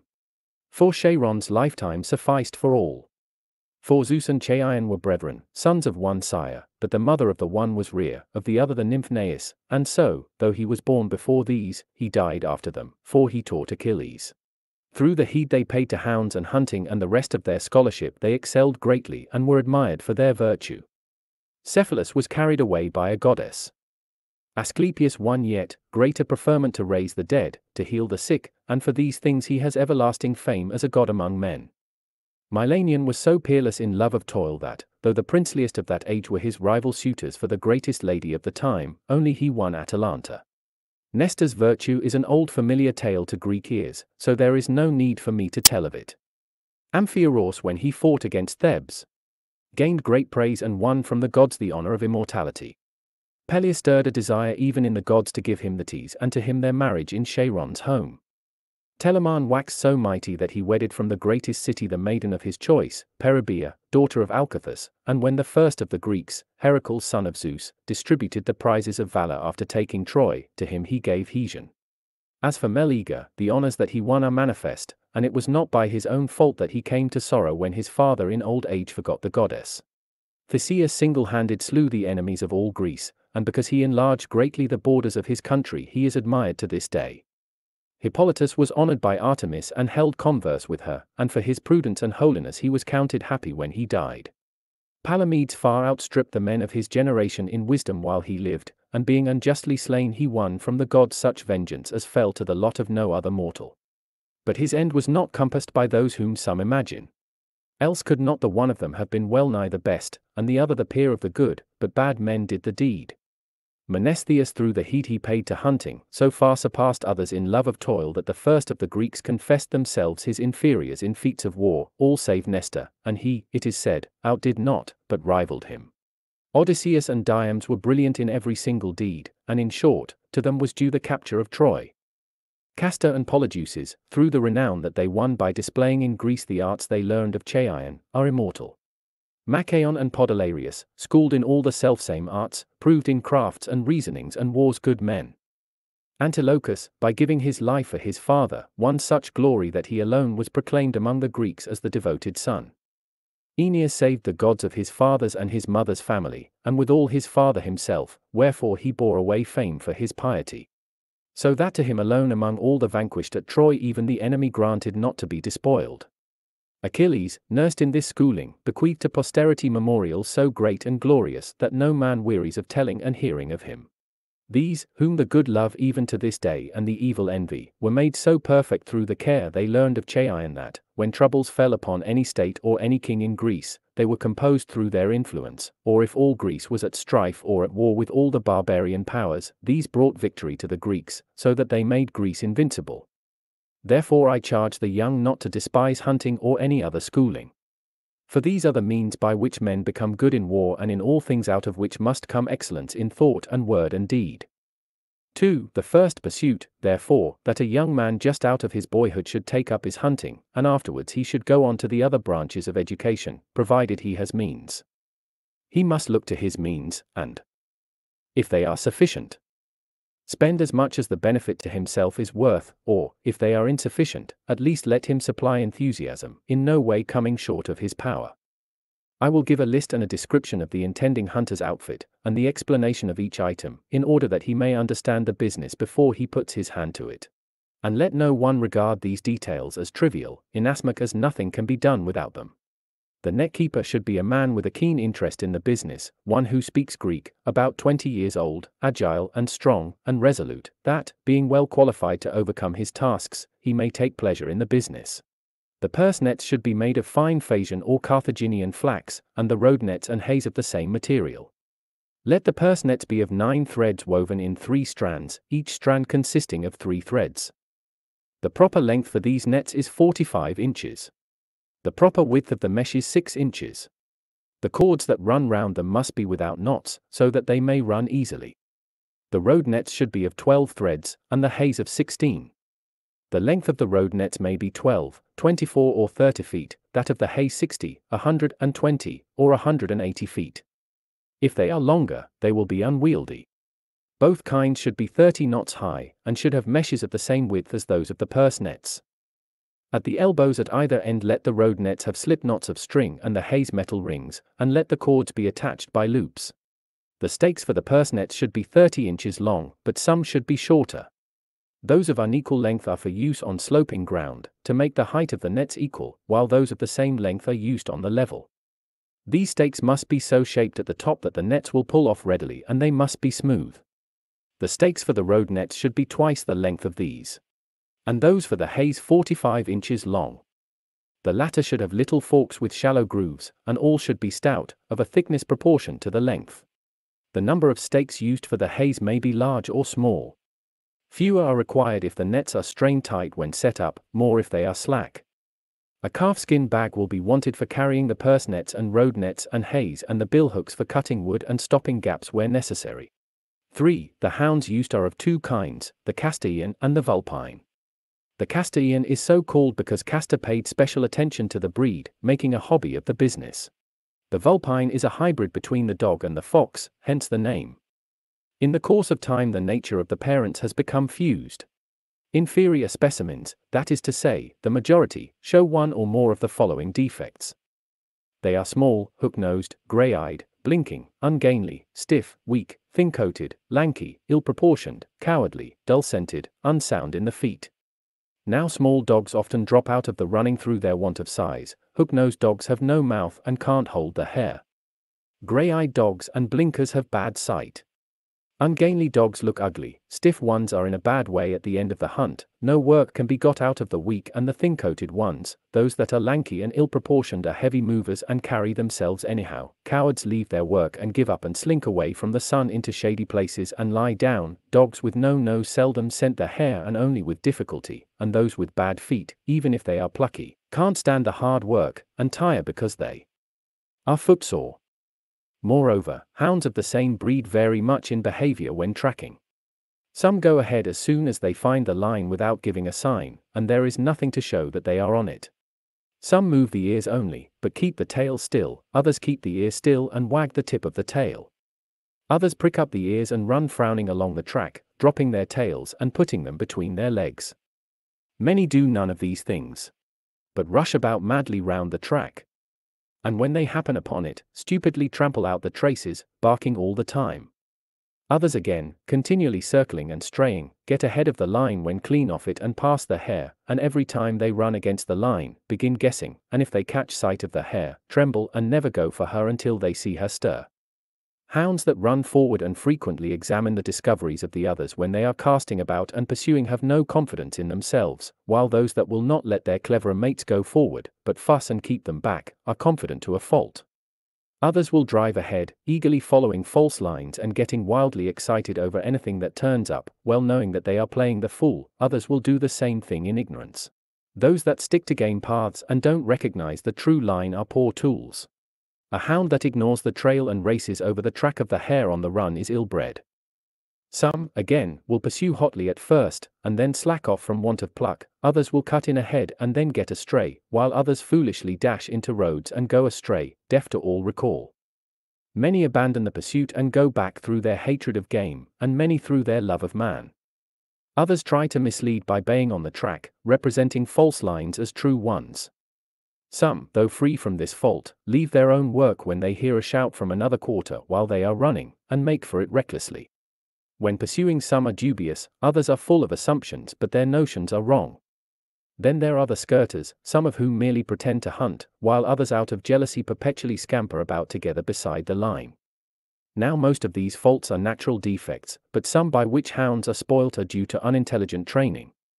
Anyhow such hounds may well put a keen hunter off the sport. What hounds of the same breed ought to look like and what they should be in other respects I will now explain. 4. First, then, they should be big.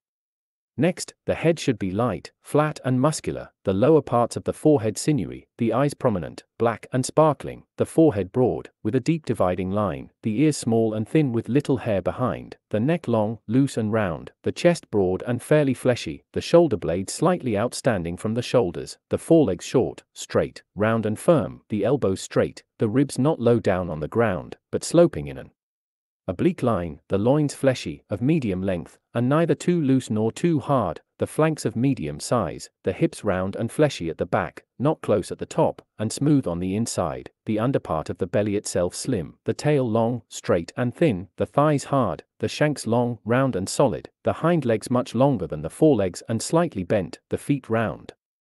Hounds like these will be strong in appearance agile, well proportioned, and speedy, and they will have a jaunty expression and a good mouth. When tracking, they should get out of the game paths quickly, hold their heads well down and aslant, smiling when they find the scent and lowering their ears, then they should all go forward together along the trail towards the form circling frequently, with eyes continually on the move and tails wagging. As soon as they are close on the hare, they should let the huntsman know, quickening the pace and showing more emphatic signs by their excitement, movements of the head and eyes, changes of attitude, by looking up and looking into the covert and returning again and again to the hare's form, by leaps forward, backward, and to the side, displays of unaffected agitation and overpowering delight at being near the hare. They should pursue with unremitting vigor, giving tongue and barking freely, dogging the hare's steps wherever she goes they should be fast and brilliant in the chase, frequently casting about and giving tongue in the right fashion, and they should not leave the track and go back to the huntsman. Along with this appearance and behavior, they should have pluck, keen noses, sound feet, and good coats. They will be plucky if they don't leave the hunting ground when the heat is oppressive, keen nosed if they smell the hare on bare. parched and sunny ground in the dog days. Sound in the feet if at the same season their feet are not torn to bits during a run in the mountains, they will have a good coat if the hair is fine, thick and soft. The color of the hounds should not be entirely tawny, black or white, for this is not a sign of good breeding, on the contrary, unbroken color indicates a wild strain. So the tawny and the black hounds should show a patch of white about the face, and the white hounds a tawny patch. At the top of the thighs the hair should be straight and thick, and on the loins and at the lower end of the tail, but it should be moderately thick higher up. It is advisable to take the hounds to the mountains often, but less frequently to cultivated land. For in the mountains it is possible to track and follow a hare without hindrance, whereas it is impossible to do either in cultivated land owing to the game paths. It is also well to take the hounds out into rough ground, whether they find a hare or not. For they get sound in the feet, and hard work in such country is good for their bodies. In summer they should be out till midday, in winter at any hour of the day, in autumn at any time except midday, and before evening during the spring, for at these times the temperature is mild. 5. The scent of the hare lies long in winter owing to the length of the nights, and for a short time in summer for the opposite reason. In the winter, however, there is no scent in the early morning whenever there is a white frost or the earth is frozen hard. For both white and black frost hold heat, since the one draws it out by its own strength, and the other congeals it. The hounds' noses, too, are numbed by the cold, and they cannot smell when the tracks are in such a state until the tracks thaw in the sun or as day advances. Then the dogs can smell and the scent revives. A heavy dew, again, obliterates scent by carrying it downwards, and storms, occurring after a long interval, draw smells from the ground and make the earth bad for scent until it dries. South winds spoil scent because the moisture scatters it, but north winds concentrate and preserve it if it has not been previously dissolved. Heavy showers drown it, and so does light rain, and the moon deadens it by its warmth, especially when at the full. Scent is most irregular at that time, for the hares, enjoying the light, fling themselves high in the air and jump a long way, frolicking with one another, and it becomes confused when foxes have crossed it. Spring with its genial temperature yields a clear scent, except where the ground is studded with flowers and hampers the hounds by mingling the odors of the flowers with it. In summer it is thin and faint, for the ground, being baked, obliterates what warmth it possesses, which is thin, and the hounds' noses are not so good at that season, because their bodies are relaxed. In the autumn it is unimpeded, for the cultivated crops have been harvested and the weeds have withered. So that the odors of the herbage do not cause trouble by mingling with it. In winter and summer and autumn the scent lies straight in the main. In spring it is complicated, for though the animal couples at all times, it does so especially at this season, so instinct prompts them to roam about together, and this is the result they produce. The scent left by the hare in going to her form lasts longer than the scent of a running hare. For on the way to the form the hare keeps stopping, whereas when on the run she goes fast, consequently the ground is packed with it in the one case, but in the other is not filled with it. In coverts it is stronger than in open ground, because she touches many objects while running about and sitting up. They find a resting place where there is anything growing or lying on the ground, underneath anything, on the top of the objects, inside, alongside, well away or quite near or fairly near, occasionally even in the sea by springing onto anything she can reach, or in fresh water.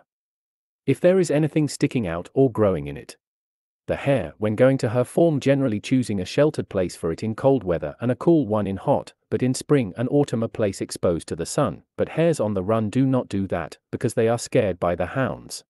When she sits, she puts the hind legs under the flanks, and most commonly keeps the forelegs close together and extended, resting the chin on the ends of the feet, and spreading the ears over the shoulder blades, so that she covers the soft parts. The hair too, being thick and soft, serves as a protection, when awake, she blinks her eyelids, but when she is asleep, the eyelids are wide open and motionless, and the eyes still. She moves her nostrils continually when sleeping, but less frequently when awake. When the ground is bursting with vegetation, they frequent the fields rather than the mountains. Wherever she may be, she remains there when tracked, except when she is suddenly alarmed at night. In which case, she moves off. The animal is so prolific that at the same time she is rearing one litter, she produces another and she is pregnant. The scent of the little leverets is stronger than that of the big ones, for while their limbs are still soft they drag the whole body on the ground. Sportsmen, however, leave the very young ones to the goddess. Yearlings go very fast in the first run, but then flag, being agile, but weak. Find the hare's track by beginning with the hounds in the cultivated lands and gradually working downwards. To track those that do not come into cultivated land, search the meadows, valleys, streams, stones, and woody places. If she moves off, don't shout, or the hounds may get wild with excitement and fail to recognize the tracks. Hares, when found by hounds and pursued, sometimes cross brooks and double back and slip into gullies or holes. The fact is, they are terrified not only of the hounds, but of eagles as well, for they are apt to be snatched up while crossing hillocks and bare ground until they are yearlings, and the bigger ones are run down and caught by the hounds. The swiftest are those that frequent mountains, those of the plain are not so speedy, and those of the marshes are the slowest. Those that roam over any sort of country are difficult to chase. Since they know the short cuts, they run mostly uphill or on the level, less frequently in uneven ground, and very seldom downhill. When being pursued, they are most conspicuous across ground that has been broken up, if they have some red in their coats, or across stubble, owing to the shadow they cast. They are also conspicuous in game paths and on roads if these are level, since the bright color of their coat shows up in the light. But when their line of retreat is amongst stones, in the mountains, over rocky or thickly wooded ground, they cannot be seen owing to the similarity of coloring. When they are well ahead of the hounds, they will stop, and sitting up will raise themselves and listen for the baying or the footfall of the hounds anywhere near, and should they hear the sound of them from any quarter, they make off. Occasionally, even when they hear no sound. Some fancy or conviction prompts them to jump hither and thither past and through the same objects. Mixing the tracks as they retreat. The longest runners are those that are found on bare land, because they are exposed to view, the shortest, those found in thick covers, since the darkness hinders their flight. There are two species of hare. The large are dark brown, and the white patch on the forehead is large, the smaller are chestnut, with a small white patch. The larger have spots round the scut, the smaller at the side of it. The eyes in the large species are blue, in the small grey. The black at the tip of the ear is broad in the one species, narrow in the other. The smaller are found in most of the islands, both desert and inhabited. They are more plentiful in the islands than on the mainland, for in the majority of these there are no foxes to attack and carry off the hares and their young, nor eagles, for they haunt big mountains rather than small, and the mountains in the islands, generally speaking, are rather small. Hunters seldom visit the desert islands. And there are few people in the inhabited ones, and most of them are not sportsmen, and if an island is consecrated, one may not even take dogs into it. Since, then, but few of the old hares and the leverets that they produce are exterminated by hunting, they are bound to be abundant. The sight of the hare is not keen for several reasons. The eyes are prominent, the lids are too small and do not give protection to the pupils, consequently, the vision is weak and blurred. Added to this, though the animal spends much time asleep, it gets no benefit from that, so far as seeing goes. Its speed, too, accounts in no small degree for its dim sight. For it glances at an object and is past it in a flash, before realizing its nature. And those terrors, the hounds, close behind them when they are pursued combine with these causes to rob them of their wits. The consequence is that the hare bumps against many obstacles unawares and plunges into the net. If she ran straight, she would seldom meet with this mishap. But instead of that, she comes round and hugs the place where she was born and bred, and so is caught. In a fair run, she is seldom beaten by the hounds owing to her speed. Those that are caught are beaten in spite of their natural characteristics through meeting with an accident. Indeed, there is nothing in the world of equal size to match the hare as a piece of mechanism. For the various parts that make up her body are formed as follows the head is light, small, drooping, narrow at the front, the ears are upright, the neck is thin, round, not stiff, and fairly long, the shoulder blades are straight and free at the top, the forelegs are agile and close together, the chest is not broad, the ribs are light and symmetrical, the loins are circular, the rump is fleshy, the flanks are soft and fairly spongy, the hips are round, well filled out, and the right distance apart at the top, the thighs are small and firm. Muscular on the outside and not puffy on the inside. The shanks are long and firm, the fore feet are extremely pliant and narrow and straight, and the hind feet hard and broad, and all four are indifferent to rough ground. The hind legs are much longer than the forelegs, and slightly bent outwards. The coat is short and light. With such a frame, she cannot fail to be strong, pliant, and very agile. Here is a proof of her agility. When going quietly, she springs no one ever saw or ever will see a hare walking bringing the hind feet forward in advance of the fore feet and outside them. And that is how she runs. This is obvious when snow is on the ground. The scut is of no assistance in running, for it is not able to steer the body owing to its shortness. The hare does this by means of one of her ears, and when she is roused by the hound, she drops one ear on the side on which she is being pressed and throws it aslant, and then bearing on this, she wheels round sharply and in a moment leaves the assailant far behind. So charming is the sight that to see a hare tracked, found, pursued, and caught is enough to make any man forget his heart's desire. When hunting on cultivated land, avoid growing crops and let pools and streams alone. It is unseemly and wrong to interfere with them, and there is a risk of encouraging those who see to set themselves against the law. On days on which there is no hunting, all hunting tackle should be removed. 6. The trappings of hounds are collars, leashes, and surcingles. The collars should be soft and broad, so as not to chafe the hound's coat. The leashes should have a noose for the hand, and nothing else, for if the collar is made in one piece with the leash, perfect control of the hounds is impossible. The straps of the surcingles should be broad, so as not to rub the flanks, and they should have little spurs sewed onto them, to keep the breed pure. Hounds should not be taken out hunting when off their feed, since this is a proof that they are ailing, nor when a strong wind is blowing, since it scatters the scent and they cannot smell, and the purse nets will not stand in position, nor the hays. But when neither of these hindrances prevents, have the hounds out every other day. Do not let them take to pursuing foxes, for it is utter ruin, and they are never at hand when wanted. Vary the hunting ground frequently, so that the hounds may be familiar with the hunting grounds and the master with the country. Start early, and so give the hounds a fair chance of following the scent. A late start robs the hounds of the find and the hunters of the prize. For the scent is by its nature too thin to last all day. Let the net keeper wear light clothing when he goes hunting. Let him set up the purse nets in winding, rough, steep, narrow, shady paths, brooks, ravines, running watercourses. These are the places in which the hare is most apt to take refuge. A list of all the others would be endless, leaving unobstructed and narrow passages to and through these places, just about daybreak, and not too early, so that in case the line of nets be near the growth to be searched, the hare may not be frightened by hearing the noise close by, if the distance is considerable, it matters less if the work is done early, seeing that the nets stand clear so that nothing may cling to them. He must fix the stakes asland, so that when pulled they may stand the strain. On the tops of them let him put an equal number of meshes, and set the props uniformly, raising the purse towards the center. To the cord let him attach a long, big stone, so that the net may not pull away when the hare is inside. Let him make his line long and high, so that the hare may not jump over. When it comes to tracking the hare, he must not be too zealous. To do everything possible to effect a quick capture shows perseverance, but is not hunting. Let him stretch the hays on level ground and put the road nets in roads and from game tracks into the adjacent ground, fastening down the lower cords to the ground, joining the elbows, fixing the stakes between the selvages, putting the ends on the top of the stakes and stopping the byways. Let him mount guard, going round the nets. If a purse net is pulling its stake out of line, let him put it up.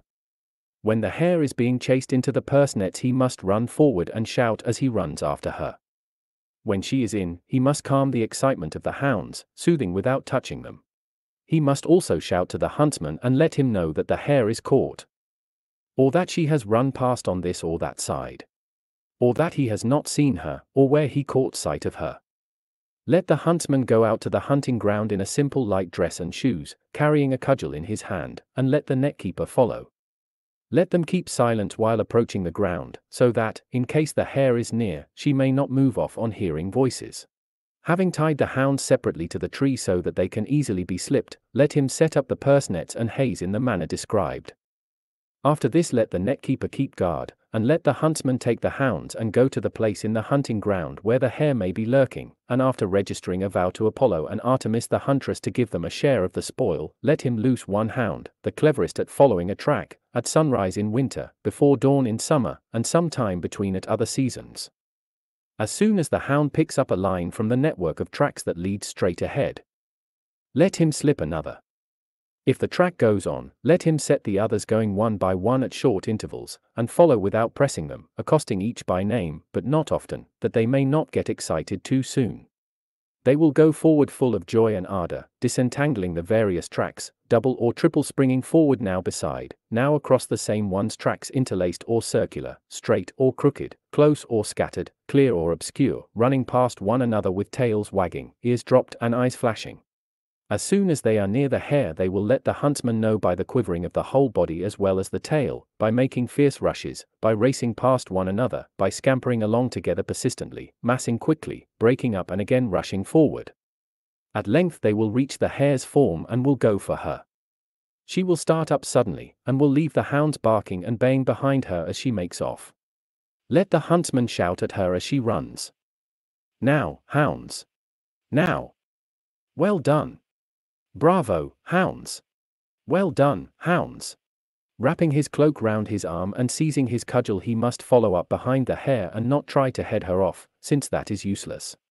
The hare, making off, though out of sight, generally doubles back to the place where she is found. Let him call out to the man, hit her, boy, hit her, hit her. And the man must let him know whether she is caught or not. If she is caught in the first run, let him call in the hounds and look for another but if not, he must follow up at top speed and not let her go, but stick to it persistently. If the hounds come on her again in the pursuit, let him cry, Good, good, hounds, after her, hounds. If they have got so far ahead of him that he cannot overtake them by following up and is quite out of the running, or if he cannot see them though they are moving about somewhere near or sticking to the tracks, let him find out by shouting as he runs past to anyone near. Hello. Have you seen the hounds? As soon as he has found out, let him stand near if they are on the track, and cheer them on, running through the hounds' names, using all the variations of tone he can produce, pitching his voice high and low, soft and loud. Amongst other calls, if the chase is in the mountains, let him sing out, Aho, hounds, aho. If they are not clinging to the track, but are overrunning, let him call them in with, Back, hounds, back with you. As soon as they are close on the tracks, let him cast them round, making many circles, and wherever they find the track dim, let him stick a pole in the ground as a mark, and beginning from this mark keep them together until they clearly recognize the track, encouraging and coaxing them. As soon as the track is clear, they will be off in hot pursuit, hurling themselves on it, jumping beside it, working together, guessing, signaling to one another, and setting bounds for one another that they can recognize. When they are thus scurrying in a bunch along the track, let him follow up without pressing them, or they may overrun the line through excess of zeal. As soon as they are near the hare and give the huntsman clear evidence of the fact, let him take care, or in her terror of the hound she will slip away and be off. The hounds, wagging their tails, colliding and frequently jumping over one another, and baying loudly, with heads uplifted and glances at the huntsman, showing him plainly that they have the real thing now, will rouse the hare for themselves and go for her, giving tongue. If she plunges into the purse nets or bolts past them on the inside or outside, the net keeper must in each event make it known by shouting. If she is caught, look for another, if not, continue the pursuit, using the same methods of encouragement. As soon as the hounds are getting tired of pursuing and the day is far advanced, it is time for the huntsman to search for the hare, worn out as she is.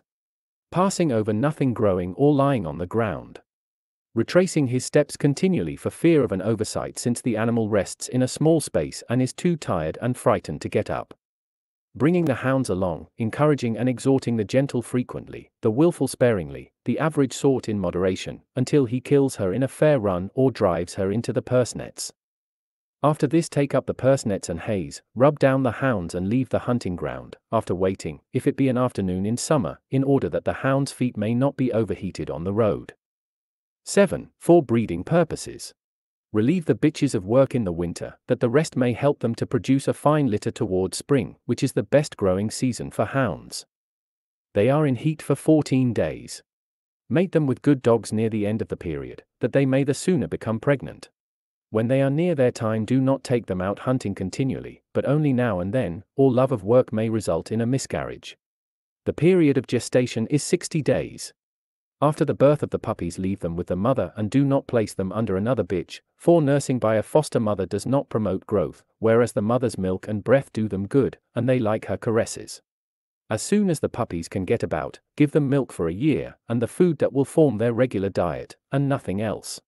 For heavy feeding warps the puppy's legs and sows the seeds of disease in the system, and their insides go wrong. Give the hounds short names. So as to be able to call to them easily. The following are the right sort Psyche, Thymus, Porpax, Styrax, Lonche, Locus, Fura, Phylax, Taxis, Xiphon, Phonax, Phlegon, Alcy, Teuchon, Hyleus, Medas, Porthon, Sperchon, Orge, Bremon, Hybri.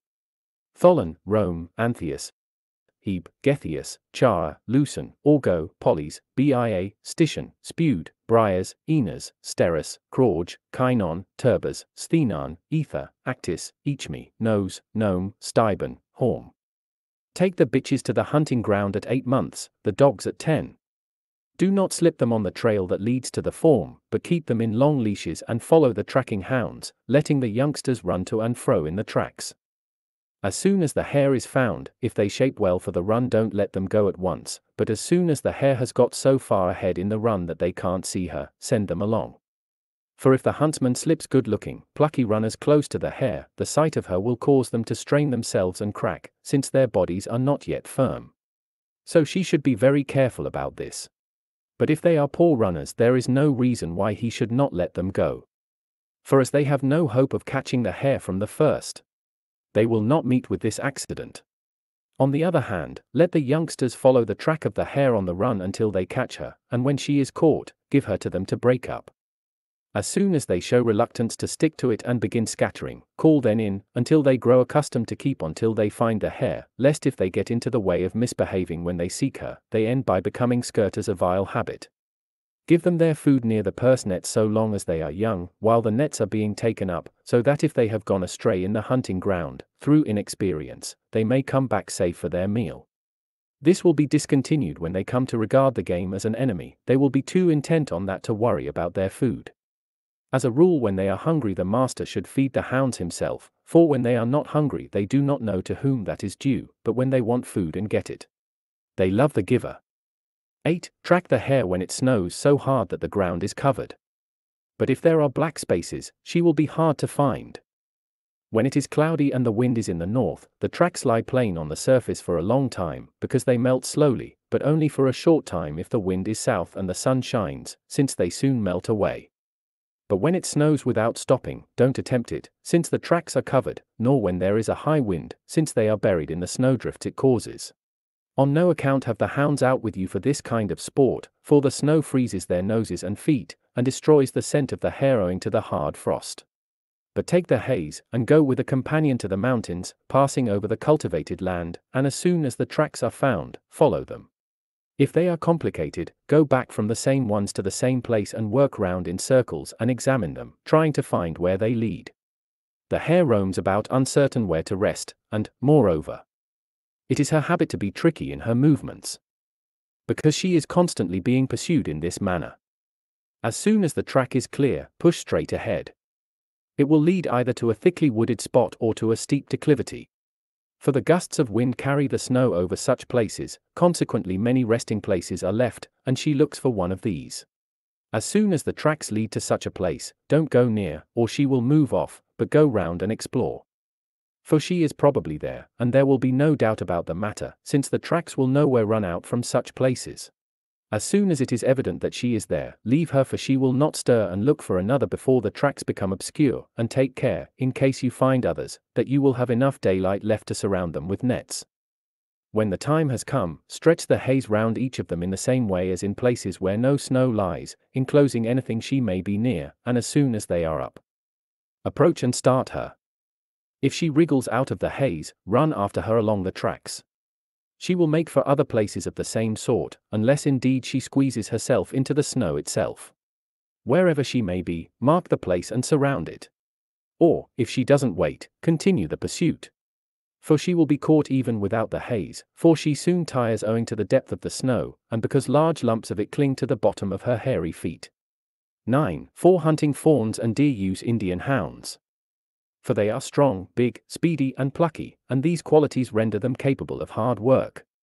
Hunt the calves in spring, since they are born at that season. First go to the meadows and reconnoiter, to discover where hinds are most plentiful. Wherever they are, let the keeper of the hounds go with the hounds and javelins to this place before daybreak and tie up the dogs to trees some distance off, so that they may not catch sight of the hinds and bark, and let him watch from a coign of vantage. At daybreak he will see every dam leading her fawn to the place where she means to lay it. When they have put them down, suckled them, and looked about to make sure that they are not seen, they move away into the offing and watch their calves.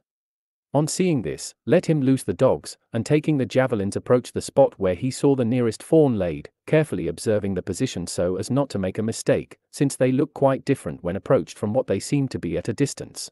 As soon as he sees the fawn, let him go close up to it. It will keep still, squeezing its body tight against the ground, and will let itself be lifted, bleating loudly, unless it is wet through. In which case it will not stay.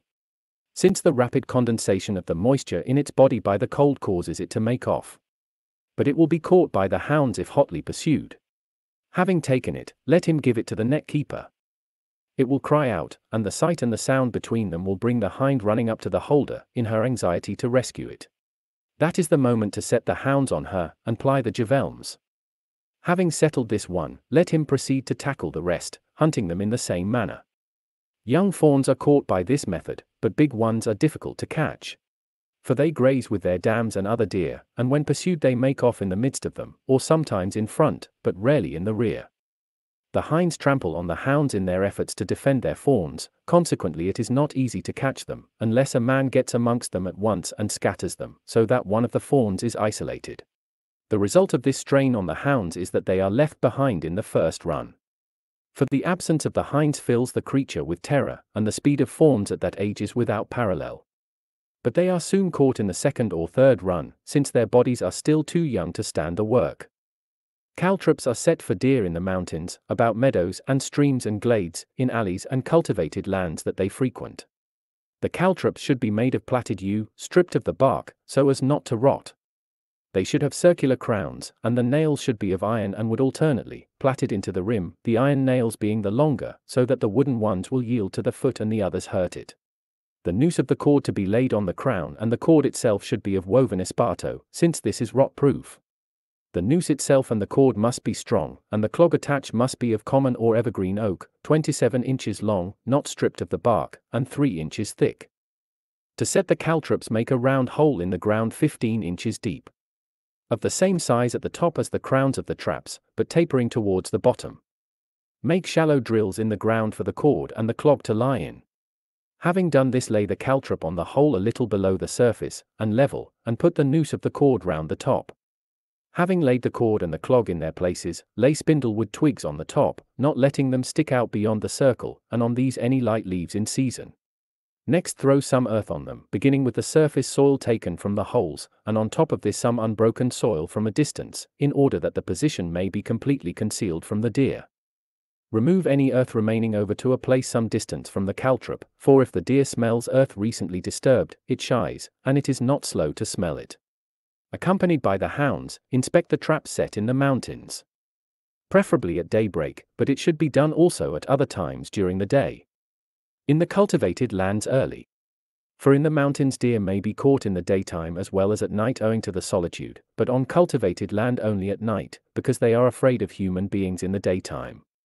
On coming across a caltrop upset, slip the hounds, give them a hark forward, and follow along the track of the clog, noticing which way it runs. That will be clear enough for the most part, for the stones will be displaced and the trail of the clock will be obvious in the cultivated ground, and if the deer crosses rough places, there will be fragments of bark torn from the clog on the rocks, and the pursuit will be all the easier. If the deer is caught by the forefoot it will soon be taken, as it hits every part of its body and its face with the clog during the run, or if by the hind leg, the dragging of the clog hampers the whole body, and sometimes it dashes into forked branches of trees, and unless it breaks the cord, is caught on the spot, but whether you catch it in this way or by wearing it out, don't go near it, for it will butt, if it's a stag, and kick, and if it's a hind, it will kick. So throw javelins at it from a distance. In the summer months they are also caught by pursuit without the aid of a caltrop, for they get dead beat, so that they are hit standing. When hard pressed, they will even plunge into the sea and into pools in their bewilderment, and occasionally they drop from want of breath. 10. For hunting the wild boar provide yourself with Indian, Cretan, Locrian and Laconian hounds, boar nets, javelins, spears and caltrops. In the first place the hounds of each breed must be of high quality, that they may be qualified to fight the beast. The nets must be made of the same flax as those used for hares, of 45 threads woven in three strands, each strand containing 15 threads. The height should be 10 knots, counted from the top. And the depths of the meshes 15 inches. The ropes at top and bottom must be half as thick again as the nets. There must be metal rings at the elbows. And the ropes must be inserted under the meshes, and their ends must pass out through the rings. 15 nets are sufficient. The javelins must be of every variety, the blades broad and keen, and the shaft strong. The spears must have blades 15 inches long, and stout teeth at the middle of the socket, forged in one piece but standing out, and their shafts must be of cornel wood, as thick as a military spear. The caltrops must be similar to those used in hunting deer. There must be several huntsmen, for the task of capturing the beast is no light one even for a large number of men. I will now explain how to use each portion of the outfit in hunting. First then, when the company reach the place where they suppose the game to lurk, let them slip one of the Laconian hounds, and taking the others in leash, go round the place with the hound. As soon as she has found his tracks, let the field follow, one behind another, keeping exactly to the line of the track. The huntsman also will find many evidences of the quarry. The tracks in soft ground, broken branches where the bushes are thick, and marks of his tusks wherever there are trees. The hound following the track will, as a rule, arrive at a well wooded spot. For the beast usually lies in such places, since they are warm in winter and cool in summer. As soon as the hound reaches the lair, she will bark. But in most cases, the boar will not get up. So take the hound and tie her up with the others at a good distance from the lair, and have the nets put up in the convenient anchorages, hanging the meshes on forked branches of trees.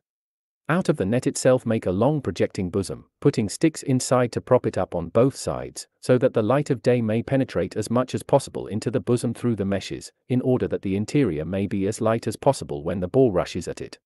Fasten the lower rope to a strong tree, not to a bush, since the bushes give way at the bare stem. Wherever there is a gap between a net and the ground, fill in the places that afford no anchorage with wood, in order that the ball may rush into the net and not slip out. As soon as they are in position, let the party go to the hounds and loose them all, and take the javelins and the spears and advance. Let one man, the most experienced, urge on the hounds, while the others follow in regular order, keeping well behind one another, so that the boar may have a free passage between them. For should he beat a retreat and dash into a crowd, there is a risk of being gored, since he spends his rage on anyone he encounters. As soon as the hounds are near the lair, they will go for him. The noise will cause him to get up, and he will toss any hound that attacks him in front. He will run and plunge into the nets, or if not, you must pursue him. If the ground where he is caught in the net is sloping, he will quickly get up, if it is level, he will immediately stand still, intent on himself. At this moment the hounds will press their attack. And the huntsmen must fling their javelins at him warily, and pelt him with stones, gathering round behind and a good way off, till he shoves hard enough to pull the rope of the net tight. Then let the most experienced and most powerful man in the field approach him in front and thrust his spear into him. If, in spite of javelins and stones, he refuses to pull the rope tight, but draws back, wheels round and marks his assailant. In that case the man must approach him spear in hand, and grasp it with the left in front and the right behind, since the left steadies while the right drives it. The left foot must follow the left hand forward, and the right foot the other hand. As he advances let him hold the spear before him, with his legs not much further apart than in wrestling, turning the left side towards the left hand, and then watching the beast's eye and noting the movement of the fellow's head. Let him present the spear, taking care that the boar doesn't knock it out of his hand with a jerk of his head, since he follows up the impetus of the sudden knock. In case this accident should happen, the man must fall on his face and clutch the undergrowth beneath him, for, if the beast attacks him in this position, he is unable to lift the man's body owing to the upward curve of his tusks. But if his body is off the ground, the man is certain to be gored. Consequently, the boar tries to lift him up, and, if he cannot, he stands over and tramples on him. For a man in this critical situation, there is only one escape from these disasters. One of his fellow huntsmen must approach with a spear and provoke the boar by making as though he would hurl it, but he must not hurl it, or he may hit the man on the ground. On seeing this, the boar will leave the man under him and turn savagely and furiously on his tormentor the other must jump up instantly, remembering to keep his spear in his hand as he rises, for safety without victory is not honorable. He must again present the spear in the same way as before, and thrust it inside the shoulder blade where the throat is, and push with all his might. The enraged beast will come on, and but for the teeth of the blade, would shove himself forward along the shaft far enough to reach the man holding the spear. His strength is so great that he has some peculiar properties which one would never imagine him to possess. Thus, if you lay hairs on his tusks immediately after he is dead, they shrivel up, such is the heat of the tusks. While he is alive, they become intensely hot whenever he is provoked, or the surface of the hound's coats would not be singed when he tries to gore them and misses. All this trouble, and even more, the male animal causes before he is caught. If the creature in the toils is a sow, run up and stick her, taking care not to be knocked down. Such an accident is bound to result in your being trampled and bitten. So don't fall under her, if you can help it. If you get into that position unintentionally, the same aids to rise that are used to assist a man under a boar are employed. When on your feet again, you must ply the spear until you kill her. Another way of capturing them is as follows. The nets are set up for them at the passages from glens into oak coppices, dells, and rough places, on the outskirts of meadows, fens, and sheets of water. The keeper, spear in hand, watches the nets, The huntsmen take the hounds and search for the likeliest places. As soon as the boar is found, he is pursued. If he falls into the net, the net keeper must take his spear, approach the boar, and use it as I have explained. The boar is also captured, in hot weather, when pursued by the hounds, for in spite of his prodigious strength, the animal tires with hard breathing. Many hounds are killed in this kind of sport, and the huntsmen themselves run risks whenever in the course of the pursuit they are forced to approach a boar with their spears in their hands. When he is tired or standing in water or has posted himself by a steep declivity or is unwilling to come out of a thicket. For neither net nor anything else stops him from rushing at anyone coming near him. Nevertheless, approach they must in these circumstances, and show the pluck that led them to take up this hobby they must use the spear and the forward position of the body as explained, then, if a man does come to grief, it will not be through doing things the wrong way. Caltrops are also set for them as for the deer and in the same places. The routine of inspection and pursuit, the methods of approach and the use of the spear are the same. The young pigs are not to be caught without difficulty for they are not left alone so long as they are little, and when the hounds find them or they see something coming, they quickly vanish into the wood, and they are generally accompanied by both parents, who are fierce at such times and more ready to fight for their young than for themselves. 11. Lions, leopards, lynxes, panthers. Bears and all similar wild beasts are captured in foreign countries. About Mount Pangaeus and Cittus beyond Macedonia, on Mysian Olympus and Pindus, on Nysa beyond Syria, and in other mountain ranges capable of supporting such animals. On the mountains they are sometimes poisoned, owing to the difficulty of the ground, with aconite. Hunters put it down mixed with the animal's favorite food round pools and in other places that they frequent. Sometimes, while they are going down to the plain at night, they are cut off by parties of armed and mounted men. This is a dangerous method of capturing them. Sometimes the hunters dig large, round, deep holes, leaving a pillar of earth in the middle. They tie up a goat and put it on the pillar in the evening, and pile wood round the hole without leaving an entrance, so that the animals cannot see what lies in front. On hearing the bleating in the night, the beasts run round the barrier, and finding no opening, jump over and are caught. 12. With the practical side of hunting I have finished. But the advantages that those who have been attracted by this pursuit will gain are many for it makes the body healthy, improves the sight and hearing, and keeps men from growing old, and it affords the best training for war. In the first place, when marching over rough roads under arms, they will not tire, accustomed to carry arms for capturing wild beasts, they will bear up under their tasks. Again, they will be capable of sleeping on a hard bed and of guarding well the place assigned to them. In an attack on the enemy, they will be able to go for him and at the same time to carry out the orders that are pass along, because they are used to do the same things on their own account when capturing the game. If their post is in the van, they will not desert it, because they can endure. In the route of the enemy, they will make straight for the foe without a slip over any kind of ground, through habit. If part of their own army has met with disaster in ground rendered difficult by woods and defiles or what not, they will manage to save themselves without loss of honor and to save others. For their familiarity with the business will give them knowledge that others lack. Indeed, it has happened before now, when a great host of allies has been put to flight, that a little band of such men, through their fitness and confidence, has renewed the battle and routed the victorious enemy when he has blundered owing to difficulties in the ground. For men who are sound in body and mind may always stand on the threshold of success. It was because they knew that they owed their successes against the enemy to such qualities that our ancestors looked after the young men. For in spite of the scarcity of corn, it was their custom from the earliest times not to prevent hunters from hunting over any growing crops, and, in addition, not to permit hunting at night within a radius of many furlongs from the city, so that the masters of that art might not rob the young men of their game. In fact, they saw that this is the only one among the pleasures of the younger men that produces a rich crop of blessings. For it makes sober and upright men of them, because they are trained in the school of truth, and they perceive that to these men they owed their success in war, as in other matters, and it does not keep them from any other honorable occupation they wish to follow, like other and evil pleasures that they ought not to learn. Of such men, therefore, are good soldiers and good generals made for they whose toils root out whatever is base and froward from mind and body and make desire for virtue to flourish in their place they are the best, since they will not brook injustice to their own city nor injury to its soil. Some say that it is not right to love hunting because it may lead to neglect of one's domestic affairs. They are not aware that all who benefit their cities and their friends are more attentive to their domestic affairs than other men. Therefore, if keen sportsmen fit themselves to be useful to their country in matters of vital moment, neither will they be remiss in their private affairs, for the state is necessarily concerned both in the safety and in the ruin of the individual's domestic fortunes. Consequently, such men as these save the fortunes of every other individual as well as their own.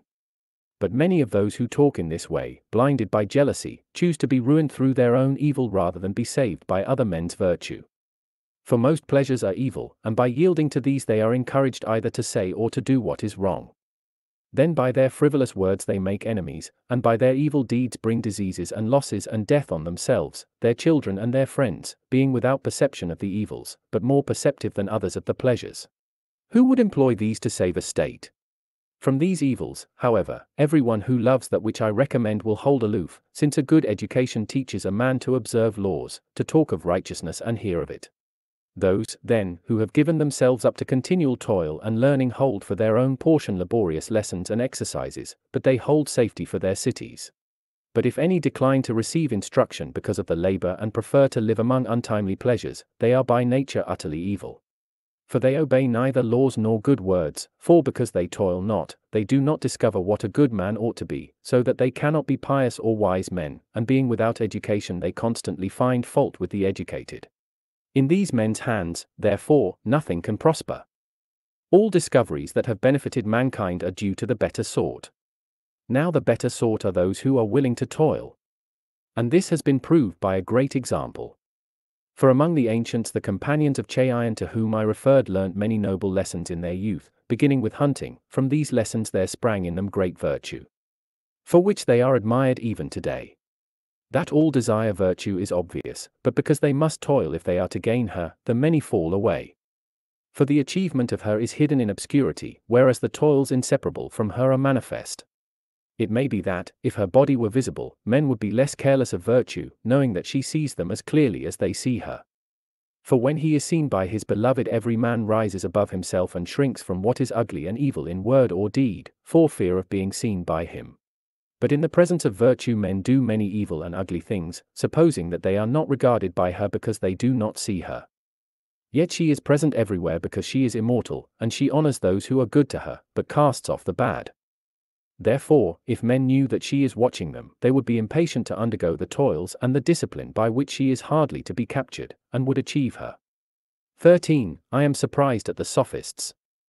As they are called because, though most of them profess to lead the young to virtue, they lead them to the very opposite. We have never seen anywhere the man whose goodness was due to the sophists of our generation. Neither do their contributions to literature tend to make men good, but they have written many books on frivolous subjects, books that offer the young empty pleasures, but put no virtue into them. To read them in the hope of learning something from them is mere waste of time, and they keep one from useful occupations and teach what is bad therefore their grave faults incur my graver censure.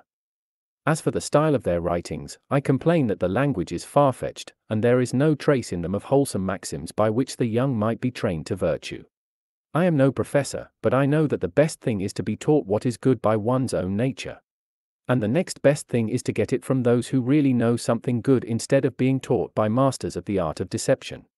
I dare say that I do not express myself in the language of a sophist, in fact, that is not my object, my object is rather to give utterance to wholesome thoughts that will meet the needs of readers well educated in virtue.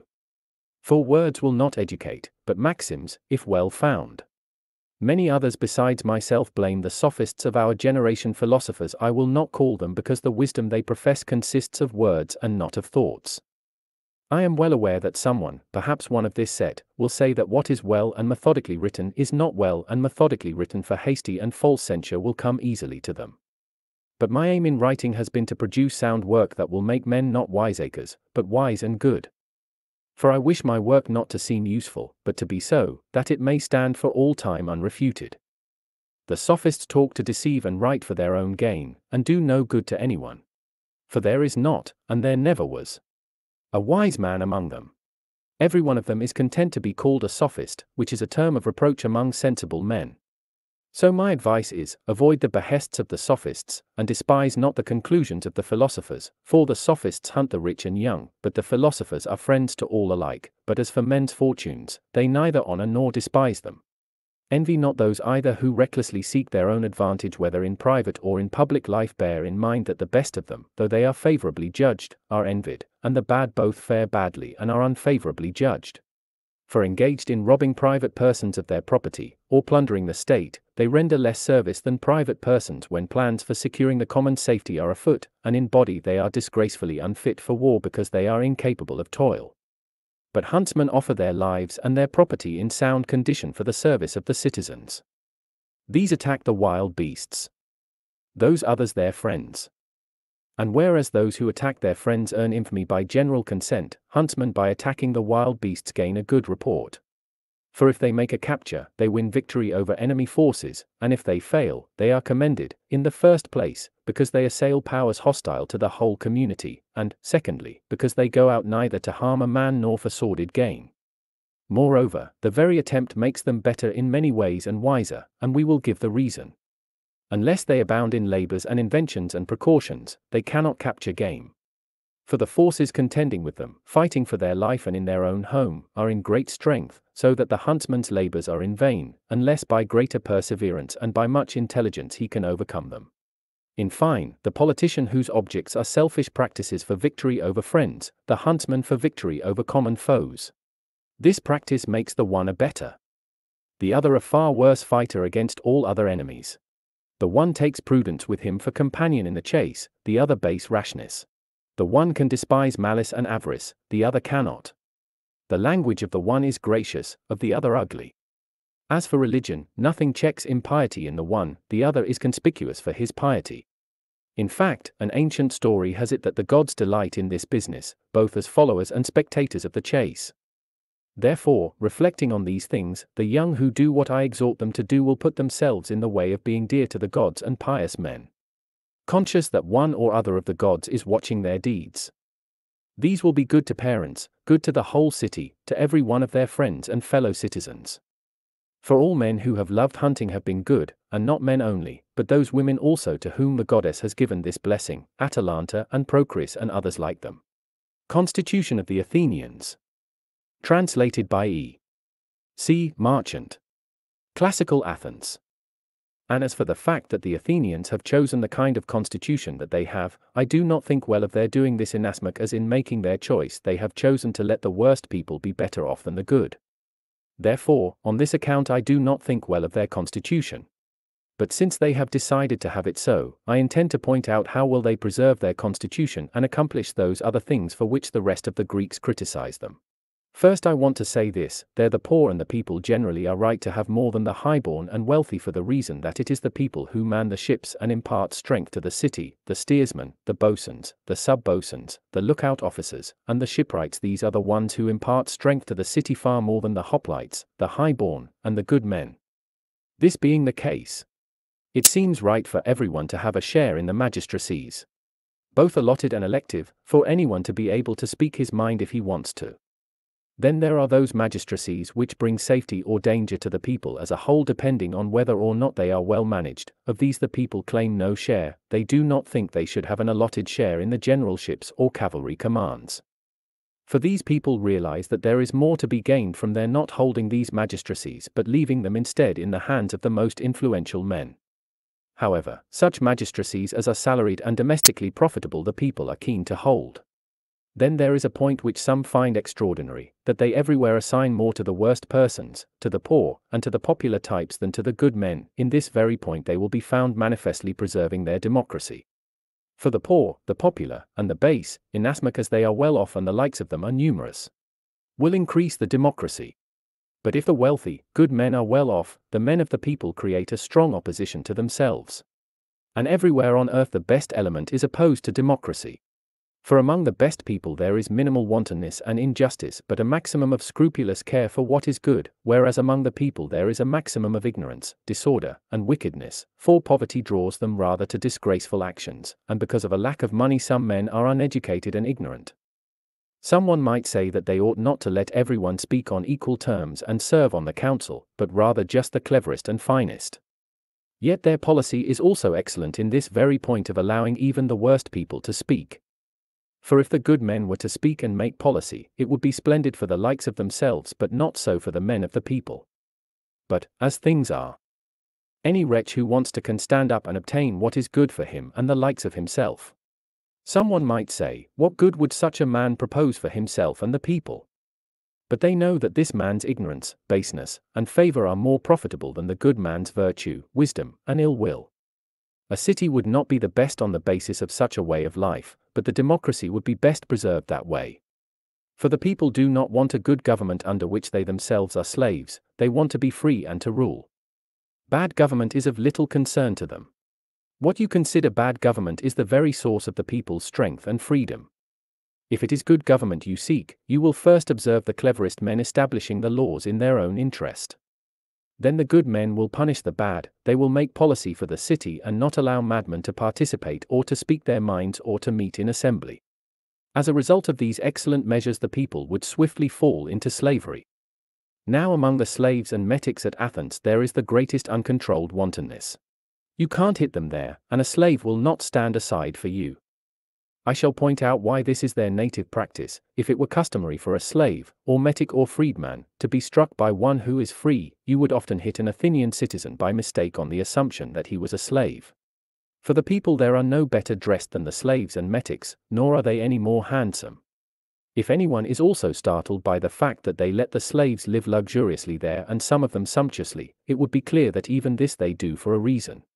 For where there is a naval power, it is necessary from financial considerations to be slaves to the slaves in order to take a portion of their earnings, and it is then necessary to let them go free. And where there are rich slaves, it is no longer profitable in such a place for my slave to fear you. In Sparta, my slave would fear you, but if your slave fears me, there will be the chance that he will give over his money so as not to have to worry anymore. For this reason, we have set up equality between slaves and free men, and between metics and citizens. The city needs metics in view of the many different trades and the fleet. Accordingly, then, we have reasonably set up a similar equality also for the metics. The people have spoiled the athletic and musical activities at Athens because they thought them unfitting, they know they can't do them. In the training of dramatic choruses and in providing for athletic contests and the fitting out of triremes, they know that it is the wealthy who lead the choruses, but the people who are led in them, and it is the wealthy who provide for athletic contests, but the people who are presided over in the triremes and in the games. At least the people think themselves worthy of taking money for singing, running, dancing, and sailing in ships, so that they become wealthy and the wealthy poorer. And in the courts they are not so much concerned with justice as with their own advantage. In regard to the allies, the Athenians sail out and lay information. As they are said to do, they hate the aristocrats inasmuch as they realize that the ruler is necessarily hated by the ruled and that if the rich and aristocratic men in the cities are strong, the rule of the people at Athens will last for a very short time. This is why they disfranchise the aristocrats, take away their money, expel and kill them, whereas they promote the interests of the lower class the Athenian aristocrats protect their opposite numbers in the allied cities, since they realize that it will be to their advantage always to protect the finer people in the cities. Someone might say that the Athenian strength consists in the allies' ability to pay tribute money, but the rabble thinks it more advantageous for each one of the Athenians to possess the resources of the allies and for the allies themselves to possess only enough for survival and to work without being able to plot defection, also, in another point, the Athenian people are thought to act ill advisedly, they force the allies to sail to Athens for judicial proceedings. But they reason in reply that the Athenian people benefit from this. First, from the deposits at law they receive their dicastic pay through the year. Then, sitting at home without going out in ships, they manage the affairs of the allied cities, in the courts they protect the Democrats and ruin their opponents. If the Allies were each to hold trials locally, they would, in view of their annoyance with the Athenians, ruin those of their citizens who were the leading friends of the Athenian people. In addition, the people at Athens profit in the following ways when trials involving allies are held in Athens. First, the 1% tax in the Piraeus brings in more for the city. Secondly, if anyone has lodgings to rent, he does better, and so does anyone who lets out on hire a team of animals or a slave. Further, the heralds of the assembly do better when the allies are in town. In addition, were the allies not to go away for judicial proceedings, they would honor only those of the Athenians who sail out from the city, namely generals, trierarchs, and ambassadors. As it is now, each one of the allies is compelled to flatter the Athenian populace from the realization that judicial action for anyone who comes to Athens is in the hands of none other than the populace. This indeed is the law at Athens. In the courts, he is obliged to entreat whoever comes in and to grasp him by the hand. In this way, the allies have become instead the slaves of the Athenian people. Furthermore, as a result of their possessions abroad and the tenure of magistracies which take them abroad, both they and their associates have imperceptibly learned to row, for of necessity a man who is often at sea takes up an oar, as does his slave, and they learn naval terminology. Both through experience of voyages and through practice they become fine steersmen. Some are trained by service as steersmen on an ordinary vessel, others on a freighter, others after such experience on triremes. Many are able to row as soon as they board their ships, since they have been practicing beforehand throughout their whole lives.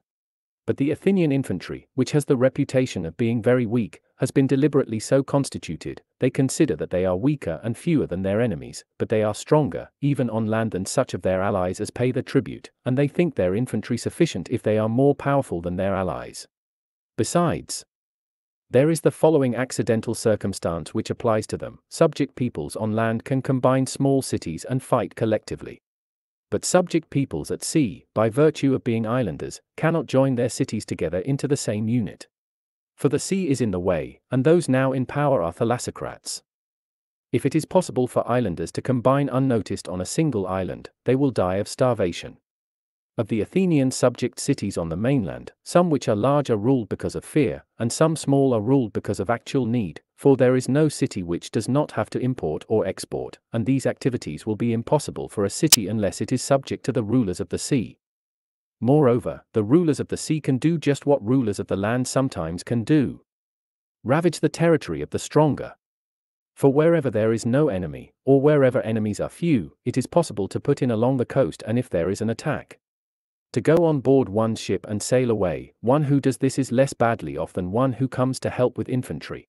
Further, the rulers of the sea can sail away from their own land to anywhere at all, whereas a land power can take a journey of only a few days from its own territory. Progress is slow, and going on foot one cannot carry provisions sufficient for a long time. One who goes on foot must pass through friendly country or else fight and win, whereas it is possible for the seafarer to go on shore wherever he has the stronger power this land. But to sail along the coast until he comes to a friendly region or to those weaker than himself. Further, the strongest land powers suffer badly from visitations of disease on the crops, but sea powers bear them easily. For the whole earth does not ail at the same time, so that from a prosperous land imports reach the rulers of the sea. If there should be mention also of slighter matters, first, by virtue of their naval power, the Athenians have mingled with various peoples and discovered types of luxury. Whatever the delicacy in Sicily, Italy, Cyprus, Egypt, Lydia, Pontus, the Peloponnese, or anywhere else. All these have been brought together into one place by virtue of naval power. Further, hearing every kind of dialect, they have taken something from each. The Greeks rather tend to use their own dialect, way of life, and type of dress, but the Athenians use a mixture from all the Greeks and non Greeks the Athenian populace realizes that it is impossible for each of the poor to offer sacrifices, to give lavish feasts, to set up shrines, and to manage a city which will be beautiful and great, and yet the populace has discovered how to have sacrifices, shrines, banquets, and temples.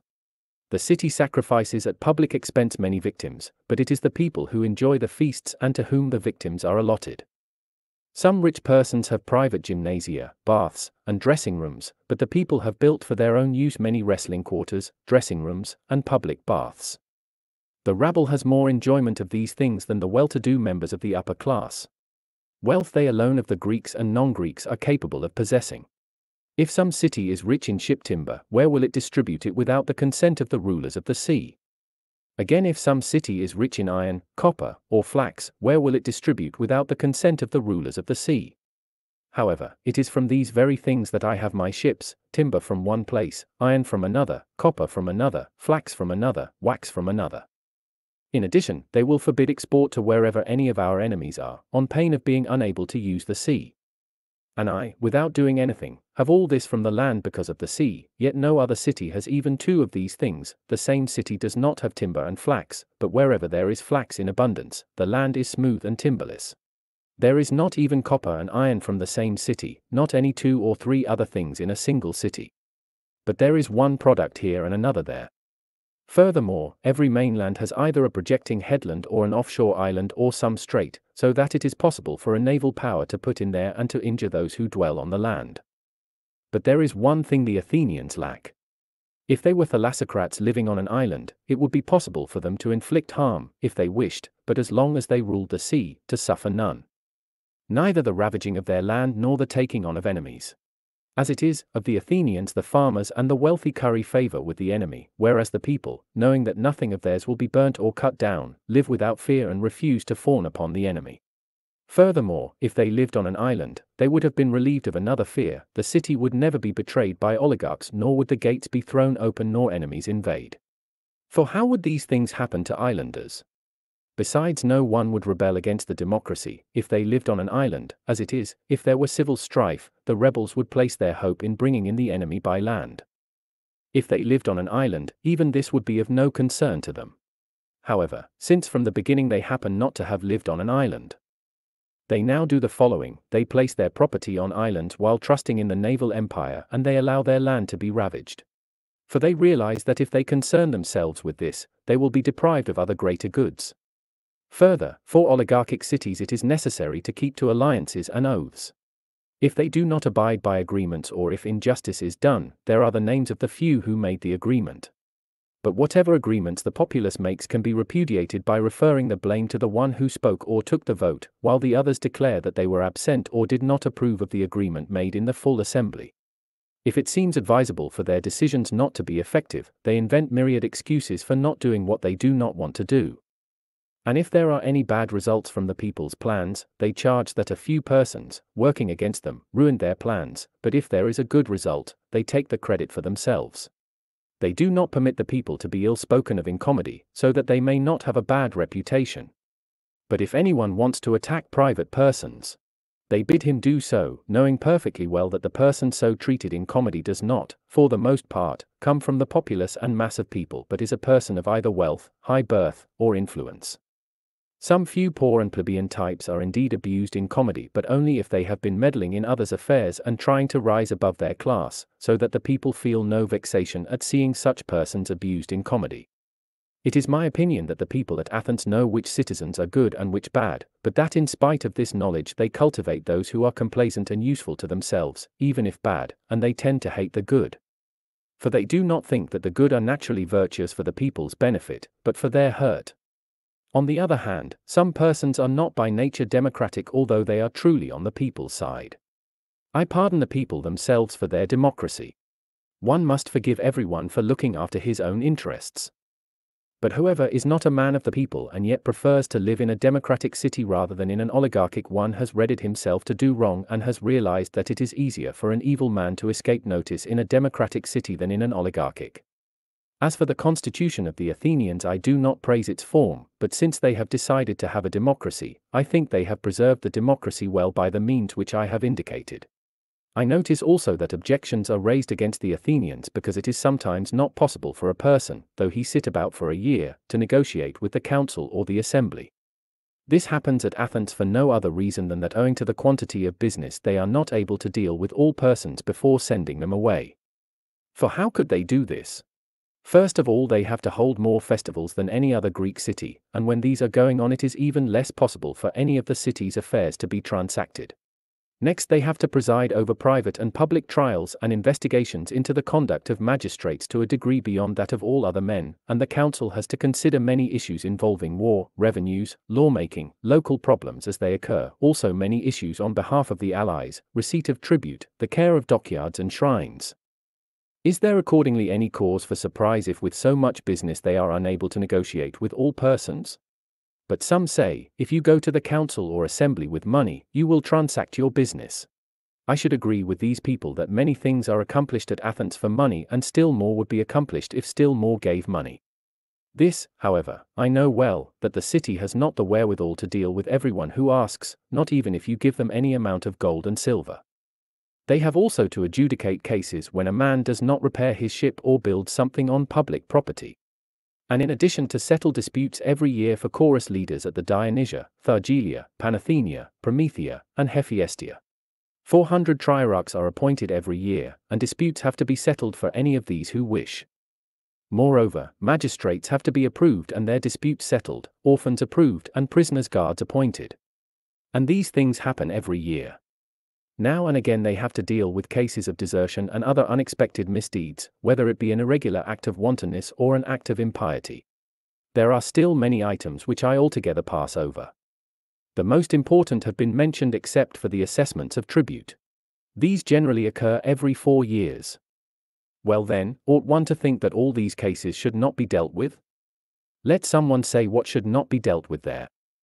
If, on the other hand, one must agree that it is all necessary, the adjudicating has to go on throughout the year, since not even now when they do adjudicate throughout the year can they stop all the wrongdoers because there are so many. All right, yet someone will say that they ought to judge cases, but that fewer people should do the judging. Unless they have only a few courts, there will necessarily be few jurors in each court, so that it will be easier to adapt oneself to a few jurors and to bribe them, and easier to judge much less justly. Further, one must consider that the Athenians have to hold festivals during which the courts are closed. They hold twice as many festivals as others do, but I am counting only those which have equivalents in the state holding the smallest number. Under such circumstances, therefore, I deny that it is possible for affairs at Athens to be otherwise than as they now are, except insofar as it is possible to take away a bit here and add a bit there. A substantial change is impossible without removing some part of the democracy. It is possible to discover many ways to improve the constitution, however, it is not easy to discover a means whereby the democracy may continue to exist but sufficient at the same time to provide a better polity. Except as I have just said by adding or subtracting a little. Also, in the following point, the Athenians seem to me to act ill advisedly. In cities embroiled in civil strife, they take the side of the lower class. This they do deliberately, for if they preferred the upper class, they would prefer those who are contrary minded to themselves. In no city is the superior element well disposed to the populace, but in each city it is the worst part which is well disposed to the populace. For like is well disposed to like. Accordingly, the Athenians prefer those sympathetic to themselves. Whenever they have undertaken to prefer the upper class, it has not turned out well for them. Within a short time, the people in Boeotia were enslaved. Similarly, when they preferred the Milesian upper class, within a short time that class had revolted and cut down the people. Similarly, when they preferred the Spartans to the Messenians. Within a short time, the Spartans had overthrown the Messenians and were making war on the Athenians. Someone might interject that no one has been unjustly disfranchised at Athens. I say that there are some who have been unjustly disfranchised, but very few indeed. To attack the democracy at Athens, not a few are required. As this is so, there is no need to consider whether any persons have been justly disfranchised, only whether unjustly.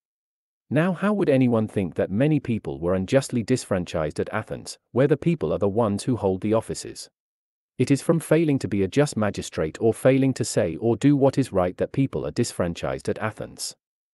In view of these considerations, one must not think that there is any danger at Athens from the disfranchised.